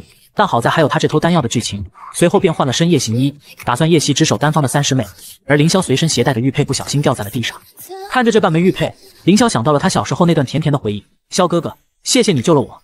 他日我若为女帝，许君共掌九重天。凌霄也不知他儿时要称霸西荒。逐鹿九州的梦想实现了吗？而叶晨这边正在胖子老道的洞府勤加修炼。石老提醒叶晨，这洞府充斥着邪煞之气，镇压着无数冤魂，那老道肯定藏着什么不可告人的秘密。可叶晨才没有那个闲心关心这些，他现在只想做一件事，那就是变强。如今留给他的时间已经不多了，他这次一定要在五脉会武上将凌霄打得如死狗一般，一雪前耻。而叶晨这次也早有准备。那就是他的妹妹叶轩儿。如今的叶轩儿已经率领八十万北川精骑，横扫三十三国，被北境共尊女皇。叶辰打算待五脉会武之后便修书一封，让其带领大军前来。随后露出一脸猥琐的表情，哥哥期待着与轩儿相见呢。与此同时，叶轩儿正霸气地坐在王座之上。这时，一名手下前来禀报，原来是三年之约已到。叶晨希望叶轩儿七日之后率领三十万大军前往青兰宗一睹他的雄风。叶轩儿则认为七天时间太长了些，如今北境已全部臣服于他，此番正好可以借此机会杀回中州。叶轩儿之所以这么迫不及待地前往青兰宗，其实是为了去兑现他儿时与凌霄的承诺。这十二年的时间里，他无时无刻都在思念我们的大师兄。反派师兄还是第一次见完全不反抗的反派，而此人正是我们的二师妹郭有容。换好夜行衣的大师兄刚打算趁着夜黑风高出门偷药，谁知怀真突然出现，原来是四师妹说她伤口恶化，疼痛难忍，让凌霄赶紧过去一下。大师兄一下就看穿了小师妹的伎俩。在他那千年凝血膏的作用下，什么外伤差不多当晚就恢复好了。于是让怀真回去告诉小师妹，他去了天女崖奉孝，至今未归，你让他好好休息去吧。可怀真不理解为什么大师兄要打扮成这个样子去见师尊呢？难道是大师兄想顺便出去巡逻，抓住宗门里晚上出来做坏事的弟子？知我者，怀真也。不得不说，怀真小老弟真是个天然呆呀。谁知就在凌霄快到丹方时，竟发现了除他之外出来做坏事的弟子。于是凌霄连忙追了上去，并质问起对方是哪个单位的。你这超速了，知不知道？我乃神鸾峰首席凌霄，还不速速让开！面具人完全没把凌霄当回事，而是继续加速。大师兄见状，于是出手打算教训一下这个狂妄之徒。虽然飞剑接连被其躲过，但下一秒大师兄的蓝银缠绕瞬间就扭转了局面，轻轻松松就将此人拿下。不料这名弟子竟完全没有反抗，这到底是哪来的病娇啊？无奈的大师兄只好将其勒晕过去。打算亲自看看他的真面目，谁知面具之下竟是二师妹郭有容。大师兄一脸难以置信，先是小师妹借口骗他，现在又有二师妹前来阻挠，而他们又是怎么知道自己今天要出来干坏事的呢？谁知这时大师兄竟突然头痛难耐，看着怀中的二师妹，总感觉有些似曾相识。紧接着前世海量记忆疯狂在脑海中浮现，此刻的大师兄心境显然出现了变化。系统见状，竟强制修复了凌霄的精神状态。缓过神来的大师兄也搞不清他刚才到底是怎么了，但身为反派大师兄的他，完成任务才是最重要的。于是打算先将二师妹送回，再去偷拿丹药。冷艳师尊竟套路起自家徒儿，将大师兄好不容易偷来的丹药掉了包，只需贴身携带一碗，便能吸收其中精华，使其神魂力量更上一层楼。果然姜还是老的辣。此刻的龙首峰丹方顶层，三师妹正在独自欣赏月光，就在此时突然发现身后好像出现一道黑影。还没等凌霄下手偷袭，竟被三师妹一把抱住求索吻。大师兄麻了，连忙质问起三师妹：“知道人家是谁吗？上来就亲。”三师妹表示大师兄的气味，他早已记在了心里，至死都不会忘记的。只是大师兄，你为何这副打扮来单方呀？凌霄一脸尴尬，先前差点精神崩溃，好在系统出手干预，才让他稳住精神状态，没影响接下来的剧情任务。于是大师兄便开始了他的表演。先是化身纯情暖男，对三师妹嘘寒问暖，表示自己这身打扮都是为了来看三师妹。三师妹瞬间就被大师兄这一套丝滑小连招拿捏，陷入爱河的小师妹刚反应过来，就发现大师兄没了踪迹，于是连忙四处寻找起凌霄。他今晚必须要盯住大师兄，绝不能让其将丹药盗走。不料大师兄竟使用以前系统奖励的一道傀儡替身符，成功将三师妹骗走。看着到手的丹药，大师兄是一脸开心。五脉会武的第一个支线任务终于达成了。殊不知刚才所发生的一切都被躲在不远处的师尊看在眼里，而刚才凌霄偷走的那枚丹药。乃是月姬前辈亲手炼制的超品宝丹菩提素魂丹，先前的那枚凝真丹早就让人送到了太仓山去了。此丹只需贴身携带一碗，就能将其炼化，吸收其中精华。五脉会武，我的萧儿必定夺得头筹。第二天早上，丹方主事长老便来到神鸾峰答谢。多亏了林首席和楚师侄丹塔，才没出现一丝一毫的纰漏。反观师尊和师妹们一副无精打采的样子，想必应该是为了昨天的事情没休息好。凌霄闻言连忙询问长老是不是忘记了什么，这可把顾长老搞蒙圈了。大师兄麻了，这到底什么情况呀？这么重要的丹药被偷走了，你居然没发现？真是老糊涂了吧！于是连忙寻找怀中的那枚丹药，打算采取自爆的方式，强行将剧情拉入正轨。可找了半天什么都没找到。此刻大师兄的脑袋就像炸开了一样，明明将丹药贴身携带的呀，现在怎么没了？这时师尊突然发话，询问凌霄是不是最近休息的不太好，脑子不太清醒了。当看到师尊的表情，大师兄猜测这件事情绝对不简单，一定有鬼。上一次莫名其妙给他建议灌顶，传授无相剑体。并让他务必斩杀叶辰，难道是师尊用了某种逆天手段未卜先知？毕竟能让他的菩提明真丹凭空消失，大概也只有师尊能做到。随后凌霄来到师尊的洞府，当面质问起师尊为何在收徒大典的前一晚为他建议灌顶，还有叶辰拜山挑衅，以及今日丹药一事，难道都是师尊提前算到的吗？凌霄表示他不愿被心爱之人当个傻子一样随意安排，还请师尊如实相告。这还是大师兄第一次如此硬气的和师尊对话，难道大师兄这次要支棱起来了？大师兄竟当众亲吻起师尊的额头，而这一刻可以说是师尊最幸福的时候。大师兄为了弥补刚才的大逆不道，特意送上先前获得的黑袜当做赔礼。就在刚刚，大师兄竟支棱了起来，表示自己实在不愿被心爱之人当个傻子随意安排，所以他今日务必要问个明白。师尊告诉凌霄，很多时候知道的越多，身上的担子就越重。不管将来发生了什么，师尊都会为你遮风挡雨，铺好路子。而你只要像小时候那般无忧无虑便好。大师兄闻言感动不已。这时，师尊举起手中美酒，脸上也露出忧伤之情。感觉现在的他似乎一点都不符合凌霄心中庄重威严的师尊形象。看着面前就像一个小女人的师尊，大师兄内心无比的心痛。他明明只是原著里的一个反派大师兄而已，何德何能让师尊如此关爱有加呢？而这时那股奇怪的感觉似乎又来了，好像有什么情感压抑不住。就在师尊愣神之际，大师兄竟下意识的亲吻起师尊的额头。完了完了，这下真的完了！我怎么会突然亲吻师尊呢？反应过来的萧红林连忙后退。萧儿，你大胆！现在你越来越放肆了。凌霄见状连忙解释，表示刚才吻额之礼乃是他家乡的传统习俗，是晚辈对长辈表达无上敬意的方式。随后便开始转移话题，拿出先前获得的黑袜当做赔礼。凌霄更是介绍起这黑袜有着修饰腿型、增添气质的妙用，师尊要是搭配此物，必然更加美艳无双。看着凌霄送给他的礼物，萧红林爱不释手，凌霄也是露出了满脸期待的表情。谁知萧红林竟说这袜子奇奇怪怪，他身为一脉首座，绝对是不可能穿的，更不可能在凌霄面前穿，这可把凌霄失望坏了。随后便让凌霄先行退下，待他五脉会武碾压叶晨之后，或许会将一切告知凌霄。等凌霄走后，萧红林看着手中的黑袜，陷入了沉思。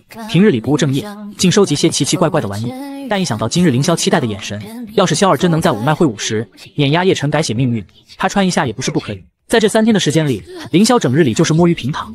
这时怀真端着一只烤鲲前来，大师兄也从怀真口中得知，这三日不管是师尊还是师妹们都在寻找他的踪迹。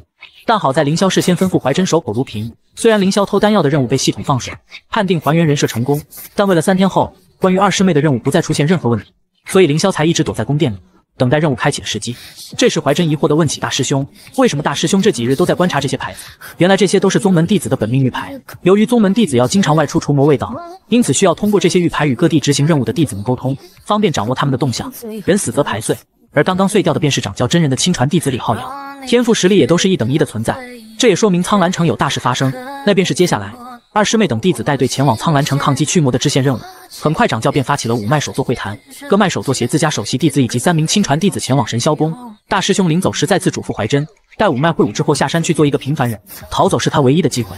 此刻的怀真感动不已，他终于明白大师兄为何一直劝他离开青兰宗了。原来大师兄早已算尽了一切。看着大师兄散发着光芒的背影，怀真竟有些忽然不想走了。高冷师尊为了给反派师兄送行，竟特意换上了新皮肤，黑袜版的师尊真的好可爱啊！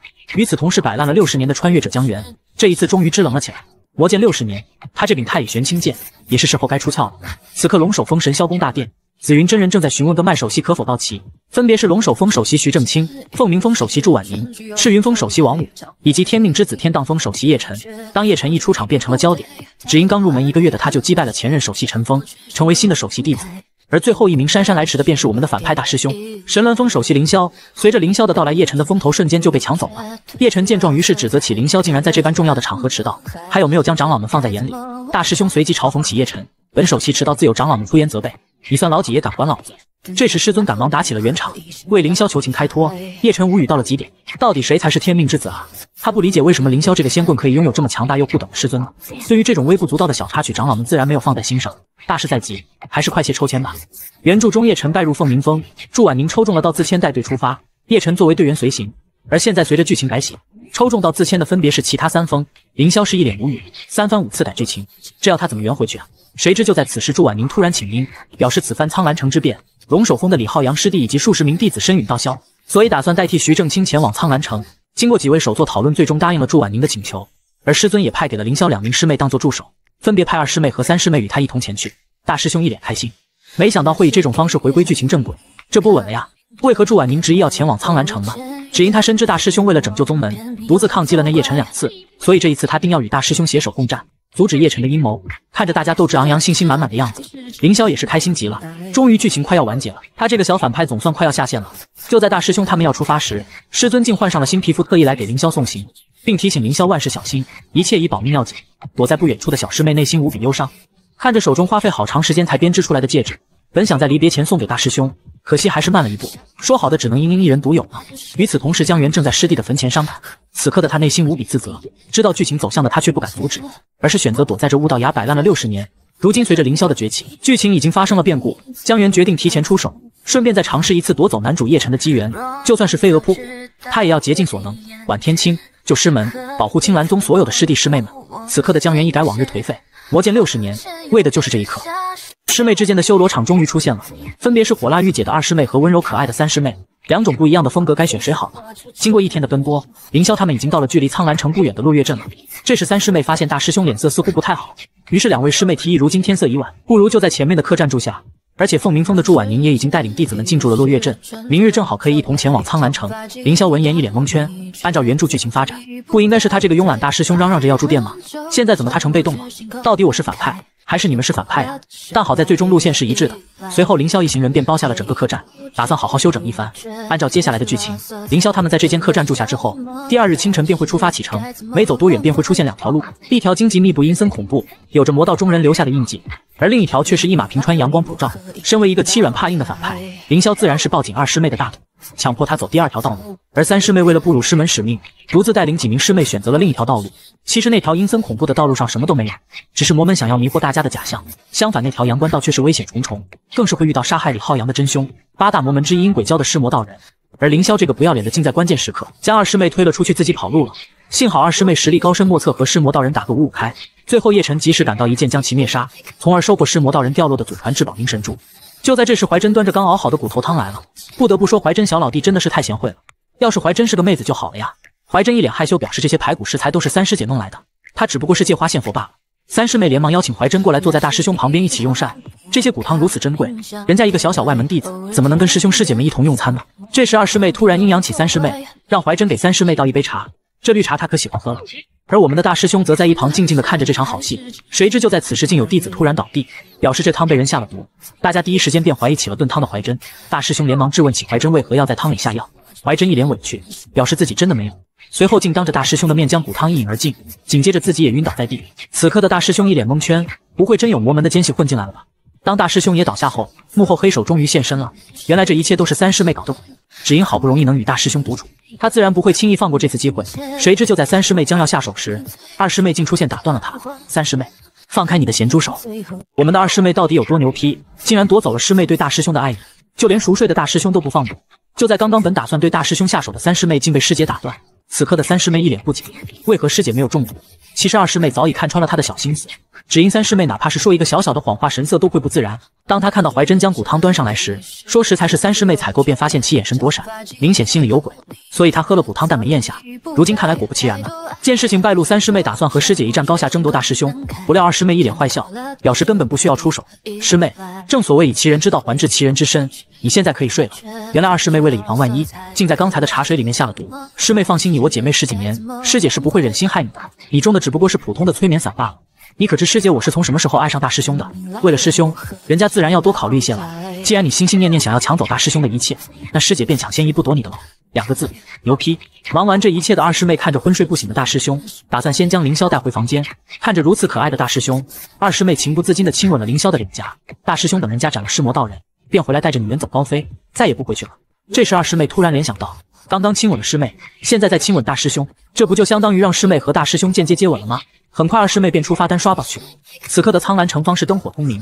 就在尸魔道人带着两名妹子离开时，二师妹突然出现，将其拦下。阁下可是阴鬼教左护法尸魔道人？见身份败露，老头一把将身旁妹子推开，打算出手解决郭有容。谁知下一秒，二师妹率先出手，一个手刀便将其直接斩杀。这种一剑便死的货色，怎么可能让叶晨那个人渣来捡漏呢？就这样，天命之子的机缘再次被截胡。而这便是剧本里男主叶晨将要拿到的凝神珠。看着手中的凝神珠。二师妹打算将其送给凌霄，当做定情信物，也不知道大师兄会不会喜欢。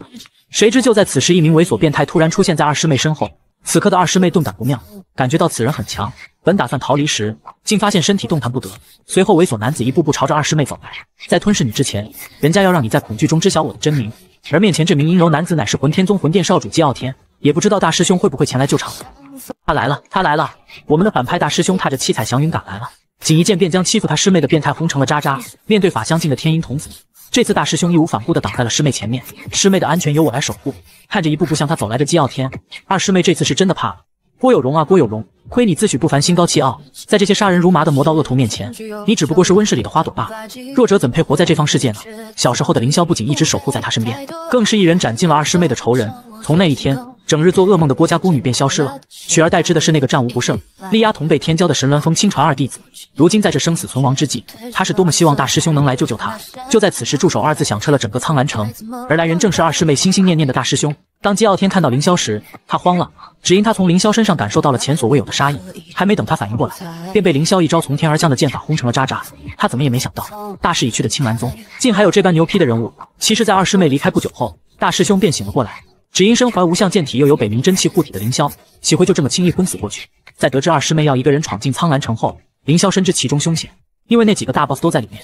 比起任务，凌霄更在意的还是二师妹的安全。但好在及时赶来，将二师妹成功救下。就在两人要离开此地时，虚空中突然出现一副诡异的嘴脸，下一秒，一个纸人便朝着他们猛地袭来。好在二师妹及时提醒，凌霄这才及时躲过攻击。而那纸人更是拥有法相境后期的修为，以纸人作为媒介施展鬼道神通。看来只有这位阴鬼教的左护法天阴童子，在原著的这个时间线上，八大魔门已然结成了同盟，密谋覆灭青兰宗，更是通过阴鬼教腐蚀污染的手段，将毒性蔓延整个青兰山脉，导致宗门弟子被邪气侵浊，从而境界大跌。为了守护青兰，保护师妹，大师兄决定拿出他真正的实力。师妹，你先后退，接下来大师兄要开始展示真正的技术了。反派师兄竟当街骂起了天音童子，一句丑八怪直接将其气得自爆身亡。这难道就是大师兄真正的技术吗？两个字，牛批！原著里天音童子原本不会这么快出场，可因为二师妹改变了剧情，提前一晚闯入了苍兰城，这才惊动了此人。以天阴童子法相境巅峰的修为。想跨越一个大境界将其击败，就算是男主叶晨也不可能做到。但凌霄却知道天阴童子有一个致命的弱点。只见大师兄缓缓走向天阴童子，难道大师兄要展示他真正的技术了吗？师兄到底还藏着什么厉害的神通是我不知道的吗？只见凌霄深吸一口气，随后以一种极为嚣张的表情对着天阴童子开骂：“什么狗屁天阴童子魔门大护法，你就是歌姬而已，就你也配在小爷面前叫嚣？”这番牛批的操作着实惊呆了两人，而这也成功激怒了天阴童子。他纵横魔道一百年。还从未有人敢这么如此与他讲话，而且还是一个不入流的金丹小厮。恼羞成怒的他放出纸人，便朝着凌霄袭去。二师妹本打算上前支援，却被大师兄拦下。毕竟，即便是他俩联手，也打不过这家伙。天音童子没想到凌霄区区金丹修为，不仅掌握了木系法则之力，还催生出了这等强大的本命神通，这也更加勾起要拿下凌霄的想法。看着如此恶心的小老头，凌霄也是无语到了极点。魔门的人都这么变态的吗？随后，凌霄便开始了长达两分半的嘴炮输出。令天音童子没想到的是。凌霄竟知道他的过去。原来天音童子小时候因长得太丑，还是侏儒，被母亲无情抛弃。死后更是被天音老祖练成了鬼魁。天音童子威胁凌霄让其住口，反而让凌霄变本加厉，越骂越嗨。只因这天音童子血怒攻心，再也掌控不了天音血魔植入他体内的天音魔珠，很快便会被自身暴走的魔气吞噬殆尽。原著中他就是在第二次镇魔大战中被小师妹活活骂死。最后一句丑八怪更是气得天阴童子破防自爆身亡。这也看呆了一旁观战的二师妹，大师兄未免也太强了些吧。这时，二师妹连忙上前，将本是叶辰的机缘双手奉上。据说这玩意能让神识通达，一念成佛，弹指间便能祭出法术神通，是原著中叶晨一直用到后期的先天至宝。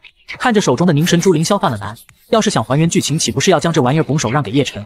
想想就有些不甘心。谁知不远处传来一道声音：“这位师弟，可否将这东西交于我？”而来人正是同凌霄一样穿越来的龙首峰前任首席江源。同为穿越者的两位师兄今日终于碰面。当江源得知面前之人正是那位暴打天命之子的凌霄后，不仅态度来了个大转变，更是在面对追击而来的三大子之一的大巫主，义无反顾地挡在了凌霄前面。就在刚刚，江源突然出现，并让凌霄将手中的凝神珠交与他。凌霄看着眼前之人，总感觉似曾相识，于是便询问起江源之前是不是打过照面。而江源也同样有此感觉，彼时彼刻，恰如此时此刻，原来在多年以前，江源打算在叶轩儿小时候将其掳走，正是凌霄出手救下了小时候的叶轩儿。江源也没想到缘分竟如此奇妙，一转眼十四年过去了。凌霄也长成了风流翩翩的青年剑修，凌霄脸色阴沉，难道此人今日特意前来找他算账？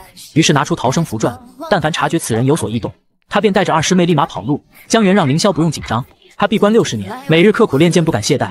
修为虽然比凌霄多出一境，但见到境界却略逊一筹。以前的事情就算了吧，毕竟那人气运滔天，命不该绝。随后问起凌霄一个问题，那便是他拜在哪位首座门下？如今是谁鹤立鸡群，碾压同辈天骄？二师妹一脸无语，总感觉此人有些怪怪的。江源也从二师妹口中得知，此人正是神峦峰首席凌霄，那个萧师叔最宠爱的大弟子，连续两次碾压叶晨的存在。如此一来，他好像确实不配向凌霄索要凝神珠。看着江源低落的模样，凌霄也觉得此人好像不太聪明的样子，于是打算借机带着二师妹赶紧离开。江源也在凌霄要离开时提醒他：一是凌霄或许远比自己想象的强大，解决问题的根源便在于凌霄，是凌霄改写了自己原本悲惨的命运；二是让他务必守护好身边的人，若是要爱，便大胆去爱，莫要让某些人渣有机可乘。最后一点。你是青兰宗禁古最强剑修萧师叔的大弟子，气运自当不弱于人，因而能力越大，责任越大，并叮嘱凌霄他日魔门为祸苍生，定要拼尽全力守护宗门和所爱之人。谁知就在此时追兵来袭，而来人正是苍兰城三大宝之一南诏国鬼巫教的大巫主，还有他麾下三千铜甲尸鬼大军。要知道这大巫主修为已经达到了元婴境界，一身鬼道法术可通幽冥，可不是刚才那天阴童子能够媲美的。就在这时，江源挺身而出，挡在了凌霄前面。他悟道牙魔剑六十年。今日正好借此机会拿这些魔门妖孽祭剑。青兰宗龙首峰前首席大弟子江源，今日与尔等魔道不死不休。当听到江源二字，凌霄一脸震惊，没想到他就是那个魔剑六十年的绝世天骄，难怪这货这么有底气啊！而在凌霄逃跑之际，竟不小心将自己的本命令牌遗落在此。一心为宗门赴汤蹈火守护同门的江源师兄，竟被天命之子偷袭残忍杀害。什么天命之子，简直就是一个无耻败类。就在刚刚，叶晨从石老口中得知，只要杀掉噬魔道人，便能将其至宝凝神珠收入囊中。这一次，他定要将这机缘牢牢掌握手中。可当他赶到后，竟发现魔门之人全部被人斩杀。当叶晨看到鬼巫教令牌时，也是极为震惊。他没想到鬼巫教的镇教二老传闻中的元婴强者，竟然横尸街头，生死道消，而且凝神珠的气息也完全消失了。石老猜测，应该是某个正道修士闯入了苍兰城，杀了这些魔修，夺走了凝神珠。当叶晨看到凌霄遗落的本命令牌后，更是验证了他的猜想。这家伙已经是第二次次夺走了本该属于他的机缘了。身为天命之子的他，难道要一直活在凌霄的影子里吗？就在此时，血战魔修的江源拖着重伤的身体出现，并提醒叶晨赶快离开苍兰城。八大魔门已经联盟，后援即刻便到。叶晨也总感觉此人似曾相识，看阁下的佩剑可是青兰宗弟子，这些魔道修士可是你所斩杀？江源让他别废话。速速跟着神峦峰大师兄凌霄离开此处。叶晨闻言一脸黑线，下一秒竟一剑残忍的杀害了一心守护宗门的江元师兄，这可惊呆了一旁的石老。他不理解为何叶晨要暗算同门，在叶晨眼里，只要同凌霄有关系的都是他的敌人。石老，天命之子理应杀伐果断，难道不是吗？与此同时，回到客栈的凌霄发现祝婉宁也来到此地。原来祝婉宁方才与师妹们路过客栈，发现神鸾峰弟子全部中了迷药倒地不起，担心出事，便决定在此护法。凌霄也是对祝师妹的举动感动不已。林师兄，人家有些悄悄话想单独对你说。不知你方不方便？令二师妹没想到的是，就连祝婉宁这种天之娇女都对大师兄芳心暗许，大师兄真是优秀啊！而凌霄也和祝师妹来到了天台。这时祝师妹突然开口询问凌霄是不是很讨厌自己。凌霄闻言一脸蒙圈，原著中清冷如雪、难以撩动的冰山美人，为何会对他这个小反派说出这种无厘头的话来？凌霄告诉他无所谓讨厌与喜欢，你我就是普通的同门关系。得知凌霄不讨厌自己，他也总算松了口气。随后便恳请凌霄不要参加五脉会武，叶晨就交给他来打败。凌霄断然不可能答应他的请求，毕竟现在只差临门一脚，便能完成任务，原地飞升。祝婉宁见他心意决，便也不再多说什么。既然祝师妹没什么事，那明日咱们便一同回去吧。凌霄也将凶手噬魔道人被二师妹处决的事情告诉了他。如今苍兰城内魔门的阴谋我们已经了解，所以还是速速返回禀报宗门。临走时，凌霄趁着如此良辰美景，竟对着祝婉宁说起了土味情话。祝师妹刚才忘了说一件很重要的事情，那就是祝师妹你真的很美，就跟今晚的月色一样美丽。平日里温婉贤淑的三师妹，没想到竟是这样一个人，不仅抓住了师兄的未来，更是将把柄牢牢掌握在自己手中。就在刚刚，凌霄借着良辰美景当众告白祝师妹，并成功拿捏了这位绝色天骄。就连凌霄也没想到，本是主角的后宫之一竟会对他芳心暗许，而系统更是送上一本双修秘籍当做奖励。回到房间后的凌霄辗转难眠，自从叶晨拜山之后，各种状况层出不穷，已经对他的成仙道心造成了冲击。自家师妹也就罢了，现在就连江源这个配角都让他内心震动。要不是当时二师妹有伤在身，他定会留下来跟江源师兄并肩作战。凌霄也不由感叹，若他有主角的气运和老爷爷加身，他倒不介意留在此界，解救青蓝宗守护师尊和师妹们。奈何他就是一个小小反派，如今他只需要再坚持一段时间，演好最后一场谢幕大戏，便能飞升了。若是再出现什么重大变故，他也就认命。谁知就在此时，系统竟又不按套路出牌，竟将他的修为提升至了法相境初期。先是那晚脱单回来，神魂便莫名其妙拉升到顶格，然后再搭配这个顶级内驱发动机的北冥真气，到底谁才是真正的主角啊？不过法相境的凌霄第一时间便查看起自己的法相，可令他没想到的是，自己的法相竟然是一把平平无奇的长剑，同他那三位师妹的法相真是差远了呀。但想到自己毕竟是个不起眼的小反派，也就算了。本打算就此入睡时，三师妹竟半夜敲响了凌霄的屋门。凌霄麻了，这丫头刚醒来不久，又想搞什么飞机啊？下药事件后，三师妹温婉贤淑的形象已经在他的心中崩塌了，于是便以男女有别、自己没穿衣服为由拒绝三师妹进屋。不料三师妹竟直接推开了屋门。这番操作下的凌霄连忙后退，三师妹则表示自己只是有些心里话想和凌霄说清楚。可就是这场景似乎有些尴尬，为何凌霄如此坐怀不乱呢？只因眼下两条支线任务已经全部完成，接下来便是最后的五脉会武了。他是真不想出现任何差错，导致剧情功亏一篑。这时三师妹突然向凌霄靠近，并解释自己在汤里下药迷晕大家，其实只是为了想和大师兄独处。最让凌霄没反应过来的是，三师妹竟又不按套路出牌，成为了第一个吃到螃蟹的师妹，彻底抓住了未来。二三师妹的修罗场今夜再度来袭，这一次的竞争也是更加激烈。到底是选择火辣御姐的二师妹，还是温柔可爱的三师妹呢？身为反派师兄的凌霄，难道还用选择吗？就在刚刚，凌霄没想到平日里温柔可爱的三师妹竟会如此大胆。三师妹连忙解释，自小涉猎百家之作，博览群书，所以还算略懂一二。而这也是他从小到大最憧憬向往的时刻。凌霄见状，连忙将三师妹推开。师妹，如今的你已经染上了心魔而不自知，长此下去，你的勤勉努力将会毁于一旦。而且外面全是师妹们，若是被看到你我，都将在青兰宗永无立足之地。看着三师妹这可怜委屈的模样，凌霄也不知如何是好。这时三师妹突然开口。如今的他只想知道一个答案，那就是他跟二师姐、大师兄心中更倾向于谁呢？谁知话音未落，二师姐竟不管三七二十一，推开房门冲了进来，并让无耻的三师妹放开大师兄。三师妹没想到二师姐居然偷偷跟踪他，既然明争暗斗了这么多年，今日借此机会不装了，要好好和他这个二姐竞争一下师兄的归属权。这可看呆了一旁的大师兄，吃瓜竟然吃到了自己身上，真是没谁了。二师妹则让三师妹趁早打消这个念头，还是赶紧去找那个叶晨去吧。那个人渣才适合你。三师妹怒了，你跟那个叶晨才是天生一对。这时二师妹突然扑进大师兄怀里，让凌霄将今晚孤身一人前来相救的事情告诉三师妹。而且若非大师兄偏爱，又怎会在小时候为了帮助人家去除心魔，远赴大周提师妹斩灭仇人呢？况且单凭身材上的气势，人家就已经赢了。三师妹这边则让大师兄收起那该死的温柔，当断则断。暂且不谈小时候大师兄有多少次偷偷为我修缮琴弦，就说方才他是第一个吃到螃蟹这点便赢了。所以大师兄你要选择谁呢？而此刻的大师兄并没回答，而是独自走到窗边看起了夜空，随后便开始了内心独白。此时此刻的师兄就如同那轮皎洁的月亮一般，照拂着宛如星辰的你们。只有我们大家在一起，才能组成一幅完整的夜景啊！所以师兄并不属于你们其中一个，而是属于整个宗门的。上一秒还在争风吃醋的二三师妹，下一秒就又成为了相亲相爱的一家人。没办法，身为一个天生的暖男。融化并教师妹们的内心，应该是最基本的义务吧。这一夜，三人如同小时候那般挤在一张床上并排而睡，气氛无比幽静美好。虽然凌霄美人入怀，但内心却是十分平静，只因此时此刻他久违的感受到了家的氛围。若你们不是女主，他也不是反派，或许真的可以在这里成立一个和谐幸福的大家庭。而凌霄也隐隐感觉到自己若再继续沉沦下去，迎接他的将会是万劫不复，就好像他已经经历过无数次一样。可即便如此，那又何妨呢？可爱呆萌的小师妹竟特意穿上了白色裤袜，迎接大师兄凯旋而归。果然还是小师妹最懂大师兄的心思。清晨起床，凌霄就感觉肩膀差点报废，还是自己单身一人比较好啊。这时祝婉宁突然前来禀报，林师兄昨夜城中爆发了一场惨烈的正邪大战，死了上千名魔门弟子。并且那鬼巫教的大巫主死后，城中剩余魔门余孽全部退出了城内。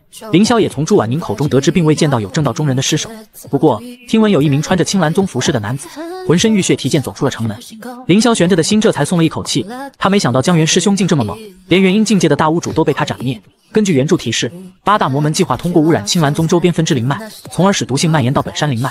如今提前破坏这个计划，想必应该能让青蓝宗减少伤亡。接下来的两日，凌霄率领师妹们找到了被污染的分支灵脉，并将之一分为二，从而切断了青蓝宗本山灵脉的联系。可令凌霄没想到的是，他这两位师妹料事如神，竟然精准找到了污染源头。而祝婉宁更是霸气的以一己之力焚毁了尸毒源头。见此情形，凌霄再结合先前的一些事情，他心中已经生出了大胆的猜想。解决完这一切事情后，凌霄他们终于凯旋而归，回到了师门复命。祝婉宁也就此告辞离开。就在凌霄要返回神峦峰时，小师妹突然出现，来到宗门口迎接大师兄的归来。凌霄也是欣喜若狂。离开的时候都没来得及跟他道别，我这个大师兄当的真是不称职啊！当凌霄抱紧小师妹时，竟发现小师妹居然又穿上了那条白色裤袜。师妹你是真行啊！二三师妹看到这一幕差点原地爆炸，于是达成了联盟，怎么也不能让小师妹先得手啊！达成统一战线的两人第一时间便制止了小师妹的行为。小师妹你先回去吧，等大师兄忙完正事就去找你。毕竟这种场面要是不赶紧闪人，怕是会被师妹们刀死啊！谁知小师妹又开始了卖惨表演，就因为人家是个小傻瓜，所以才不配得到大师兄的宠爱吗？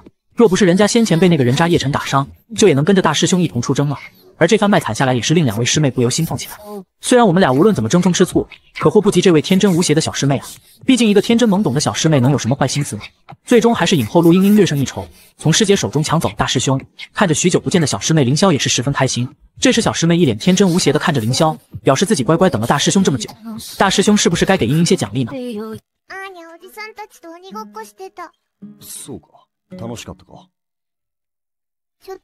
并教小师妹竟要大师兄当众亲吻她的玉足，但却被大师兄直接拒绝。只因我堂堂神峦峰首席大弟子，怎么能对傻白甜的小师妹做出这种事情？不行，绝对不行！此时与大师兄独处的小师妹正在花痴的看着凌霄。英英乖乖等了大师兄这么久，大师兄不给英英些奖励吗？此刻的凌霄虽然很想给小师妹一些宠溺，但为了以防剧情偏离，于是一本正经的表示：大师兄可以宠你，但不能没有限度。譬如，身为兄长。大师兄可以亲吻你的脸颊、额头，这是长辈对晚辈的爱。但是嘴对嘴是绝对不可以的。小师妹十分心痛，明明她那一次在莲花洞府亲吻大师兄的时候，大师兄你不也没拒绝吗？凌霄麻了，表示那一次是看他被叶晨打伤，不忍心拒绝而已。收手吧，英英，你眼下正是青春年华，这些情情爱爱不适合你。凌霄深知在他成仙飞升之前，有必要将小师妹拉回正轨，以免误入歧途。当然，最大的原因就是他确实有些挡不住小师妹的攻势了。可小师妹还是不愿放弃，翻出了他给凌霄做的草戒，并对着大师兄深情告白。小时候的凌霄为了帮他除去心魔，独自斩了那头妖兽，这些他都一直记在心里。凌霄表示这些都是小事，茵茵现在已经是一名优秀的御兽师了。大师兄很欣慰，小师妹却在这时告诉凌霄，在他的家乡已近及笄之年的女孩子，主动送给男孩子亲手做的戒指，便意味着放心已许，至死不渝。若是男孩子不答应的话，女孩子便会孤独终老，终身不嫁，或者杀死自己的意中人，然后再自我了断，这样他们就永远在一起了。凌霄闻言直接亚麻呆住了，这特喵的是什么扭曲的爱慕啊！小师妹连忙解释，绝对不会伤害大师兄的。而且这枚天心戒，他原本打算在大师兄出发苍兰城前送给师兄。凌霄见小师妹如此用心良苦，赶忙安慰。但他一想到自己收了这枚戒指，万一成仙离开后，自己岂不要背上一个渣男的骂名？除非是五脉会武时出现意外。于是他便已过几日五脉会武时，待他打爆叶辰的狗头后再议。小师妹见状也不再多说什么。即便按照天道记忆里的事件发生，大师兄最后被送往思过崖，他也愿意化作一道光，温暖融入大师兄的身体。只要能和大师兄在一起，一辈子待在思过崖又何妨？这时小师妹突然起身，很严肃地询问凌霄喜不喜欢她。凌霄表示那是自然，谁知小师妹竟害羞地坐在桌子上，表示想让凌霄跪下亲吻她的玉足。凌霄一时不知如何是好，身为反派的他到底要怎么办呢？经过短暂的思想斗争后，凌霄表示他身为神鸾峰首席大弟子，堂堂八尺男儿，怎能任由你这小丫头摆布呢？你以为你是师尊呀？还请这位小日子师妹冷静一些。见大师兄如此不解风情，小师妹又开始了卖惨表演。凌霄麻了，没想到自己也有被拿捏的一天。最终大师兄还是妥协了。高冷师尊为了迎接反派师兄凯旋而归，竟特意换上了黑色长袜，而这哇塞的一幕也恰巧被大师兄看得一清二楚。师尊，徒儿真的什么也没看到。就在刚刚，凌霄跪舔完小师妹的玉足后，来到河边清洗，而这也给他造成了极大的心理阴影。这时，凌霄突然想到，小师妹方才问他，尸魔道人是不是被叶辰斩杀？小师妹是怎么知道尸魔道人的呢？况且不只是他，就连二三师妹和祝婉宁在内，在这一次除魔行动中表现的都很反常。再加上先前他做的坏事都阴差阳错反转，结合种种表现，凌霄猜测他们或许也是重生者。亦或者是同他一样掌握了剧本的穿越者。虽然凌霄现在不敢百分百的确定，但如今所有支线剧情已经完成，接下来就看五脉会武上他们会如何表现了。凌霄这几日不见师尊，也甚是想念。安抚完了小师妹，便到了尽孝道的时候了。与此同时，师尊也在为凌霄担心。毕竟按照天道剧本的描述，有容也该杀了尸魔道人回来复命了。为了不影响剧情走向，他这次并没有干预，但内心还是十分担心凌霄的安危。即便破坏天道预言，他也不能让凌霄受到一丝伤害。就在他打算前去出门寻找凌霄时，竟看到了先前凌霄送给他的黑袜。我穿这个去见他，他会不会很高兴呢？谁知就在师尊穿袜时，凌霄竟突然推门进来，这羞耻的一幕也被凌霄尽收眼底。凌霄没想到师尊竟也对他送的黑袜情有独钟，原来师尊内心也有这么病娇的一面。为了缓解尴尬，凌霄表示自己刚才什么都没看到。可师尊又岂会信他的鬼话呢？只见师尊心念一动，便将凌霄带进了他的神识空间。而接下来迎接凌霄的便是和师尊的练剑环节。在经过两个半小时的军训后，此刻的凌霄累得差点没原地归西。而他也在和师尊的对决中，将自身剑道修为大幅提升。一想到自己现在强的一批，凌霄的脑袋就像炸开了一样。明天叶晨还怎么跟他打呀？而师尊也对凌霄的表现很是满意，不仅修为踏入了法相境，就连剑法都更加精进了。为师果然没有看错人，萧二果然是万中无一的剑修天才。谁知就在此时，萧红林竟然进入了凌霄的神识。此刻的凌霄一脸懵批：师尊怎么了？原来是凌霄的法相，就连萧红林都感受到了恐怖的气息。他总觉得在哪里见过。或许是他关心则乱。现在的凌霄在青兰宗年轻一辈中，能打得过他的不超过三人。而凌霄实力飙升和叶辰不无关系，可以说是全拜这个主角所赐。只因在叶辰拜山之前，他的修为十几年都在原地踏步。可叶辰入门短短一个多月，他就一路飙升到了法相境。而且女主们的行为也变得异常。凌霄为了在飞升前不留遗憾，打算借此时机向师尊深情告白。可平常身为海王的他，对师妹很容易说出来的话，却唯独对师尊说不出口。也就在这时，宗门突发急令，由于魔门蠢蠢欲动，正魔两派形势紧张，本届五脉会武十日提前，明日正午正式开始。而且东域其余两大正道宗门也会派出首席圣女佛子前来观瞻。我去，这场面是不是有些大了些啊？天命之子竟然独占了江源的功劳！这种残害同门、抢走别人功劳的小人，就连石老都对之嗤之以鼻，不屑与之为伍。就在刚刚，凌霄听到明日就要进行五脉会武后，内心也是百感交集。师尊则让凌霄不必担心，明日与叶辰对战，他只需全力以赴即可，其他的由师尊一肩扛之。师尊也在这时问起刚刚凌霄想要说什么，不管有何要求，他都会尽力满足。凌霄也在这时鼓起勇气说出了他内心尘封已久所想：师尊，这十几年徒儿劳您养育成人，呵护关照，却从未对你说过一声谢谢。今日凌霄在这里，请师尊受我一拜。并叮嘱师尊，他不在了以后，要务必照顾好自己，伤身的酒要少喝，莲花洞府的花草也要勤打理。而且他已经将师尊最爱吃他做的翠酥灵芝糕交给了王执事。还没等凌霄说完，便被师尊打断。此刻萧红林的内心虽然很是感动，但却又有几分忧伤。他强忍着泪水，表示刚才凌霄所说才不是他想听到的。随后转过头去，并让凌霄明日在五脉会武上把叶辰揍成猪头，然后再老老实实回到他的身边。而凌霄这边同样也是伤感无比。他不想走的念头还从未有过如此强烈。果然，这诺达的青兰宗最在意的还是师尊。为了不给凌霄压力，萧红林告诉凌霄，明日之战，即便他落败，也永远是他的徒儿。但是这种莫名其妙的话，以后不许再说了。而就在师尊临走之际，凌霄终于说出了埋藏在心里的那句：“我永远喜欢你。”当听到这句“喜欢你”，萧红林再也压制不住内心的情感了。其实他又何尝不是呢？但萧儿所说的喜欢你，真的是我理解的那个意思吗？亲手养大的徒儿，我真是太不守师道了呀！想到这里，他便羞答答的跑回了莲花洞。与此同时，龙首峰神霄宫内，祝婉宁和二师姐将大师兄带领他们截断魔族污染灵脉、击败尸魔道人和混天宗少主以及天鹰童子的事情，全部禀报给了在座峰主。各峰峰主没想到此番行动的主角竟然成了凌霄，平日里只会摸鱼的首席弟子，想不到能力却是如此出众。这时，胖子老道突然打断了几人的吹嘘，表示苍兰大战死的可不只是这些不入流的家伙，那鬼巫教几乎是惨遭灭顶。掌门这才想到还有这件大事，于是询问祝婉宁两人那鬼巫教妖孽是否也是凌霄出手所为。两人一时间也不知如何回答是好。这时，主角叶晨突然出场，表示祝师姐所说的那些杂鱼却是凌霄所斩，但鬼巫教大巫主以及三千铜甲师都是死在他的剑下。一时间，在场弟子无不知为之感到震惊。区区法相境居然能以一己之力打败这么多魔门高手，这是何等强横的天降之子啊！此刻的石老就像是吃了两斤翔一样恶心。他还从未见过如此厚颜无耻之人，不仅杀害无辜同门后毁坏凌霄的令牌，夺走了别人的功劳，更是逼迫他传授燃血筑心秘法。此刻的叶晨才不管那些三七二十一，他现在只想在明日五脉会武时将凌霄踩在脚下，让这个神鸾峰大师兄尊严扫地。生不如死，石老劝他还是不要太过乐观。虽然他现在修为突飞猛进，但实则根基并不牢靠，而且这秘法太过逆天而行，还会燃烧掉一部分的生命本源。叶晨一脸黑线，表示他乃是天命之子，天上人间他最大，献祭这一点气运算得了什么？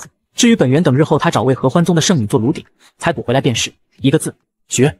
苏师伯竟要传授住师妹独门秘诀，而二三师妹也为了师兄放下内斗。身为好姐妹的她们，只要大师兄不被外人抢走，两人共享也不是不可以。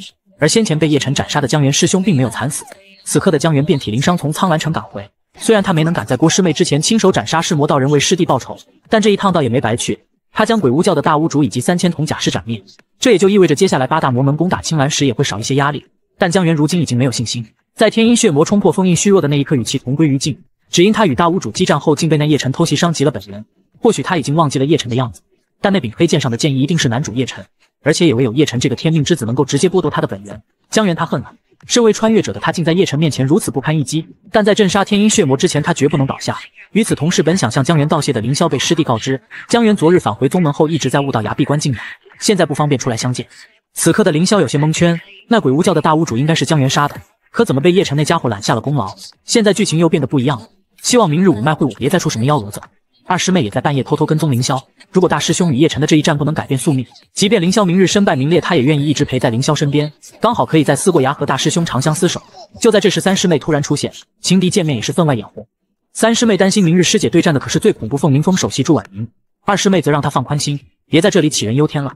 虽然祝婉宁上一届会武赢了他，但他也曾夺过魁首。但根据天道记忆，他还是会惜败祝婉宁之手。也就在这时，主角叶晨上前安慰，并成功打败祝婉宁，赢得师姐的芳心。虽然三师妹讨厌师姐跟他争夺大师兄，却也不忍师姐被叶晨这个渣男所骗。二师妹表示，明日无论如何，她都要击败祝婉。而三师妹这次前来是想与他调换顺序，这样不仅能打破僵局，还能让他保留实力暴揍叶晨。二师妹也在这时才意识到三师妹的好意，其实他们共同目标都是为了大师兄能平安无事。二三师妹就此达成协议，暂时放下内斗。两人也在此刻重归于好，毕竟只要大师兄不被外人抢走，施舍对方一半又何妨呢？此刻凤鸣峰仙女池，苏寡妇突然来到祝婉宁面前，询问她从苍兰城回来就心神不宁，是不是在担心明日的五脉会武？祝婉宁表示并没有，可这么明显又岂能瞒得了苏寡妇呢？既然不是为了五脉会武的事情，那么就只有可能是因为一个情字。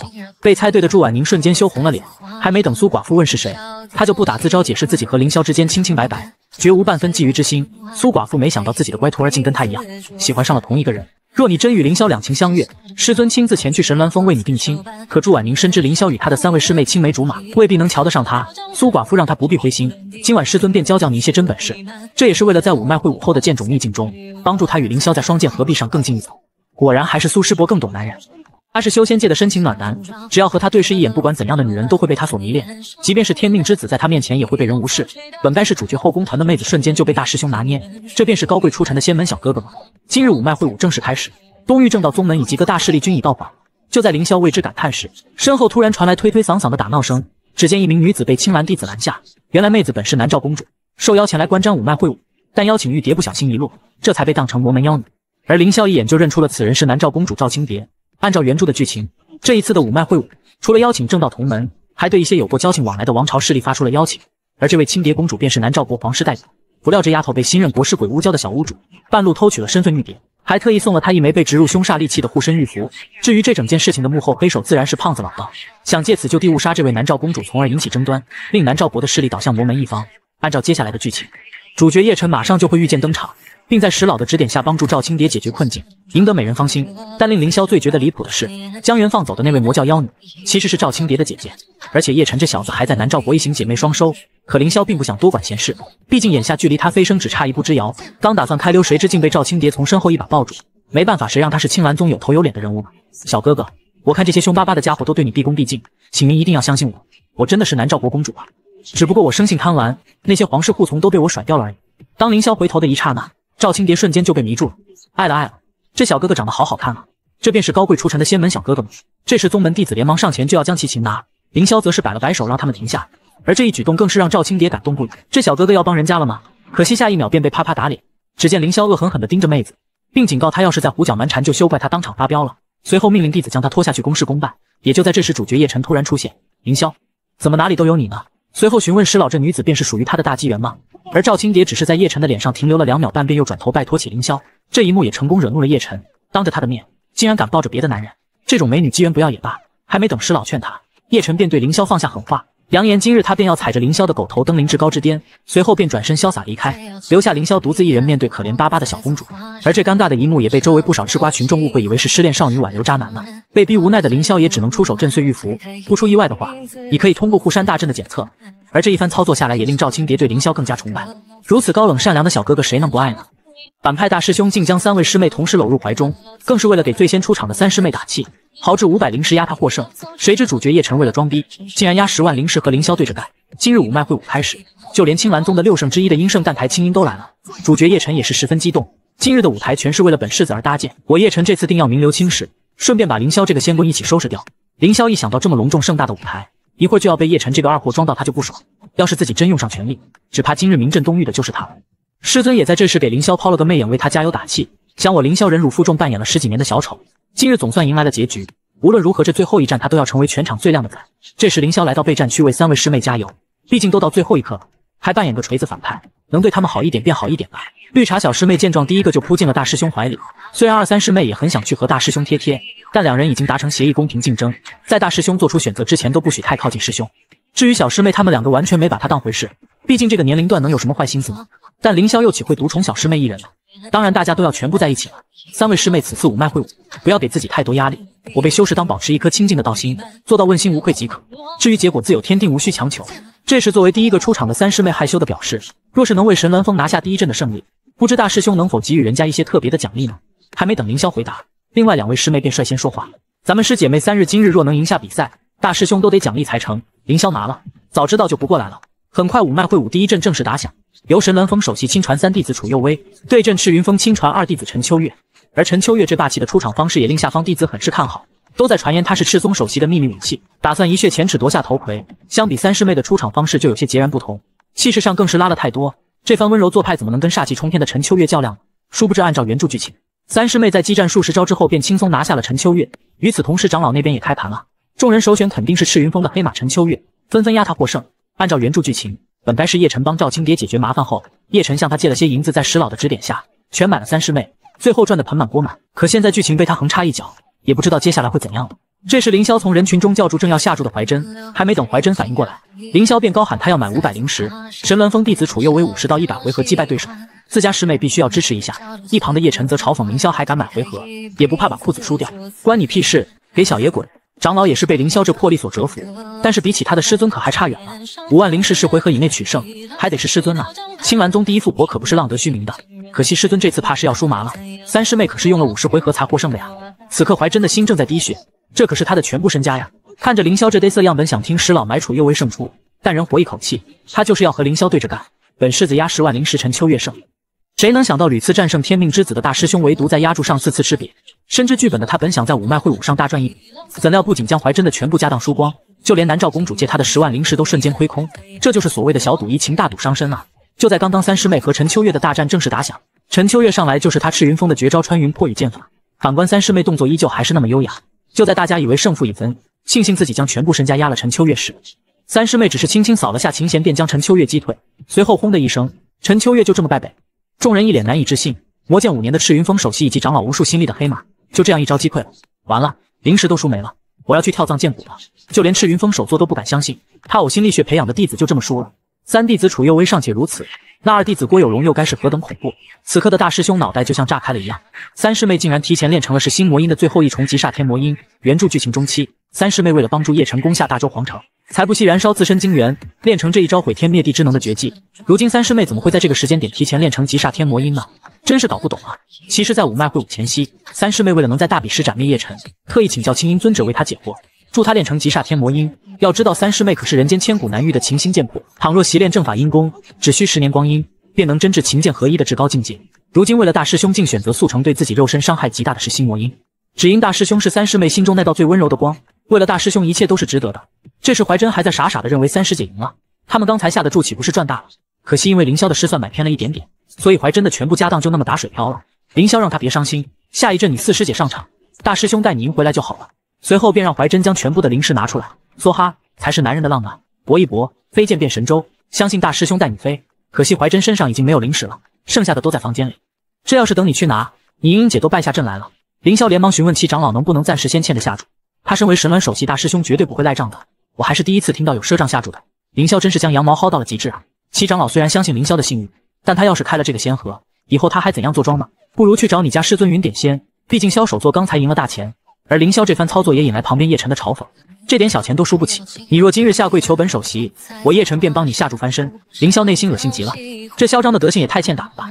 一度让凌霄怀疑他俩到底谁才是反派。谁知这时南诏国公主赵青蝶突然出现，并表示愿意借给凌霄灵石。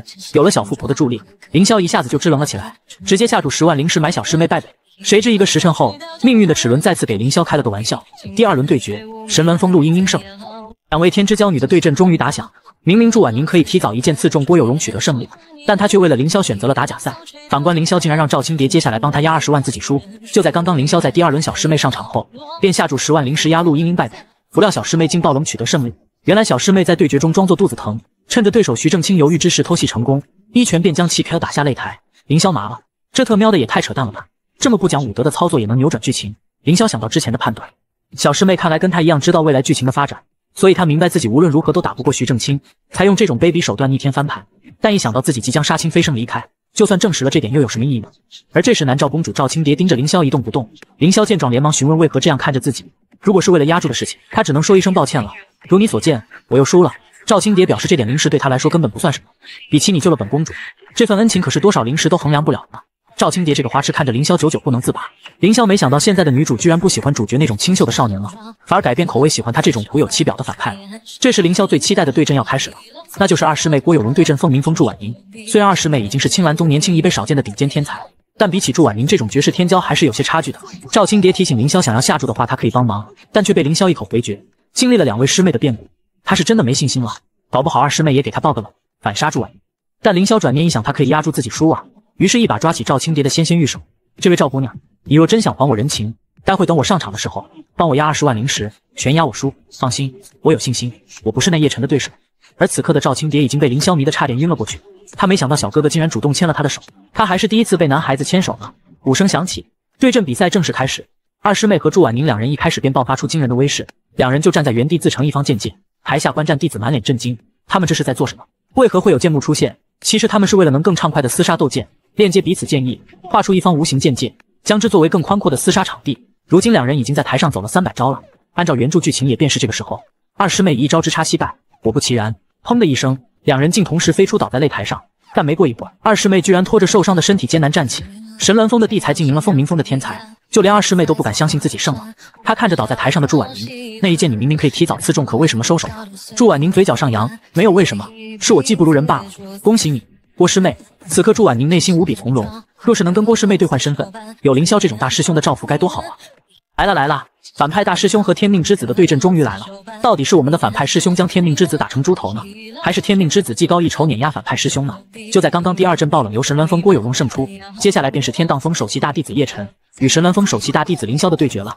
全场最期待的对决终于开始了，一个是逃脱大周女帝重重围捕入门仙宗的天选之子，另一个是传闻中不学无术的青兰首席之耻。但却两次挫败北川王世子的奇才，这两位宛如素绸般的男人，今日终于以最公正的方式一决雌雄了。师妹们也是紧张的要死。大师兄，你一定要逆天改命，将叶晨这个人渣按在地上摩擦呀！师尊萧红林坚信凌霄定不负众望，碾压叶晨。作为师尊最喜欢、最欣赏的男子，你才是那个天命之子。刚一上场的叶晨便火力全开，凌霄这个神棍何在？还不速速给本首席下跪投降？而叶晨如此强劲刚猛的肉身也震惊下方弟子两秒半。反观凌霄这边的气场则是差了些，跟叶晨完全不是一个档次的。但为了还原反派人设，凌霄深吸了口气，开始对着叶晨一顿臭骂嘲讽，更是扬言今日定要将他这个整日自诩气运之子的渣渣打成猪头。而凌霄这番操作下来，系统更是在比赛前给其送上一系列的奖励。这个狗系统又出来搞事情，这特喵的可是人家最后一场大戏啊！下方的三位师妹也是为凌霄拼命的加油打气，大师兄加油，打爆叶晨的狗头！师尊则是拿出了自己的全部身家百万灵石，压自己徒儿取胜。祝婉宁心中不断祷告，只求凌霄万事尽力变好。即便此番不能扳倒叶晨，他也会在接下来的剑囧试炼中，亲手将其镇杀于秘境之中。叶晨这边依旧信心满满，他等了这一天已经太久了，今日无论如何他都要一雪前耻，将凌霄踩在脚下。凌霄没想到叶晨这个人渣竟然已经法相进巅峰了，看来那老头还是有点本事的嘛。你越强，我越放心。虽然结局注定，但气势上可不能认输。叶晨，你给小爷听好了，你在我眼里就是个弟弟。小爷我只用一根手指便能将你按在地上摩擦。被激怒的叶晨直接使出他那华丽的一剑庚金剑诀。面对如此裹挟着强大的五行剑诀，凌霄决定将剑意压制十分之二，与其硬碰硬。当两股强大的剑意碰撞在一起，也是不相上下。但别忘了，这只是凌霄实力的十分之二。此刻的凌霄内心暗爽，他没想到自己反派生涯的最后一场大戏竟然如此顺利。叶晨冲上来的时机以及使用的剑招跟原著发展的一模一样。按照剧情发展，凌霄将被逼到穷途末路，狂性大发，祭出从师尊偷盗出来的禁忌法宝绝天黑莲。叶晨会暂时受挫，最后使出终极必杀技五行破灭剑诀，然后他会在被五行破灭剑诀吞噬的最后关头，被美人师尊救场自动认输。接下来他的盗窃之罪也会被公之于众，被师尊无情囚禁于思过崖。叶晨好大，快点来帮助爸爸成就红尘仙位吧！但凌霄一想到他就要离开此界，离开深深爱着的师妹师尊们，他心中便隐隐作痛，以后再也见不到师尊那张绝美天颜，以及那世间绝无仅有的美腿。看到凌霄在他面前如同蝼蚁一般，叶晨就更加膨胀起来。石老，你看看，这便是你一直忌惮魏格与我不相上下的存在吗？就这副德行，给我提鞋都不配。他就是个不折不扣的废物而已。凌霄今日便是你的死期。天命之子这次终于要支棱起来了吗？在反派师兄的最先望月步的影响下，主角叶晨竟使出了原著里都没有的这招刀刀猎火。就在刚刚被激怒的叶晨展出了自己的全力一剑，台下弟子也是被这一幕震惊了两秒半，都以为凌霄被打得神魂俱灭。反观台上的萧红玲却很是淡然，只因他对凌霄十分有信心。这点攻击怎么可能击败他心中的天命之子呢？此刻的叶晨也是一脸懵逼，凌霄这个神棍就这么被他的剑气焚为灰烬了。石老，你现在还敢长他人志气，灭本世子威风吗？一路从大周到东域，任何与本世子为敌的人都死于非命，即便是凌霄也不例外。顿时间，叶晨就感觉自己又行了。我为天命，万物俯首，天上剑仙三百万，欲我也须尽低眉。还没等叶晨高兴完，一道声音便打断了他：叶晨，你个废物，给你机会你不中用是吧？此刻的凌霄气得要死，他都这样放水了，叶晨还没能打败自己。真是烂泥扶不上墙啊！其实，在叶晨的剑气处碰到凌霄的无相剑体凝结出的护体剑罩时，那个坑爹的被动身法最先望月步再一次完美触发，以至于凌霄整个人不受控制的完美躲闪攻击。但好在没同时触发九神咒，不然直接将叶晨那个废物反震。要知道这套 buff 组合技能，甚至曾经压制了剑境与修为的美人师尊。看着毫发无伤的凌霄，叶晨他懵了，不可能，绝对不可能，一定是用了什么邪门妖法。于是赶忙求助石老，这究竟是怎么一回事？石老告诉他，凌霄方才用了一种传承于上界极为高深的身法。躲过了他的庚金剑气，而且此人的剑道造诣远在你之上。叶晨可不想听石老废话，他只想知道接下来要怎么才能赢。只要助他赢下五脉会武取得冠军，以后什么都听他的。石老犹豫过后告诉叶晨，想赢凌霄并不难，只因凌霄自始至终都没对他流露出一分杀意。即使凌霄方才激发剑气抵挡之时，那股剑意也是中正平和。总而言之，他根本没想赢你，只要全力以赴，定能将其拿下。听完石老的这番话后，叶晨嘴角上扬，再度狂吠了起来。上天给了你这么强的剑道天赋，你却仍然卑躬屈膝跪求一拜。没办法，谁让我才是天道的宠儿，此界唯一的天命之子。看到叶晨又变回了刚才装逼的模样，他总算是放心了。希望他这次能再接再厉，一口气将自己打败。两人也是再次摆好架势，准备一战。叶晨见他的庚金剑绝对凌霄无用，于是使出了自己的绝招刀刀烈火，无边恐怖的爆裂火焰席卷了方圆数十丈。台下弟子也是被叶晨的这招深深震撼到。要知道，五行法则之中杀伤威力最大的便是火之法则，如此完美的融入自己的剑意之中，这不是天选之子又是什么？只有师妹们以及怀真坚信大师兄定能逆风翻盘。凌霄看着一步步朝他走来的叶晨，内心也是慌得要死。他没想到叶晨这个人渣竟然被他的醉仙望月步影响，使出了原著里都没有提到的这招刀刀烈火，也不知道后面的剧情因此会不会发生改变呢？反派师兄竟施展法相神通，将主角打成了猪头。可即便叶晨被凌霄按在地上疯狂摩擦，也没有放弃，居然打算动用底牌与之殊死一战。就在刚刚，叶晨使出刀刀烈火向凌霄逼近，台下的师妹们纷纷向师尊开口求情，叫停比试。一旁的胖子老道表示凌霄输给他这徒儿不冤。萧红玲则面无表情开口说道：“什么狗屁剑道奇才，在我家萧儿面前，即便是本座也不一定配得上剑道奇才四个字。至于叶晨，给他提鞋都不配。你们三个小丫头放宽心，你们根本不懂你们家大师兄，只有为师最懂他。其实早在师尊与凌霄剑界斗剑时。”他便发现了凌霄的身体，只要感应到危险，就必定会激发那一招恐怖的神通。而此刻的凌霄也打算硬着头皮配合着将这出大戏演。但叶晨这招刀刀烈火威力巨大，他还不想就这么挂掉，必须将自己搞成重伤，这样才能按照接下来的剧情发展，使出天绝黑莲让美人师尊下场。于是动用最先望月步轻松躲闪，几轮攻击过后，凌霄终于找到一件侧身斩，这样应该能助攻将自己逼成绝境了。于是主动卸去了一半灵气卖给叶晨破绽。就在凌霄认为这下稳了的时候，他的法相神通竟然主动显现。只见一尊大佛手拿酒坛出现在了虚空之上，下方弟子一脸震惊，他们没想到一个法相境修士竟然能一念成佛，瞬息施展出如此强大的显圣神通。如此虚无的法相，莫非灵首席也是天选之人？随后，大佛举起手中的酒坛，就要冲着叶晨砸去。凌霄一脸无语：“你丫快点躲开呀！”紧接着，台上便传来叶晨的痛苦哀嚎。在历经两分半的输出后，此刻的叶晨已经被揍成了猪头。这特喵的到底是什么神通啊？你究竟是什么来头？凌霄内心已经无语到了极点。这特喵的要让人家怎么演啊？狗系统不想让叶成仙直接说不就行了吗？谁知就在此时，叶晨竟然站起，周身更是散发着恐怖的杀意。看来这货终于准备提前使出那招了。这时石老连忙劝解叶晨不要冲动。本就利用燃血柱吸功损耗本人突破修为，如果使用那招，一旦不能成功将其吞噬破灭，他将付出巨大代价。但叶晨已经下定决心，今日无论如何都要使出那一招，将凌霄这个蝼蚁彻底抹杀。台上的阴圣蛋台青音看到这场面，已经认定叶晨将会取胜。胖子老道一下子又装了起来。虽然在萧师妹眼里，我家叶晨徒儿的剑道资质不值一提，不过全力出手，林师侄怕是会血溅当场啊。苏美人也很是担心凌霄的安危，毕竟叶晨这一世剑诀非同寻常，要再不出手阻止，怕是就要晚了呀。师妹们苦苦哀求，希望师尊出手救救他们的大师兄。而萧红林依旧气定神闲，还是那句话，诸位拭目以待。本座相信我家萧儿，更是再次加注二十万灵石压凌霄获胜。这番牛批的操作也是看呆了在场众人，这女人一定是疯了呀！小师弟竟被天命之子一剑刺穿了胸膛，血溅当场。一心为反派大师兄着想的怀真，难道就这样惨死了吗？我管他什么天命之子飞升成仙，今日不管怎么样，我都要为小师弟报仇雪恨。就在刚刚，主角叶晨终于使出了他的杀招大五行破灭剑意，此招一出，天地一变，台下观战众人无一不为之感到震撼。这到底是什么招式，竟然能有如此恐怖的杀意？凌霄双手合十，心念一动，也祭出了从美人师尊那里偷拿出来的天绝黑莲应对。当金色莲花出现，一股温和的光明气息照耀了整个擂台，一边是叶晨的暗黑气息，另一边是凌霄的光明之气，两股能量在擂台上不断相互碰撞，到底谁能碾压对方，成就不败神话呢？此刻的叶晨面露狰狞。他没想到，连这传承于上界天荒魔剑的大五行破灭剑，凌霄都能够将之消解。这特喵的到底是什么法宝啊？殊不知凌霄自己也不知道啊。这天绝黑莲怎么变成这个样子了？胖子老道则在上方怒斥凌霄作弊。诸位长老，你们看凌霄使出的法宝，像不像祖师爷当年封印在神鸾峰的禁忌之物天绝黑莲？这凌霄大胆妄为，竟将此物偷了出来，还请诸位长老明鉴，严惩不贷。这时美人师尊站出来为凌霄说话，不仅如此，还嘲讽胖子老道白活了一把年纪，没想到见识还是如此之短。你若瞧不出名堂来，大可以请教下尊者。这时，一旁的秦圣蛋台青音表示，此法宝已不再是天绝黑莲，而是被炼去其中邪煞之气、脱胎换骨的九炼道莲，在上界被称为十二品仙世金莲。胖子老道闻言，一脸难以置信：“不可能，绝对不可能！要知道，天绝黑莲只有青鸾宗的祖师爷才有能力炼化，其他人怎么可能呢？”石老这边劝解叶晨赶快停手，再这样下去，生命本源将会消耗殆尽。面对石老的好言相劝，上头的叶晨仍然一意孤行。今日不管怎样，他都要弄死凌霄这个废物。此界只能有一个天命之子，那便是他北川王世子叶晨。而凌霄这边正在极力克制自己不出手反击，我必须得还原剧情，被叶晨逼到绝路，使得美人师尊出手，然后认输。但计划永远赶不上变化，小师弟竟然手持匕首走上了擂台。凌霄撕心裂肺的让怀真赶快离开，这不是你能来的地方。可为时已晚，怀真小师弟还是朝着叶晨的后背刺了上去。他无论如何都不能允许叶晨伤害自家大师兄。对不起，大师兄，怀真这一次没听你的话，等灭了这家伙，怀真给您道歉，以死谢罪都成。我绝不容许我最敬仰的大师兄被人欺负侮辱。而这时，叶晨认出了偷袭他的正是收徒大典那日。帮凌霄前来毒害他的那名弟子，于是转身一剑刺穿了怀真的胸膛。我们最可爱的怀真小师弟，难道就这么惨死在叶晨的剑下了吗？反派大师兄竟亲手斩杀了天命之子，只因一心为大师兄着想的小师弟被叶晨残忍杀害。看着曾经天真无邪的小师弟惨死在擂台之上，凌霄他怒了，仅仅一剑便碾压叶晨。更是因为改变剧情导致系统崩溃，阴差阳错将炮灰身份提升至天命大反派。就在刚刚，小师弟偷摸来到擂台被刺叶晨，不料竟被其当场反杀。看到这一幕的凌霄当场暴怒，叶晨。今日我便要你的狗命为小师弟报仇！仅仅一剑，叶晨的手臂便被斩掉。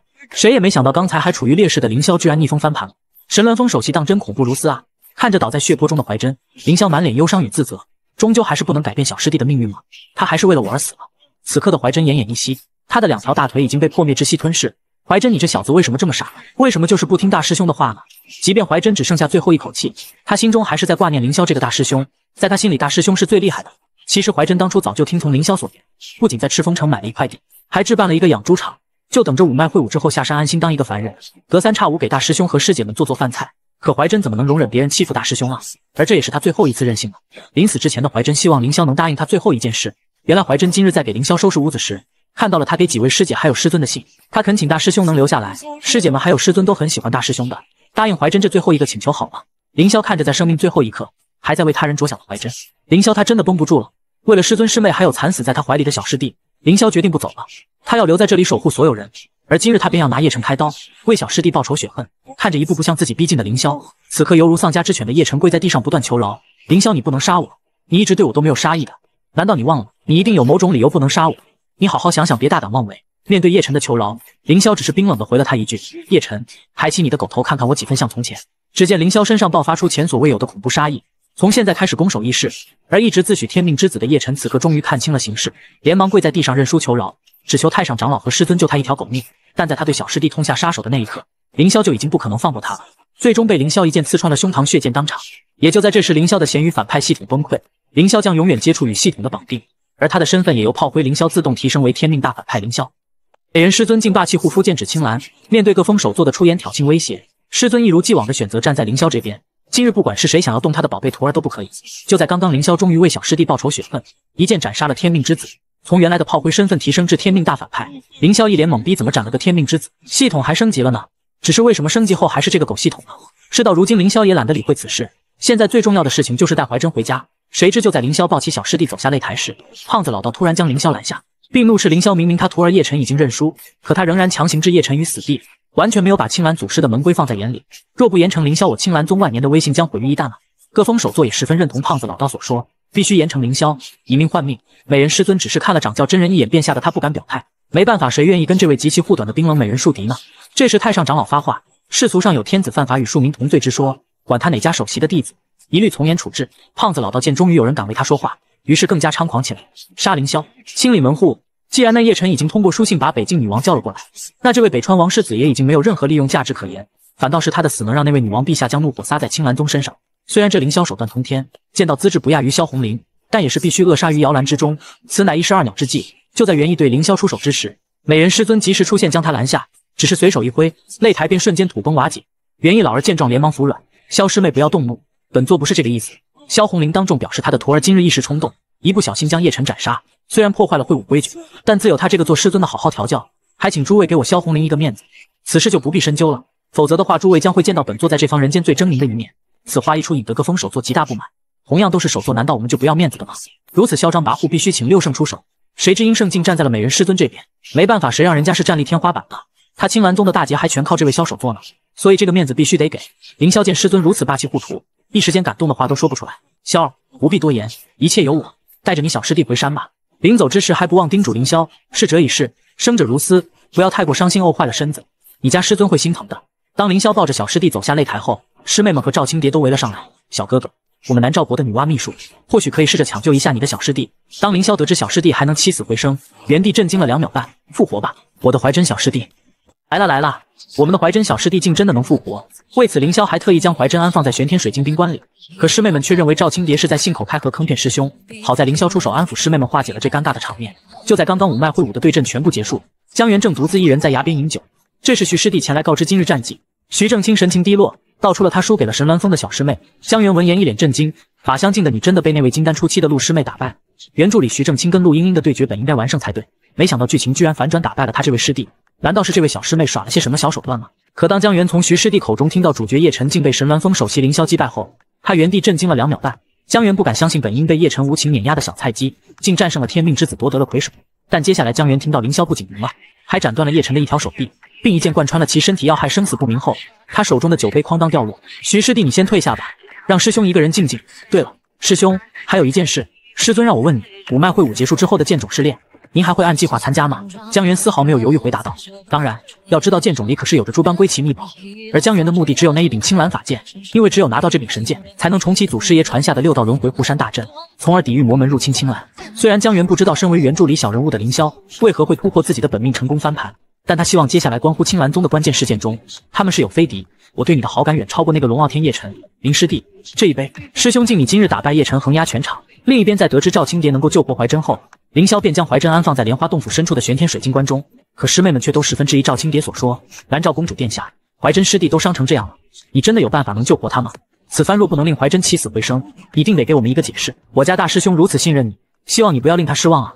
赵青蝶看着他们三个对他虎视眈眈，吓出了一身冷汗，连忙躲到凌霄身后，希望凌霄能帮他跟这三位姐姐说一下，他们的小师弟气机未曾断绝，神魂中更有着一抹执念，还是有希望救活的，只不过得给他换个身体。凌霄闻言激动万分。在原著设定中，这位南诏国公主身为前期重要女主之一，也是被安排了一种特殊体质，就是莲心。在八大魔门围攻青兰的剧情中，叶辰的九幽魔雕被吸干了血肉。大战之后，正是赵青蝶这位红颜将妖兽的遗骸带回南诏，以南疆的生命古树的树干为养料，帮助其重塑肉身。看着自家师兄对一个外人如此亲密，师妹们瞬间不乐意了。谁料凌霄竟敞开怀抱。将师妹们全部搂进怀中，三位师妹乖一点，给大师兄一个面子。我们先出去，不要耽误赵姑娘救治怀真。靠在大师兄怀中的三人瞬间变得通情达理、温柔可爱。就在大师兄搂着师妹出去时，美人师尊也在此时御空而来，顷刻落至凌霄的面前。原来美人师尊刚才去了一趟太仓山，拜会了六圣之首太武真人，摆平了凌霄重伤叶辰的事情。此刻的凌霄心中酸涩难当，多谢师尊为徒儿担下罪责。而凌霄最关心的事情便是那叶辰到底死了吗？美人师尊终于在夜色之下完成了对凌霄先前的许诺，而天命之子居然非生非死。作为本届魁首的大师兄，明日将赴太仓山接受太武真君的衣钵。就在刚刚，凌霄询问师尊叶辰到底死了没有，师尊的回答却是非生非死，不过是一句躯壳罢了。往后只怕再难有建树。凌霄这一剑着实够准狠啊！得到答案后的凌霄将南诏国公主赵青蝶能救怀真，并将借用洞府深处的玄天冰棺一事告诉了师尊。师尊淡淡的摆了摆手，表示随便用。以后他这莲花洞府，你们四个随时可以自由进出。师妹们闻言开心到飞起。而接下来才是真正的大喜事，那就是今日凌霄跟叶辰一战，太武真君全程都用极目水镜看在眼里，表示十分欣赏凌霄，并在萧红林的指荐下，太武真君亲口传下诏令，凌霄作为本届魁首，明日前往太仓山接受他的衣钵。凌霄心中苦笑，要知道在原著中夺下魁首的叶辰第二日便被召唤到太仓山上与太武真君会面，而这太武真君不仅给叶辰建议灌顶，更是为他打开神识天眼，将青兰宗的镇派至宝青蓝法剑的具体埋藏点告诉了他。如今凌霄已经决定留下，陪着师尊师妹们一起修仙，所以他当然不会拒绝太武真君的建议传承。从此以后，一切能够变强的事件机缘，他凌霄都一定会想尽办法谋到手里，这样他才能更好的保护自己想要守护之人。萧红玲还是第一次见自家徒儿如此顺从接受自己的安排。为了庆祝凌霄夺魁成功，美人师尊决定今晚在天女崖上举办一个庆功大会。至于来宾不用太多，就咱们内门五十名小师妹以及凌霄这个大师兄即可。而这也是时隔五年大师兄为神鸾峰再度夺下魁首，所以今夜必须要好好庆祝。殊不知三位师妹各怀心思，今晚就能与大师兄亲密畅饮了。凌霄不知为何总感觉好像要出事呢。这时美人师尊轻咳一声，表示自己还要有话单独同凌霄说，于是便让三人先行退下了。寂静的山峰之上只剩下了他师徒二人，两人面面相对，宛如神仙眷侣一般。眼见气氛有些尴尬，凌霄刚准备开口，却被师尊打断。只见美人师尊神色凝重，询问凌霄今日他跟叶辰一战，在怀真上场之前是否一直故意求败？凌霄心中一沉，也不知如何作答。萧儿，你知道为师这些年花费了多少心血在你身上吗？为师相信，你若知道的话，一定不忍心辜负你家师尊的。凌霄心中怎会不知呢？无论师尊知不知道未来剧本，但他做那么多事情，都只是为了帮自己改写命轮。而自己呢，不仅不积极改变，反而每日摸鱼摆烂。面对这位有着养育之恩的美丽女子，凌霄双膝下跪：“师尊，徒儿错了。我凌霄今日放话在此，只要我还有一口气在，神鸾峰万事无虞，全员飞升。”萧红玲的一颗心瞬间就被凌霄融化了，她连忙走到凌霄面前，想要将他搀扶起来，可无论她怎么安慰。凌霄却仍是跪地不起，莫非是我先前的话语气太重了？没想到平日里大大咧咧的孩子，还是个内向敏感的性子。事到如今，该怎么安慰他呢？这时，美人师尊忽然想到了那一日在洞府的场景，随后他轻轻咬了咬嘴唇，那玲珑有致的高挑身子微微弓下，将凌霄的手慢慢牵起。接下来便是美人师尊完成先前许诺的画面了。凌霄瞬间就亚麻呆住了。我的天啊，师尊这是在干什么呢呀？天命之子果然没死，更是为了满足一己私欲，报复凌霄，报复整个青兰宗，不惜与魔道中人同流合污，一步步堕入魔道。而石老也在此刻看清了所谓天命之子的真面目，选择了弃他而去。夜晚，圆月高悬，繁星满天，而天命之子却成了一名独臂少年，浑身缠满纱布，躺在一方檀木床上。叶晨心中万般不甘，石老，我叶晨这一世是不是彻底结束了？我不甘心啊！明明只差一点就能碾压凌霄这个神棍。叶世子，早知今日，何必当初呢？你一而再，再而三的肆意妄为，不听老夫劝告，以至于落得惨淡收场。认命吧，你无论心智还是实力，都远不及那位林首席。叶晨一脸苦笑。他怎么也没想到，堂堂天命之子竟会落得如此下场，真是讽刺啊！以前一口一个小友，现在却换凌霄那个神棍为领首席，真是新人胜旧人了。而石老也在此时冷漠的说道：“若非他命格够硬，凌霄那一剑霸裂无比，直入脏腑，他现在该是一个死人了。好好活下去吧。至于其他的，不必再强求了。”叶晨也听出了石老的言外之意，他这是要抛弃自己了呀？先前两人早就有过约定，五脉会武是石老最后一次陪叶晨豪赌，如今叶晨大输特输，败得一塌糊涂，所以也是该分道扬镳的时候了。在分别之际，石老还是为他送上了最后一卦，那就是剑冢秘境里躺着他另一个大机缘，或许此人才是他人生道路上最重要的贵人。叶晨见石老这次是铁了心的放弃他，小脸上的表情更加崩溃了。这时他忽然想到自己还有最后的底牌没出呢，那就是他的妹妹叶轩儿，此刻正带领八十万北川铁骑赶来东域与他会合。他这轩儿妹妹这辈子最在乎的就是他这个哥哥，若是他知道凌霄将自己打成残废。定会率领大军剑指青兰，到时候青兰宗还不乖乖将凌霄的狗头双手奉上？如此一来，此界的天命之子就只剩下他了。可即便叶晨怎么苦苦哀求，石老依旧无动于衷。叶晨狂怒之下，当即便将魂戒丢了出去。这时屋外突然有人来访，而来人正是袁一老。随便关心几句的他直入主题，询问起叶晨那位身为北境女王的妹妹叶轩儿可启程了吗？在从叶晨口中得知大军已经出发，再有十五日便可到达东域后，袁一老倒笑眯眯的抓着叶晨的手，打算带着他去十二元辰洞府最深处。一瞬之间。叶晨整个人便躺在了一方石台之上，一股刺鼻的腥臭气息扑面而来。当叶晨低头望去，顿时大惊，只见下方尸横遍野，宛如修罗炼狱，并且那些尸体看起来还都是正道修士。这也验证了石老先前的猜想，果然这胖老头是隐藏在青兰宗的魔宗间谍。如今叶晨已然知晓一切，元一老儿当即让他做出选择：是加入魔宗干一件足以翻天覆地的大事，还是成为他的养料？他若点头答应，过几日便会带他去见一位大人物，只要他愿意助你一臂之力。李叶晨定能脱胎换骨，逆天改命，将凌霄那个妖孽踩在脚下。这位气运滔天的天命之子丝毫没有犹豫，随即单膝跪地，徒儿愿为师尊赴汤蹈火，在所不辞。就在这时，刚才消失的师老出现，劝解叶晨，万不能与魔道中人同流合污。身为天命之子，若是入了魔道，此界必定生灵涂炭。叶晨，收手吧。叶晨的嘴角却泛起一抹邪恶的笑意。如今的他已经回不了头了，只要能灭了凌霄，堕入魔道又何妨？石老接连叹息，真是造孽啊！错了，老夫从一开始就错了呀。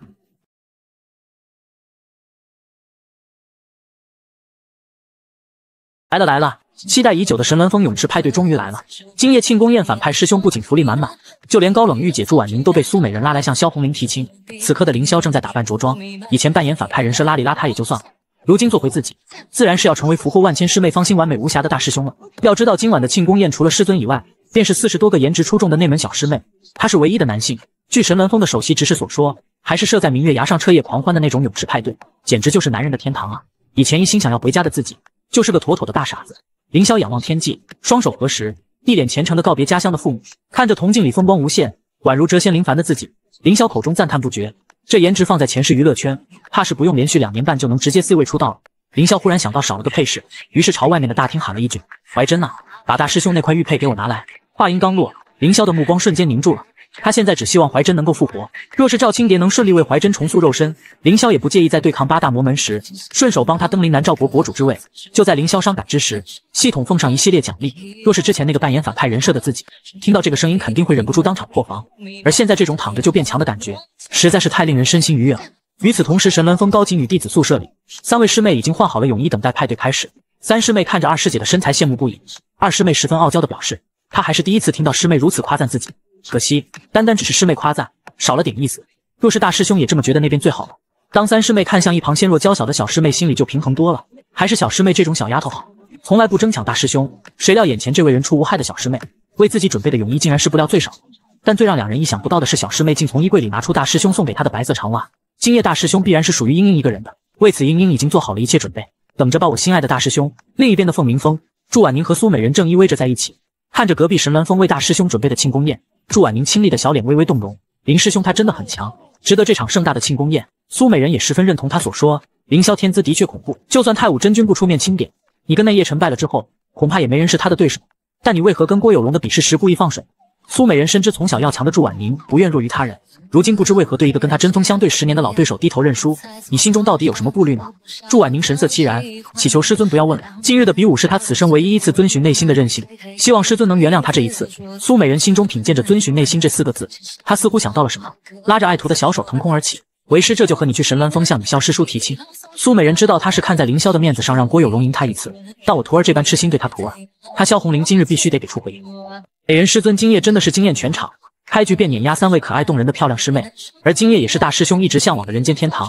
此刻的神鸾峰明月崖，凌霄早早便来到位于明月崖之巅的露天长生温泉边，如此盛景配美人，让凌霄有一种如临仙境的错觉。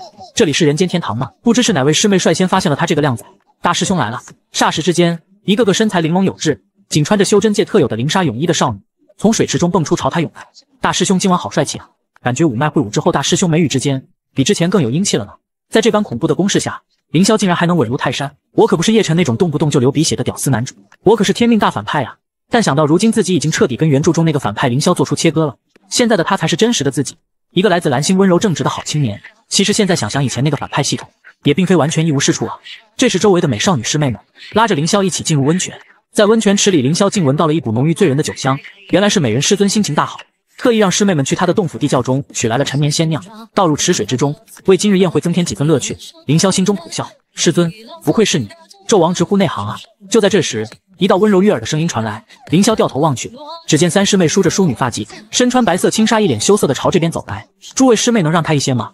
在庆功宴正式开席之前，师姐跟大师兄有些要事要谈呢。虽然其他师妹们不是很情愿。但一想到上一次那位男师妹只是因为给大师兄写了一封情书，便被三师姐发配到了凶险的黑水河后，只能无奈的选择了离开。此刻的温泉处就只剩下凌霄和三师妹两人。这时三师妹缓缓来到大师兄面前，刚要询问凌霄他今日这一身怎么样，就被跑来的小师妹打断。当看到小师妹的这身后，凌霄直呼好家伙，比叶薇还要过分。她们可都是我看着长大的妹妹，不可以，绝对不可以。正当凌霄心思驳杂之时，二师妹也朝着这边缓缓走来。如今一家四口气活了，凌霄总感觉三位师妹今晚是有备而来。凌霄一脸害羞，其实那四十个师妹们也已经很好看了，但终究差了三位师妹一个档次，能秒掉这三个小妖精的也唯有那位女神大人了。就在这时，说师尊师尊道，只见一名身穿赤色凤纹纱裙、身材高挑、婀娜画着精致妆容的绝美女子，朝着凌霄缓缓走来，而这便是拥有倾世容颜的美人师尊了。爱了爱了。反派师兄这次是真的爱了。今夜如此良辰美景，不仅有美人师尊相陪，更有师妹们抚琴舞剑。就在刚刚，美人师尊一身赤色凤纹纱裙震惊全场。果然，论角色还得是师尊大人。萧红玲清了清嗓子，见到为师到来，尔等还不行礼？全场女弟子纷纷躬身，我等拜见师尊大人。凌霄心中隐约感觉不太对劲，师尊从来不讲究这些繁文缛节的，怎么今晚变得这么官方了？见凌霄与师妹分开，萧红玲这才舒缓了许多。既然人都到齐了，那便开席吧。只见一方方放着美味佳肴的淋浴案桌被搬了上来。师尊与师妹们一边玩水嬉闹，一边享用美食美酒，好不惬意。凌霄见状也来了兴致，如此良辰美景，师兄我就在这里为师尊和师妹们献上一曲。随后哼唱了几首前世古诗词改编的歌曲。前世本就有着学友之称的凌霄，此番开嗓顿时惊艳全场少女，更是在三师妹动人琴声的伴奏以及二师妹的伴舞下，将泳池派对的气氛烘托到了最高。中途凌霄好几次忍不住用余光去偷看美人师尊，都发现他双手托腮。一双凤眸定定地看着自己，这可恶的反差萌简直让人完全没有抵抗力啊！酒过三巡，凌霄见师妹们兴致丝毫不减，正准备提议玩个小游戏，忽然一道威厉的声音从上空传来：“红菱师妹，你今日定要给本座一个解释。”而来人正是苏妹跟祝婉宁这一对美人师徒。萧红菱仍是自顾自地喝着美酒。苏师姐，今夜是我神鸾峰的庆功宴，你此番前来打扰是何用意？红菱师妹，本座方才不是说得很清楚了吗？要你今日给我一个交代。林师侄，你可知道我家徒儿他为你付出了多少吗？随后便让身旁的祝婉宁自己解释。凌霄看的也是一头雾水，这特喵的到底是什么情况啊？本大反派和祝婉宁好像没什么交集吧？原著中也没有这么离谱的桥段。两人目光交接间，祝婉宁脸颊羞红。师尊，您真的误会了，我跟林师兄之间清清白白，明月可见。此话一出，萧红玲神色微微一变，师妹们更是瞬间黑了脸。两人之间肯定发生了什么事情。苏妹语气冷厉的呵斥道：“今日会武第一战，你本能战胜对手，却为了眼前的这个男人，你故意输给了他的师妹。”听了这番话。全场少女一时议论纷纷，没想到孤高冷傲的祝师姐会有为情所困的一天。这一对情侣我磕定了。苏妹虽然心疼徒儿，但此番是要将凌霄这等能扭转自己命运的天选奇才收为凤鸣峰的女婿。如此一来，他未来在青蓝宗的地位便会更胜一筹。萧红菱更是怒而站起，来到苏妹跟前。至此，两位美人首座，强强对峙，气势各不相让。师姐还请你说话注意一些，我家的徒儿天下无敌，何须别人施舍胜利？来了来了。绿茶小师妹今夜终于将魔爪伸向了大师兄，在得知大师兄心有所属后，美人师尊靠着买醉来缓解心中的伤痛。泳池派对也变成了失恋派对。就在刚刚，苏妹带着自家徒儿来找萧红玲讨要说法。就在两人僵持不下时，一道平静的声音传来：“师尊，苏师伯说的不错，祝师姐的确胜我一筹。今日败的应该是我，但是一码归一码。虽不知祝师姐到底为何会做出这般举动，但我却知道大师兄对祝师姐绝无爱恋之意。据我所知，大师兄已经有喜欢的人了。”此话一出，全场哑然。凌霄见状，连忙出言制止：“二师妹。”你给我闭嘴！我喜欢你这件事是能到处随便说的吗？身旁的萧红玲目光呆滞，她不愿相信刚刚凌霄所说的一切。此刻的凌霄很清楚，现在的他已经横扫系统，做回了自己，并且明白三位师妹和师尊的心意，所以在抵御魔门入侵之前，必须先把感情的归宿定下，免得三位师妹因为争夺自己大打出手。而眼前这位最强势的二师妹，便是最好的选择。此刻的二师妹已是泪流满面，大师兄，谢谢你，你终于愿意回应有容了。而其余两位师妹内心却遭到了雷霆打击。他们不甘心啊，自己到底哪里比不上二师姐呢？祝婉宁挤出一丝笑容，打破了尴尬气氛。师尊，您也看到了，我跟林师兄真的毫无感情牵连，只是普通的同门情谊。不过既然咱们来了，便一起祝贺林师兄夺魁吧。还没等苏妹说些什么，便被美人师尊拽入了池中。如今看来，一切都是误会。陪你师妹好好喝两杯，我们今夜一醉方休。接着奏乐，接着舞。这一夜，伤心欲绝的两位师妹推杯换盏，喝得大醉。中州修真界最霸气的红绫仙子也同样如此。见美人师尊状况不对，凌霄正准备去查看下师尊的状况，小师妹却忽然来到了他的跟前，哭个不停。凌霄见状，赶忙上前询问发生了何事。大师兄英英只是喝醉了，忽然想到圣兽院有一头很可爱的灵兽快死掉了，所以师兄你能陪英英去看一看它吗？凌霄还没反应过来，一旁的郭有荣走了过来安慰起小师妹，并打算和凌霄同去看看那只受伤的灵兽。小师妹摇了摇头，解释那只小灵兽先前只见过大师兄，他最害怕生人了。无奈的凌霄也只能吩咐二师妹先帮他照看一下师尊，他去去就回。很快，凌霄便和小师妹来到一处位于圣兽院深处的一间小木屋旁。这个时候，远处忽然传来一阵婉转清脆的鸟叫声。凌霄刚要询问小师妹这是什么鸟。下一秒，整个人意识开始模糊，紧接着身体后仰，昏倒在地。这时，小师妹打了个响指，虚空之上竟出现了一只妖王境的鬼婴。原来这一切都是小师妹搞的鬼。大师兄，今晚你终于是属于英英一个人的了。天真无邪的小师妹竟对反派师兄做出如此大逆不道的事。前有泳池派对二师妹当众表白。后有小师妹最强反套路师兄，也不知道师尊和其余的师妹们该如何应对呢？就在刚刚，小师妹忽悠凌霄来到了圣兽院深处的一间小木屋，紧接着便被小师妹的妖兽催眠昏倒在地。此刻的凌霄躺在地上，四肢根本动弹不得。恢复意识的凌霄发现眼睛已经被全部盖住，看不清，根本看不清。凌霄怎么也没想到小师妹竟敢算计自己，果然不能相信任何一个漂亮的师妹。夜空中的雨水敲打在小木屋的瓦片上，练习时长两个半小时的小师妹终于率先出道。可怜二师妹虽然在大庭广众之下官宣，可惜还是晚了一步。而小师妹脸颊羞红，连忙向师兄表达歉意：“大师兄，对不起，都是英英的错。”这时，小师妹忽然想到，根据灵兽经的记载，鬼婴的催眠能力会让四肢僵直麻痹的同时，却又保留着意识与身体的本能。也就是说，刚才所发生的事情，每一分每一秒，大师兄都是能清楚感知到的。虽然凌霄紧闭双眼，好似昏死过去，但他不仅能感知到种种，还受到曾经获得的天人秘术的神效。现在的他不仅神采奕奕。而无相剑体之中的磅礴剑意也因此更加浓厚，其中一部分也被小师妹全盘吸收。自己一手带大的纯真无邪小师妹，没想到背地里居然套路自己，被害人凌霄死死的闭着眼睛，不知道该怎么面对这一切。就在这时，门外传来了一阵说话声：“三师妹，大师兄跟英英真的会在这里吗？”小师妹听到这熟悉的声音，顿时有些惊慌失措，她身形一纵，藏到了后面的草丛中。而两位师姐也在这时推门进来，看到躺在地上全身湿透了的大师兄，两人一脸心疼的将大师兄搬运到了屋内的床榻上。为何英英这丫头也不见了？难道是遭遇了魔化灵兽的袭击？二师妹却感觉此事不太对劲。以大师兄如今的实力，即便是镇守宗门气运的四大圣兽，也不可能做到毫无打斗痕迹的将大师兄击晕。凌霄感受着身体正在逐渐恢复，决定不再演下去了，果断睁开了眼睛。两人连忙关切地冲了上来，并询问凌霄到底发生了何事。凌霄当即编了一个故事，表示方才与小师妹到此处时，忽然被一头黑色妖兽催眠倒地不省人事。小师妹应该是见我被那妖兽袭击，所以心中愤怒前去捕杀他了。虽然这个故事编得有些粗糙了点，但总好过告诉他们真相。自幼对这位小师妹宠爱有加的郭有荣，心中焦急难耐，当即就要去寻找她的踪迹。可正当他要身化遁光而去，却被一旁的三师妹拽住了胳膊。三师妹神情凝重，将他拉到一旁：“师姐，此事绝不寻常。”反派大师兄竟同师尊和师妹们玩起了真心话语大冒险。原来凌霄想从他们口中套出一些秘密。有着修真界灵刀仔的青蓝宗古怪之称的他，今晚势必要大杀四方。就在刚刚，正要去寻找小师妹的郭有荣，被三师妹拉到一旁。他百分百确定，那头催眠师兄的怪鸟。便是媲美修士元婴境的妖王鬼婴，而鬼婴这种级别的魔兽根本不可能出现在圣兽院的。二师妹神情紧张，你的意思是，这头鬼婴是被小师妹驯服，故意带到这里来的？二师妹连忙否定这一猜想。天真无邪的小师妹怎会对大师兄图谋不轨呢？不可能，绝对不可能！就在这时，身后一道熟悉的声音传来，二三师妹惊喜的回头，出现之人正是他们心心念叨的小师妹陆茵茵。原来躲在草丛里的她，已经将三人的对话全部听得一清二楚。既然大师兄都主动隐瞒此事，在找机会带着大师兄远走高飞之前，今晚的一切都是独属于他们两人的不能说的秘密。随后，小师妹又将大师兄刚才所说的话再次复述了一遍，借此打消两位师妹的疑虑。听了这话，郭有荣跟楚幼薇对望了一眼，也不再多说什么了。二师妹随后来到凌霄面前，询问身体恢复的怎么样了，需不需要有容背你？一旁的三师妹看着两人如此亲密，心中自然是难受无比。大师兄方才在庆功宴上已经亲口承认他喜欢二师姐。我和他的争夺战看来已经彻底分出了胜负。同样，小师妹的表情也是多少有些不自然。四人回到明月崖的温泉池，就被师尊问话。小师妹可怜巴巴的开始了卖惨表演。对不起，师尊，是英英拜托大师兄同我一起去看望一头即将死掉的灵兽宝宝，请师尊不要怪罪大师兄。美人师尊向来是吃软不吃硬，见小徒弟一副楚楚可怜的样子，语气瞬间柔和了下来。既然这样，那我们就接着庆功吧。凌霄却有些尴尬的说道：“师尊，都这么晚了，还喝呀？”萧红凌余光不经意的瞥到二徒儿紧紧挽着凌霄的手，心中莫名一阵感到心酸。为了缓解心中的不开心，他将手中的美酒一饮而尽。见师尊如此好饮，凌霄于是提议，趁着苏师伯和祝师妹也在场，不如组个局玩个小游戏。说着便拿出天机盘，开始给众人仔细讲解起来。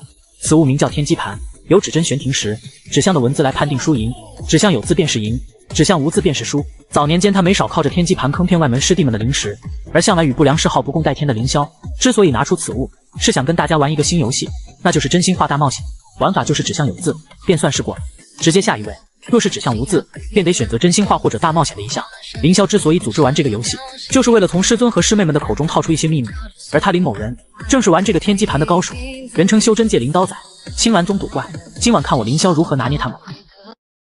连师尊为何如此伤心欲绝？只因自家徒儿竟在大庭广众之下被苏妹亲吻了脸颊。殊不知，最大的人生赢家其实是绿茶小师妹。就在刚刚选择大冒险的苏妹，竟抽到了和在场的一名男子亲吻。看着手中的纸条，凌霄人直接麻了。这特喵的是哪个师妹写的呀？整座神峦主峰都只有他一个男人了，这岂不是要苏师伯对他这个晚辈下手吗？莫说是他，师妹们同样是一脸不解与愤恨。然而让凌霄万万没想到的是，面前苏师伯竟然挽了挽秀发，一脸笑意的朝着他走来。苏妹一边说着，打量着面前的俊美师侄，一双雪白的玉手托起了凌霄的脸颊。我身为一脉首座，自当做出表率，一诺千金。二三师妹刚要上前阻拦，面前的圆桌就被美人师尊一把掀翻。没意思，本座不想玩了。萧二送为师回洞府。看样子是美人师尊吃醋了，谁料面前的苏妹已然轻轻的在凌霄的脸颊上吻了一记。这一瞬，全场所有女子都是震惊的瞪大了眼睛。大师兄的初吻就这样在大庭广众之下被剥夺了。这一刻，萧红玲万般醉意上头，险些昏倒过去。苏妹却是抿了抿嘴唇，婉宁，你看到了吗？这便是我凤鸣峰女子之魄力，说一不二。祝婉宁小脸微红，声音也有些发涩。好吧，婉宁明白了。二师妹见状，一个箭步冲了过去。苏师伯，您太过分了吧！凌霄赶紧上前将她拉住。有容师妹勿惊，只是游戏而已。格局，格局啊！好了，看来今晚的气氛已经不适合再玩下去了。婉宁随为师回山，临走之时，苏妹回过头，目光越过所有女子，看向了凌霄。凌霄只觉得一阵酥麻，这女人的眼神太媚了。就这样，在全场眼巴巴的注视下，凤鸣峰的苏师伯带着徒儿身化遁光而去。一旁的萧红玲这才回过味来，她只觉得心中发堵，痛苦难忍。随后借着酒劲，不管不顾冲了上去，从徒儿有容的手中将心爱的大徒弟夺了过来，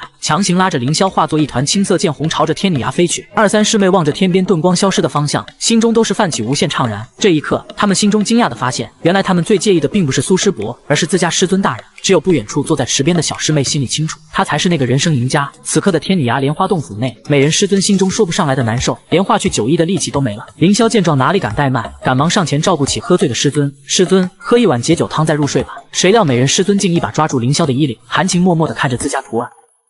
派大师兄最爱的人依旧只有美人师尊一人，更是在师尊睡着后偷偷亲吻他的脸颊。而两人的因果关系和剧情改变都是来自女王叶轩儿。正所谓今日果，是他昨日种下的因。就在美人师尊微醺之时，竟一把拽住了凌霄，想让他像小时候那样为他喝解酒汤。看着师尊那娇羞可爱的小脸，凌霄好生喜欢。别看凌霄平日里大大咧咧，但在感情方面上还是个纯爱战士。最终理智战胜了一切，直接将师尊裹得严严实实。接下来，如同小时候无数次照顾这位大美人那样，熟练的托起她那张绝美脸蛋，半哄半骗的将解酒汤喂入他的口中。待见其完全喝下之后，他又驱散了洞里的蚊蝇。做完这一切，凌霄又乖乖的坐回床榻边的蒲团上，安静的看着眼前醉醺醺的师尊。实际上，从八岁那年上山开始，这种情景已经发生了无数次了。毫不夸张的说，每当萧红玲喝得大醉之后，凌霄这个大徒弟便宛如一个贴身保姆一般悉心照料着他。每当这个时候，他心里总是泛起浓浓的温情，因为师尊是他来到此界第一个对他好的人。纵然师尊身材堪称完美，他也没有半分邪念。凌霄很明白，从某时某刻起，自己心中的孝心已经发生微妙的变化。但是是他对于师尊的感情与对其他三位师妹完全不一样，是一种纯粹的爱。如果可以，凌霄甚至不介意时空停滞，就这样安静的看着美人师尊一千年一万年。凌霄嘴角含笑，温柔的凝视着眼前的师尊，不知不觉已经十四年，他这一世都长大成人了，可师尊还是一如初见时惊艳。凌霄忍不住探出手指，轻轻触碰师尊的鼻尖，不由感叹：此界只怕没有比师尊更漂亮的女子了吧？萧红玲也在这时缓缓睁开了双眼，可仍是半梦半醒的状态。凌霄温柔款款的道：“师尊要乖乖的，什么都不必想，酝酿睡意便成。兴许是醉意正浓。”萧红玲竟宛如呆萌小女孩般乖巧的点了点头。那萧儿可不许离开，就在这里老实陪着为师。凌霄握着师尊修长的手掌，连忙答应。这时萧红玲忽然想听凌霄讲他家乡凡人修仙的故事。凌霄摇了摇头，师尊今夜不讲凡人修仙了，我们来聊聊过去的事情。凌霄忍不住发出了心中疑问：十四年前在桃花源的酒馆里，师尊是怎么把我相中的？原来当时的神鸾峰若是再无一个亲传大弟子镇场的话，便会按照青鸾祖训并入其他脉。于是他便下山走了一遭，觉得凌霄有眼缘，便决定收下。然后师尊发现我的剑道资质过人，所以改变了想法，决定亲自抚育我成长。萧红林却表示，并不是因为凌霄剑道资质足够妖孽，才收下他成为亲传弟子，悉心培养。其实真正改变萧红林想法的是，那一日凌霄孤身从坏人手中救出那个小女娃的一腔孤勇所打动了他。凌霄心中震惊无比，他没想到一切剧情的改变都是从那个小女孩开始的。也正是因为这件事，这方真实的师尊就对他有一种原著中不存在的特别感情，这才会为他建议灌顶，各种开小灶，助他打败叶晨。今日果是他昨日种下的因。凌霄神色动容，刚准备要说些什么，耳边却是传来了一阵阵的沉闷呼吸声。原来绝美高贵的红灵仙子睡觉也是会打呼噜的呀。随后凌霄偷偷送给了美人师尊一个吻，晚安，好梦。